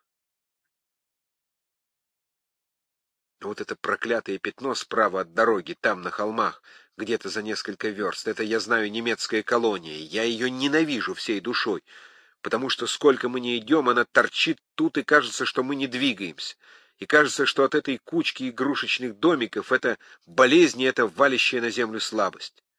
Все равно, дойти до столбика только. Но мы дошли в этот день не только до столбика, но до станции Карповка. Тут в ожидании какого-нибудь поезда мы залегли в какой-то грязной комнате на станции. Комната была полна всяким народом. Какой-то безрукий, который прекрасно шьет обувь одной рукой, какая-то разбитная хохлушка с яйцами и с целым ворохом деревенских рассказов из современной жизни, больше на тему о том, что всех этих разбойников надо вырезать. Кого она подразумевала под разбойниками — не всегда можно было определить не то Деникинцев, не то коммунистов.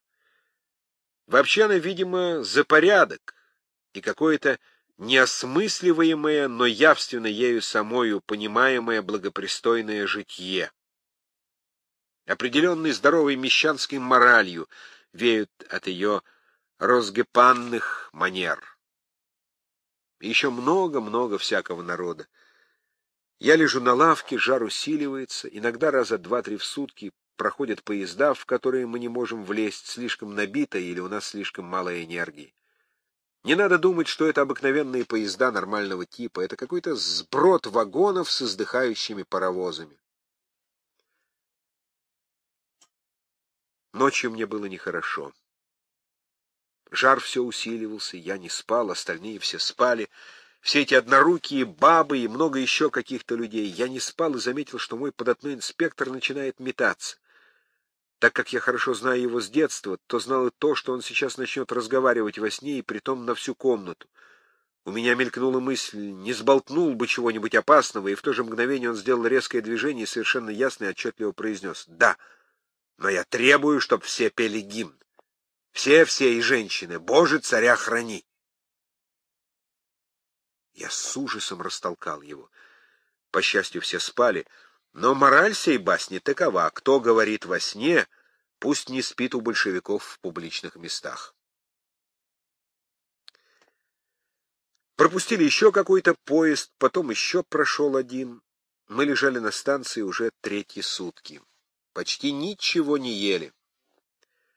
Наконец комиссар станции окончательно рассердился на нашу никчемность, он нас ругал всякими скверными словами и кричал, указывая на меня, «Ну а если он умрет у вас тут, что я с ним буду делать?»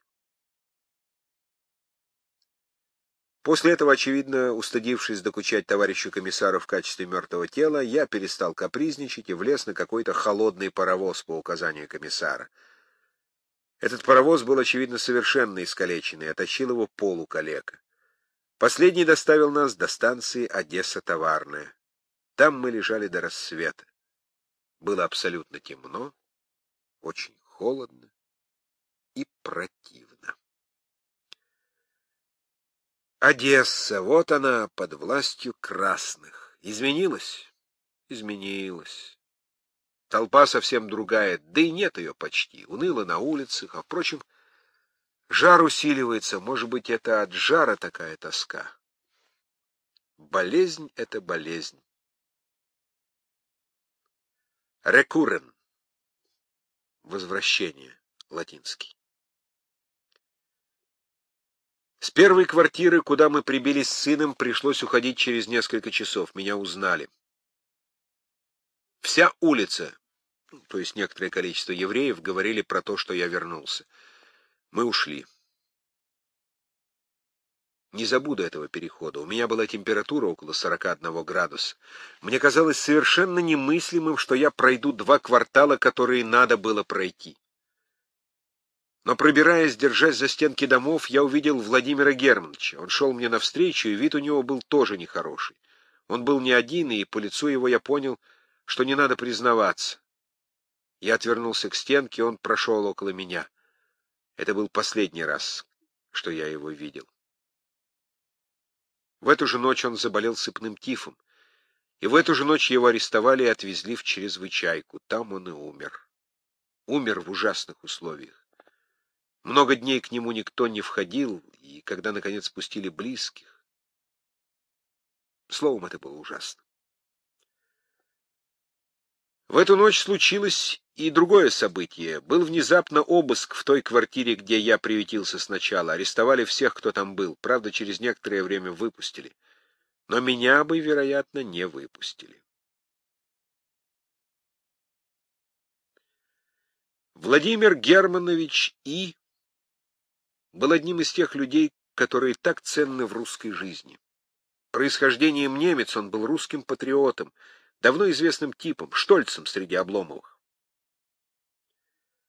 Последнее дело, в которое он вложил свою удивительную энергию, был так называемый отряд В.В. Шульгина, проделавший весь поход с полковником Стесселем. Весьма возможно, что все это была ошибка, этого отряда не надо было, но нельзя не отметить этой настоящей Deutsch Trü, немецкой трое которая побуждала Владимира Германовича стоять до конца, сделать все возможное, исполнить свой долг до последней черты. Все мы четверо, один из фрагментов Стеселиады, переболели возвратным тифом. Об этом не стоило бы упоминать, если бы это не было так типично для нашей эпохи. Мало кто из русских времен борьбы белых с красными избежали того или иного тифа. Брюшной тиф, сыпной тиф, возвратный тиф. Они были истинными архангелами русской революции. Многие испытали все три тифа. Мы обошлись одним.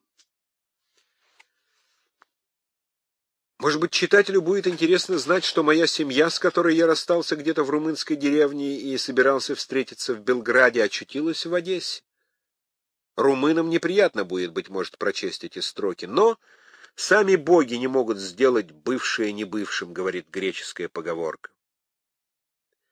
На следующий день после нашего ухода румыны выгнали из своей страны оставленных нами женщин и детей.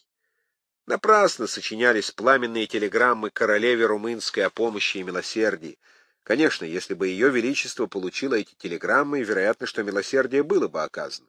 Но в том-то и дело, что никаких телеграмм румынские офицеры не принимали, и вот произошла эта невозможная история, доведенных до последних граней отчаяния и усталости женщин, выгнали к большевикам. Некоторые не выдерживали и искали в своих сумочках яду. По счастью, других хватило мужества перенести все до конца и удержать ослабевших. К чести товарища Котовского надо сказать, что его штаб принял этих несчастных прилично.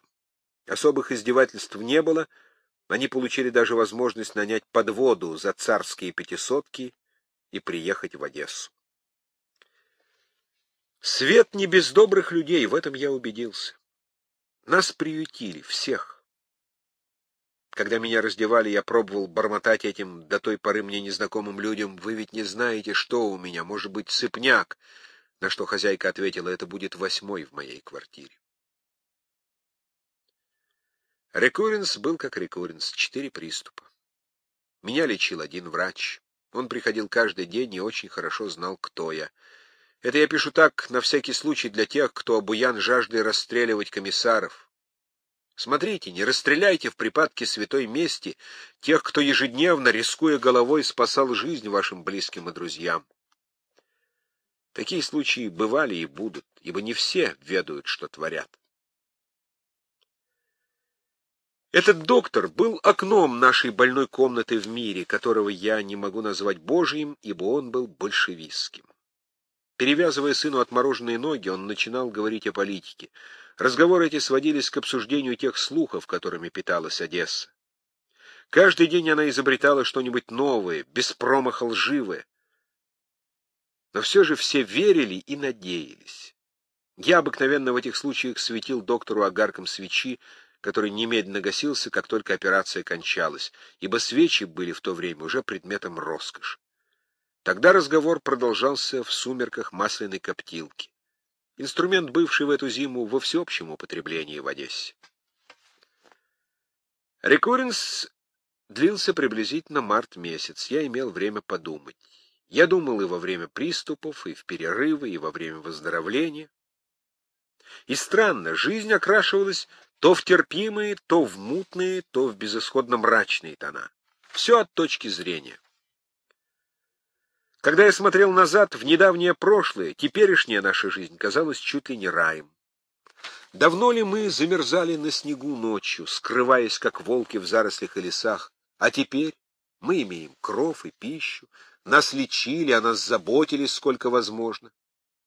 Когда же я сравнивал с далеким прошлым, давно прошедшим, на душе становилось серо до мути. Следующие строки я пишу только потому, что ведь так как мы жили все в этом большом городе, а в других больших городах жили неизмеримо хуже. Маленькая комната, где нас строили четверо, не топлена, никто не топил этой зимой в Одессе. А измученный после болезни организм просит тепла.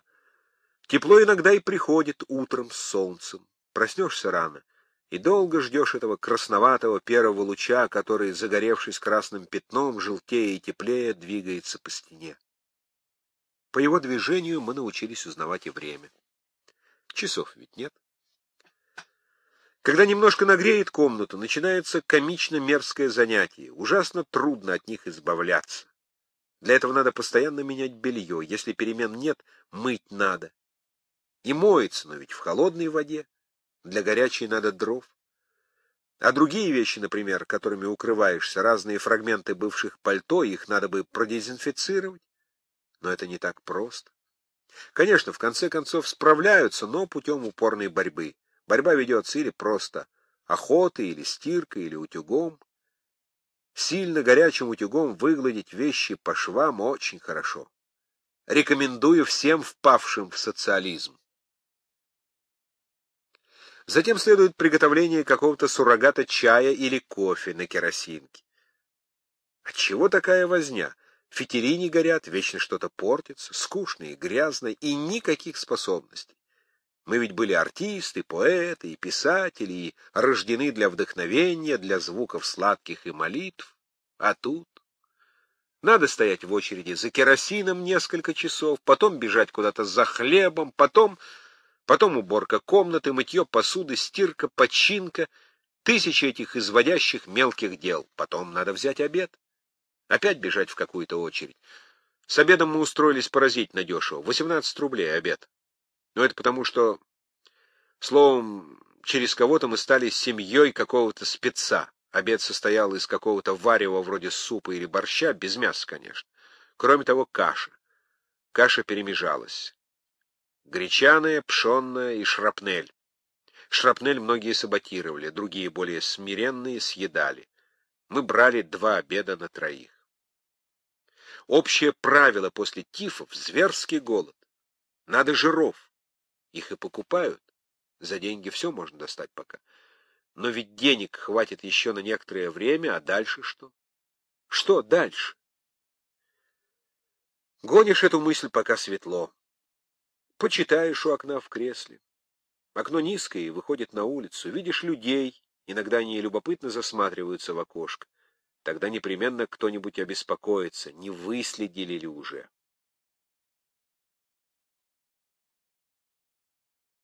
Я читал, что попало. Но больше всего мне нравился один польский роман. Действующие лица исключительно графы и князья. Описывается великосветская охота, балы и все это ремю-менаж большого света. Суета, французский. Княжна Гальшка Сбаражская правит четверкой великолепных лошадей, окруженная свитой не ниже барона. Ее брат никак не может жениться на девушке колоссального состояния, потому что она не записана в какую-то родословную книжку. Мне доставляло искреннее удовольствие сопоставление этого мира с тем, что шмыгало у меня за окном. Для любителей контрастов это было весьма недурно. Сыну Ляли, который лежит с отмороженными ногами и голодает между приступами возвратного тифа, тоже нравится польский роман. Но иногда он швыряет книжку и с неподражаемым выражением апострофирует «буржуи проклятые». Когда же дело осложняется какой-нибудь психологической драмой, он презрительно прибавляет «с нравственного жиру бесится». И действительно, немножко смешными кажутся эти душевные страдания, когда все живые и здоровые находятся в полной безопасности. Мы знаем только две психологические муки, когда близким людям грозит тяжкая болезнь или смертельная опасность. Но они возвращаются эти мысли о том, что будет дальше, когда стемнеет. Когда стемнеет, в комнате почти мрак, электричества нет, керосин слишком дорог, горит коптилка на масле. Она дает столько света, сколько лампадка, но последнее утешение сердцу, а это наводит мрак на душу. Что впереди? Какой выход из этого положения? Ну хорошо, теперь я болен, стесселевские деньги еще есть, но дальше? Служба. У кого? У большевиков? Нет. Частную найти очень трудно. Где? Все закрывается, и притом не сказать, кто я, подвести, а сказать, кто примет. От собственного положения мысли бегут к общему. Что делается? Это был первый период, когда большевики покончили, как они думали, с Деникиным и пытались или симулировали попытку смягчить террор. Шульгин явно раздвигает временные рамки и преувеличивает масштабы красного террора. Последний широко был применен лишь осенью 1918 года после убийства Урицкого и покушения на Ленина. С начала 19 года он применялся как исключительная мера. В Москве была объявлена амнистия и даже отменена смертная казнь. Правда, это, кажется, единственный раз, когда Украинская социалистическая советская республика воспользовалась своей самостоятельностью. Было разъяснено из Харькова, что все это к Украине не относится. Здесь, мол, продолжается контрреволюция, и потому и террор должен продолжаться. Но все же общее настроение сказалось и в Одессе. Разъяснение из Харькова имеется в виду то, что Украинская социалистическая советская республика своим политическим центром имела Киев, затем Харьков. После освобождения Украины в начале 1919 года от петлюровцев и интервентов, а также с декабря 1919 года после освобождения города от деникинцев. Там находилось Украинское советское правительство и другие учреждения. Конечно, чрезвычайка должна убивать кого-нибудь. Для власти, держащейся только на крови, опасно не упражнять людей в убийстве. Отвыкнут, пожалуй. Поэтому убивателям нашли дело. На этот раз, впрочем, это еще была наиболее благоразумная локализация кровожадности. Чрезвычайкам приказали убивать уголовных. Одесса спокон веков славилась как гнездо воров и налетчиков. Здесь, по-видимому, с незапамятных времен существовала сильная грабительская организация, с которой более или менее малоуспешно вели борьбу все 15, нет, их было, кажется, 14, все 14 правительств, сменившихся в Одессе за время революции. Но большевики справились весьма быстро, и надо отдать им справедливость, в уголовном отношении Одесса скоро стала совершенно безопасным городом. Остальных пока не трогали. В отношении офицеров несколько раз объявлялись сроки, когда все бывшие белогвардейские офицеры могут заявить о себе, за что не будут подвергнуты наказаниям. Часть объявилась, часть нет. Разумеется, все это не относилось к лицам, имевшим с большевиками особые счеты, вроде меня. Однако в направлении смягчения были даже довольно странные факты. В один прекрасный день пришел циркуляр из Москвы, по-видимому, от Луначарского, предписывающий читать лекции рабочим и солдатам с целью развития в них гуманных чувств и смягчения классовой ненависти. Луначарский Анатолий Васильевич, 1875-1933 годы, советский государственный деятель, нарком просвещения РСФСР с ноября 17 до 1929 года академик Академии наук СССР. Начиная с первых дней Октябрьской революции, активно боролся за сплочение старой интеллигенции на платформе признания советской власти и сотрудничества с ней. Один из теоретиков реформы народного образования, перестройки театра, кино, издательского дела. В исполнении этого те, кому сие ведать надлежит, обратились к целому ряду лиц с предложением читать такого рода лекции – и с представлением полной свободы в выборе тем в их развитии. Эти лекции состоялись. Одна из них имела особенно шумный успех и была повторена несколько раз. Это была лекция об Орлеанской деве. Орлеанская дева Жанна Дарк, 1412-1431. Народная героиня Франции в ходе Столетней войны 1337-1453 возглавила борьбу против английских захватчиков, 1429 году освободила Орлеан, обвиненная в ересе, сожжена в Руане на костре. В 1920 году была канонизирована церковью. Почему коммунистам вдруг пришла мысль поучать рабочих и крестьян рассказами о французской патриотке, спасавшей своего короля, объяснить трудно, но факт. Что ж, можно из этого делать какой-нибудь вывод. Неужели большевики действительно поумнели? Вздор, это на первых порах.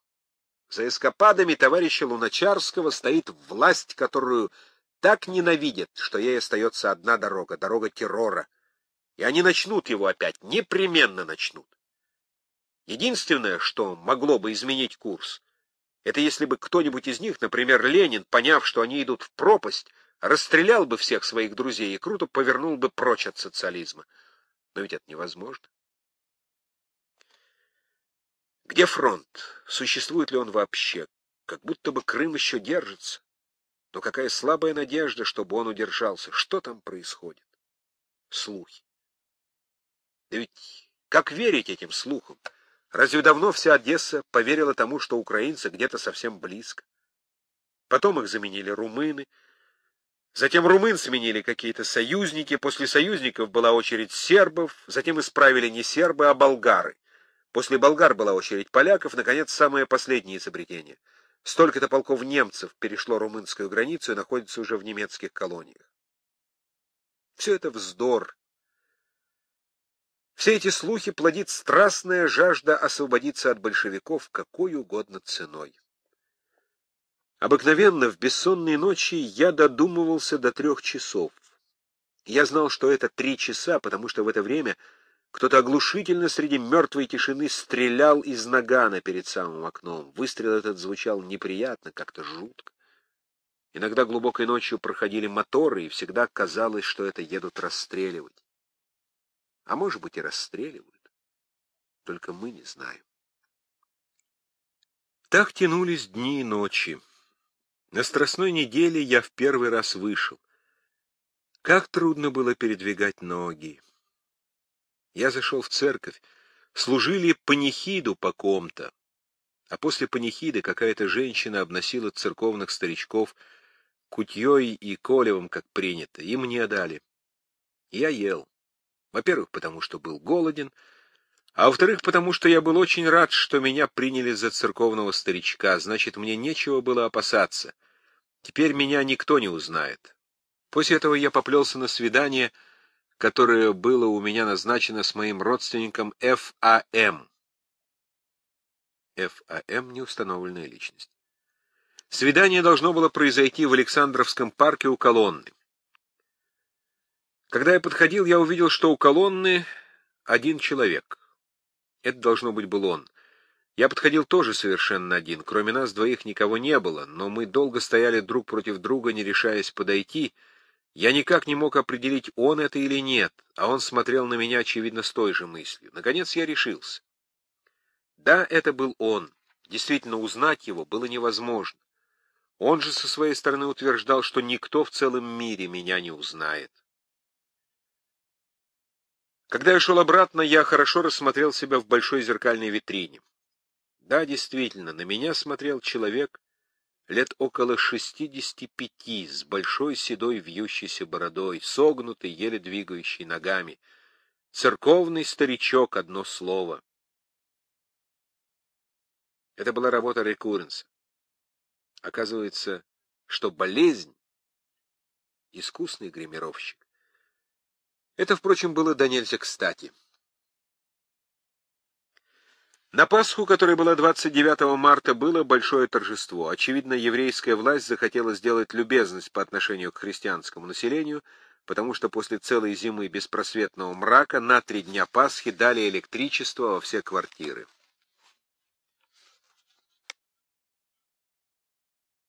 Еврейская власть — довольно распространенное заблуждение в российских монархических кругах, что революция в России — дело рук евреев, что власть Советской России принадлежит евреям. Кроме того, у нас был роскошный домашний обед. Главное блюдо составляли мидии, ракушки, которых во множестве выбросило сжалившееся над несчастными белыми доброе Черное море. Вера и Ваня, дети хозяев, целый день их собирали. Страхи. Ирина Васильевна поступила в театр. Ирина Васильевна, Шульгин указывает, что это не настоящее имя, личность не установлена объявила у себя балетную студию, что по большевистским законам давало ей право на лишнюю комнату. Большевики покровительствуют искусству. Вот именно эту комнату за место балерин после Пасхи заняли бывший редактор киевлянина и поручик инженерных войск Владимир Александрович Л. Неустановленная личность. Отвыкшие от всякого комфорта, мы умели ценить то, что обыкновенно в прежние времена даже не замечалось. Удобная кровать, чистые простыни, одеяло, подушки, два мягких кресла, диванчик, даже маленький письменный стол, на дверях портьеры из хорошей старорежимной серой парусины. Я помню, сколько раз, просыпаясь по утрам, я мечтательно смотрел на эти портьеры и думал, вот рубашка, вот а, впрочем, вышел бы и верхний летний костюм. Пол был паркетный. Я тщательно выметал его по утрам и мечтал хоть один раз ополотериться, как сказал бы Игорь Северянин, то есть натереть его воском. И потом, ведь в этой квартире можно было прилично вымыться. Правда, при социалистическом режиме вода в водопроводе не всегда идет, и никогда не идет в верхние этажи. В этом доме воду можно было получить только во дворе, и это была моя обязанность. Я отправлялся в маленький садик, где среди цветов был фонтан. Но кран, или, как говорят в Одессе, крант, и таскал ведрами воду. Норма была восемь ведер, которые я вливал в ванну, и было всем благо. Иногда я пилил дрова, но это, так сказать, по большим праздникам. Кроме всех этих благ, в этой квартире оказалась еще гитара. Да, смейтесь. Нужда пляшет, нужда скачет. Я решил, что пора песенки петь. Дело в том, что деньги быстро таяли. Все мое состояние заключалось в 20 английских фунтах и остатки от тех колокольчиков, деникинские тысячерублевки, которые тогда в лесу были розданы Стеселем. Кстати, должен сказать, что колокольчики, несмотря на официальное запрещение, под страхом расстрела, котировались на подпольной бирже Одессы. Стоимость их, кажется, не падала ниже 300 советских рублей, но порою поднималась до аль-пари. Огромное количество людей в Одессе занималось спекуляцией на деньгах. Да могло ли это быть иначе? Куда же могли деваться эти кошмарические стада всевозможных биржевиков, которые наполняли Фанкони и Робина, и густой толпой стояли на углу Дерибасовской и Екатерининской, торгуя кокаином, сахаром и валютой? Одесская чрезвычайка вела с ними борьбу, многих расстреливала, но остальные продолжали работать. Но, разумеется, теперь работа шла в самом строгом подполье. Итак, деньги таяли, служить у большевиков я не мог и не хотел, пристраиваться к каким-нибудь кооперативам было трудно, незнакомые меня не приняли бы, а знакомые, боясь не столько за себя, сколько за меня, всячески отговаривали, что делать.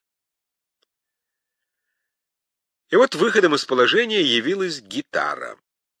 Старик с седой бородой. Ясно, что человек знал лучшие времена — Какое-нибудь небольшое кафе, разбитый надтреснутый голос, такой же разбитый, как и безвозвратное прошлое, старинные романсы, исключительно старинные, такие забытые и такие незабываемые. Жалобный звон струн, очень тонно. И вот я действительно подготовлял себе такое местечко, составил себе уже целый репертуар, мобилизовал голос. Помню, мне когда-то Милюков сделал комплимент. Я жаловался, что совсем не могу говорить в думе из-за крайней слабости голоса. Он мне ответил, «Да, голос у вас слабый, но он поставлен, как у певца. Вы не поете?» И вот на старости лет оказалось, что я пою для развлечения пролетариата. Нужда песенки поет. Кто не трудится, тот да не ест. Ирина Васильевна настоящее имя ее другое, в этот день очень беспокоилась. Ей почудилось, что кто-то следит не то за ней, не то за мной, вообще что-то жуткое.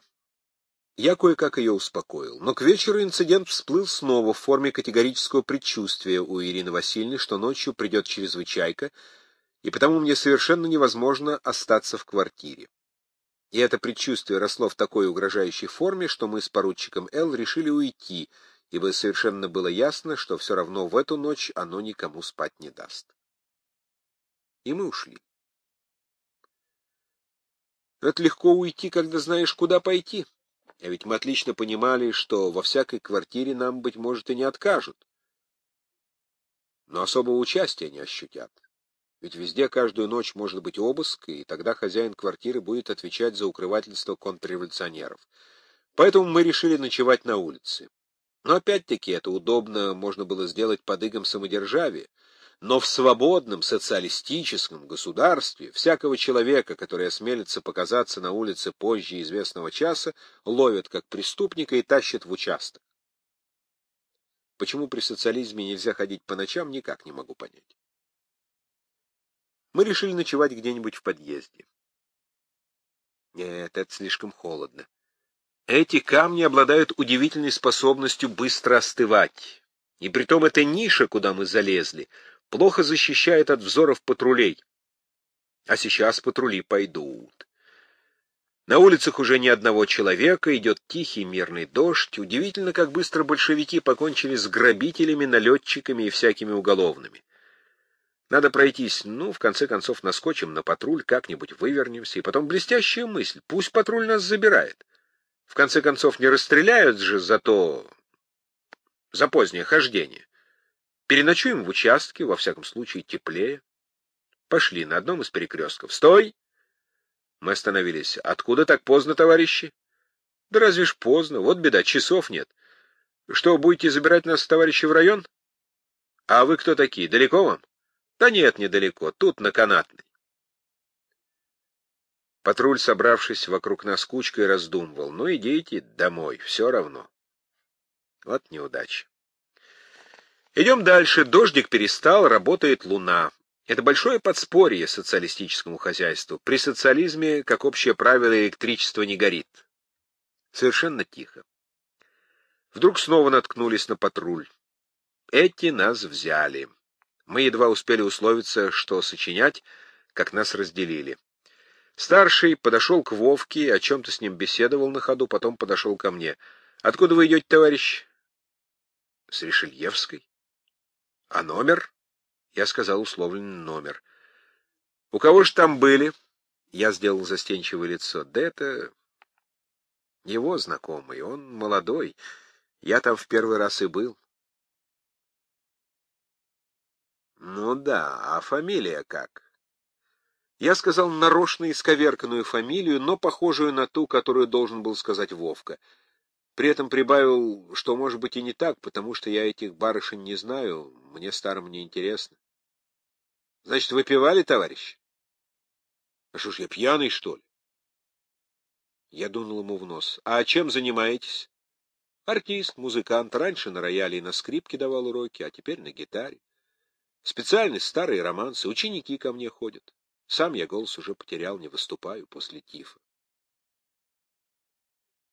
Заинтересовавшись, подошел другой патрулист. — Так вы, товарищ гитарист, я тоже на гитаре играю. Хорошая у вас гитара. — Ничего себе, только раньше я привык играть на одиннадцатиструнной, а это обыкновенная семиструнная. Ничего, сходит. — А какие романсы, товарищ? — Исключительно самые старинные. Ну вот, например, «Тигренок», а из рощи рощи темной, «Три создания небес». Вот тоже замечательный романс. Это не то, товарищ, что теперь пошло.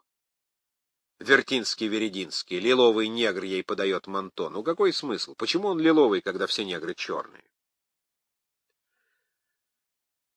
Вертинский Александр Николаевич, 1889-1957, русский советский артист, певец, поэт, композитор, начал сниматься в кино с 1912 года, фильм «Чем люди живы». В 1919 году эмигрировал, выступал как шансонье в различных странах, был популярен в эмигрантских кругах. В 1943 году вернулся на родину, выступал на эстраде, снимался в кино, лауреат Государственной премии 1951 года. Тут я решил остановить поток своего красноречия, кажется, было довольно. Патруль явно убедился в нашей невинности и подлинности. Старший сказал дружелюбно, но если, товарищ, у вас документы в порядке, то вам ничего не будет. Сейчас и отпустят. Район. Темень полная. Патруль, ругаясь, поднимается по лестнице на ощупь. Вводит нас в какое-то помещение, тут тоже абсолютно темно. В темноте старший кому-то докладывает про нас. Происходит ругань ввиду того, что нет ни света, ни спичек. Наконец, с трудом находят, зажигают какую-то коптилку, которая считается лампой. Участок. За перегородкой начальство в виде какого-то еврея. Нота бене. Патруль, как, по-видимому, вся низшая милиция, из русских, а начальство, так приблизительно с чина околоточного надзирателя, евреи. Начальство спрашивает, кто мы, где живем, документы. Предъявляем. Комиссар занялся тем, что вызвал по телефону адресный стол, проверить, живет ли такой-то по указанному мной адресу, но, видимо, с ответом что-то не ладилось. «Что? Нет света в адресном столе? Не можете дать справки? Что? Разбили себе голову? Обо что? А шкаф? Что за безобразие?» В конце концов, проэкзаменовав нас еще о роде наших занятий, причем снова на сцену выплыла гитара и старинные романсы, нам объявили, что мы свободны. Но это совсем не входило в мои планы. Прежде всего я рассудил, что прятаться от чрезвычайки выгоднее всего в районе, ибо карающей руке советской власти не придет в голову искать контрреволюционеров в своей собственной полиции. А во-вторых, куда же нам идти? Опять на улицу? Но первый патруль схватит нас снова, Поэтому я попросил разрешения переночевать здесь, в районе, каковое милостиво получил. Мы улеглись на широком подоконнике, начальство дармировало на деревянных скамейках. Утром мы были разбужены довольно странным инцидентом. Начальство, хотя и грозно, но довольно беспомощно взывало. «Вестовой!» «Что вы не слышите? Вестовой!» Да, у них есть вестовые. В этом государстве социалистов, тех самых социалистов, которые чуть ли не краеугольным камнем своей программы ставили борьбу против денщиков. «Вестовой!» В ответ на последний отчаянный призыв неожиданно раскрылся шкаф. Большой шкаф для дел, и с верхней полки раздалось «Чего?». Потом свесились громадные сапоги, которые вместе с нечестной головой и прыгнули в комнату. Посмотрев на нас, вестовой Украинской Советской Социалистической Республики добродушно изрек. Такая наша квартира.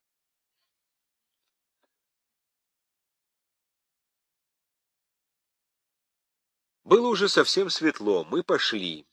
Но так как в пять часов утра возвращаться не приходилось, решили пройтись по базару, благо он под боком. Какая красота этот базар! Правда, ничего кроме редиски, но зато и ее-то уж вдоволь. Она собрана в большие корзины, которые напоминают огромные чудовища с сотнями усиков. Это хвостики редисок. Чудовища розовые, красные, лиловатые, всех оттенков. Впрочем, есть желтые и белые. Мы купили по пучку, 50 рублей пучок, и лазали по базару, аппетитно закусывая. Захотелось бубликов. Торговка долго почему-то смотрела на Вовку, наконец сказала, «Извиняюсь, вы русский?» «Русский?» Она перекрестилась. Вот поверите, первый раз, как ушли деникинцы, на русском человеке студенческую фуражку вижу. Ах, жиды проклятые! В это утро была суббота. А потому, пробродив изрядное количество времени по улицам, мы сподобились увидеть субботник. Субботник — это последнее слово социалистической изобретательности. Субботник — это значит, что каждую субботу в таком-то часу все истинные сыны Советской Республики должны собираться на такую-то улицу. Сегодня они собрались здесь. Впереди колоссальный красный плакат с золотой надписью «Кто не трудится, да не ест». За плакатом оркестр военной музыки, за оркестром небольшая военная часть, которой командует товарищ командир, расписанный как картинка красные чекчиры, гусарские сапоги, голубой доломан. Без погон, но на рукаве роскошно вышитая золотом и серебром звезда. На голове кубанка, ноги пружинят, голос звенит. Смотря на него, вспоминаешь песню «Я возьму воровскую дубину и разграблю я сто городов, разукрашу себя как картину». Сам же субботник стоит вдоль улицы в некотором роде поротно. Вглядываюсь в лица, почти сплошь евреи. Вглядываюсь подробнее — Вижу массу студентов, или, во всяком случае, еврейчиков в студенческих фуражках. Стараюсь сообразить, почему бы это, и догадываюсь. Ведь это цвет нации, это партийные коммунисты, для которых участие в субботниках обязательно. Впереди плакат, посредине плакат, сзади плакат. Музыка играет марш, товарищ командир в красных штанах командует с непередаваемой интонацией наглости и презрения, и субботник дефилирует. Куда, зачем? Совершать пресловутое русское дело. В завтрашней официальной газете в отделе «Известий» можно прочесть, что сегодняшний субботник прошел с громадным успехом и что собравшиеся истинные граждане Советской Республики без всякого вознаграждения перенесли с места на место столько-то десятков шпал, вымели столько-то квадратных аршин такого-то двора, перетолкали без помощи паровоза целых пять ужасно тяжелых нагруженных вагонов. Лиловый ирис стоял на балконе. Это был знак, что можно безопасно входить в квартиру. Никого, конечно, ночью не было, все это были только призраки. Но что такое факт? Когда он светит из прошедшего, тогда его называют воспоминанием. Когда же его луч пробивается сквозь туман будущего, это предчувствие. Беспричинные страхи Ирины, конечно, были предчувствием факта. Она только не могла справиться с четвертой координатой, с временем. То, чего она боялась теперь, случилось несколько позже.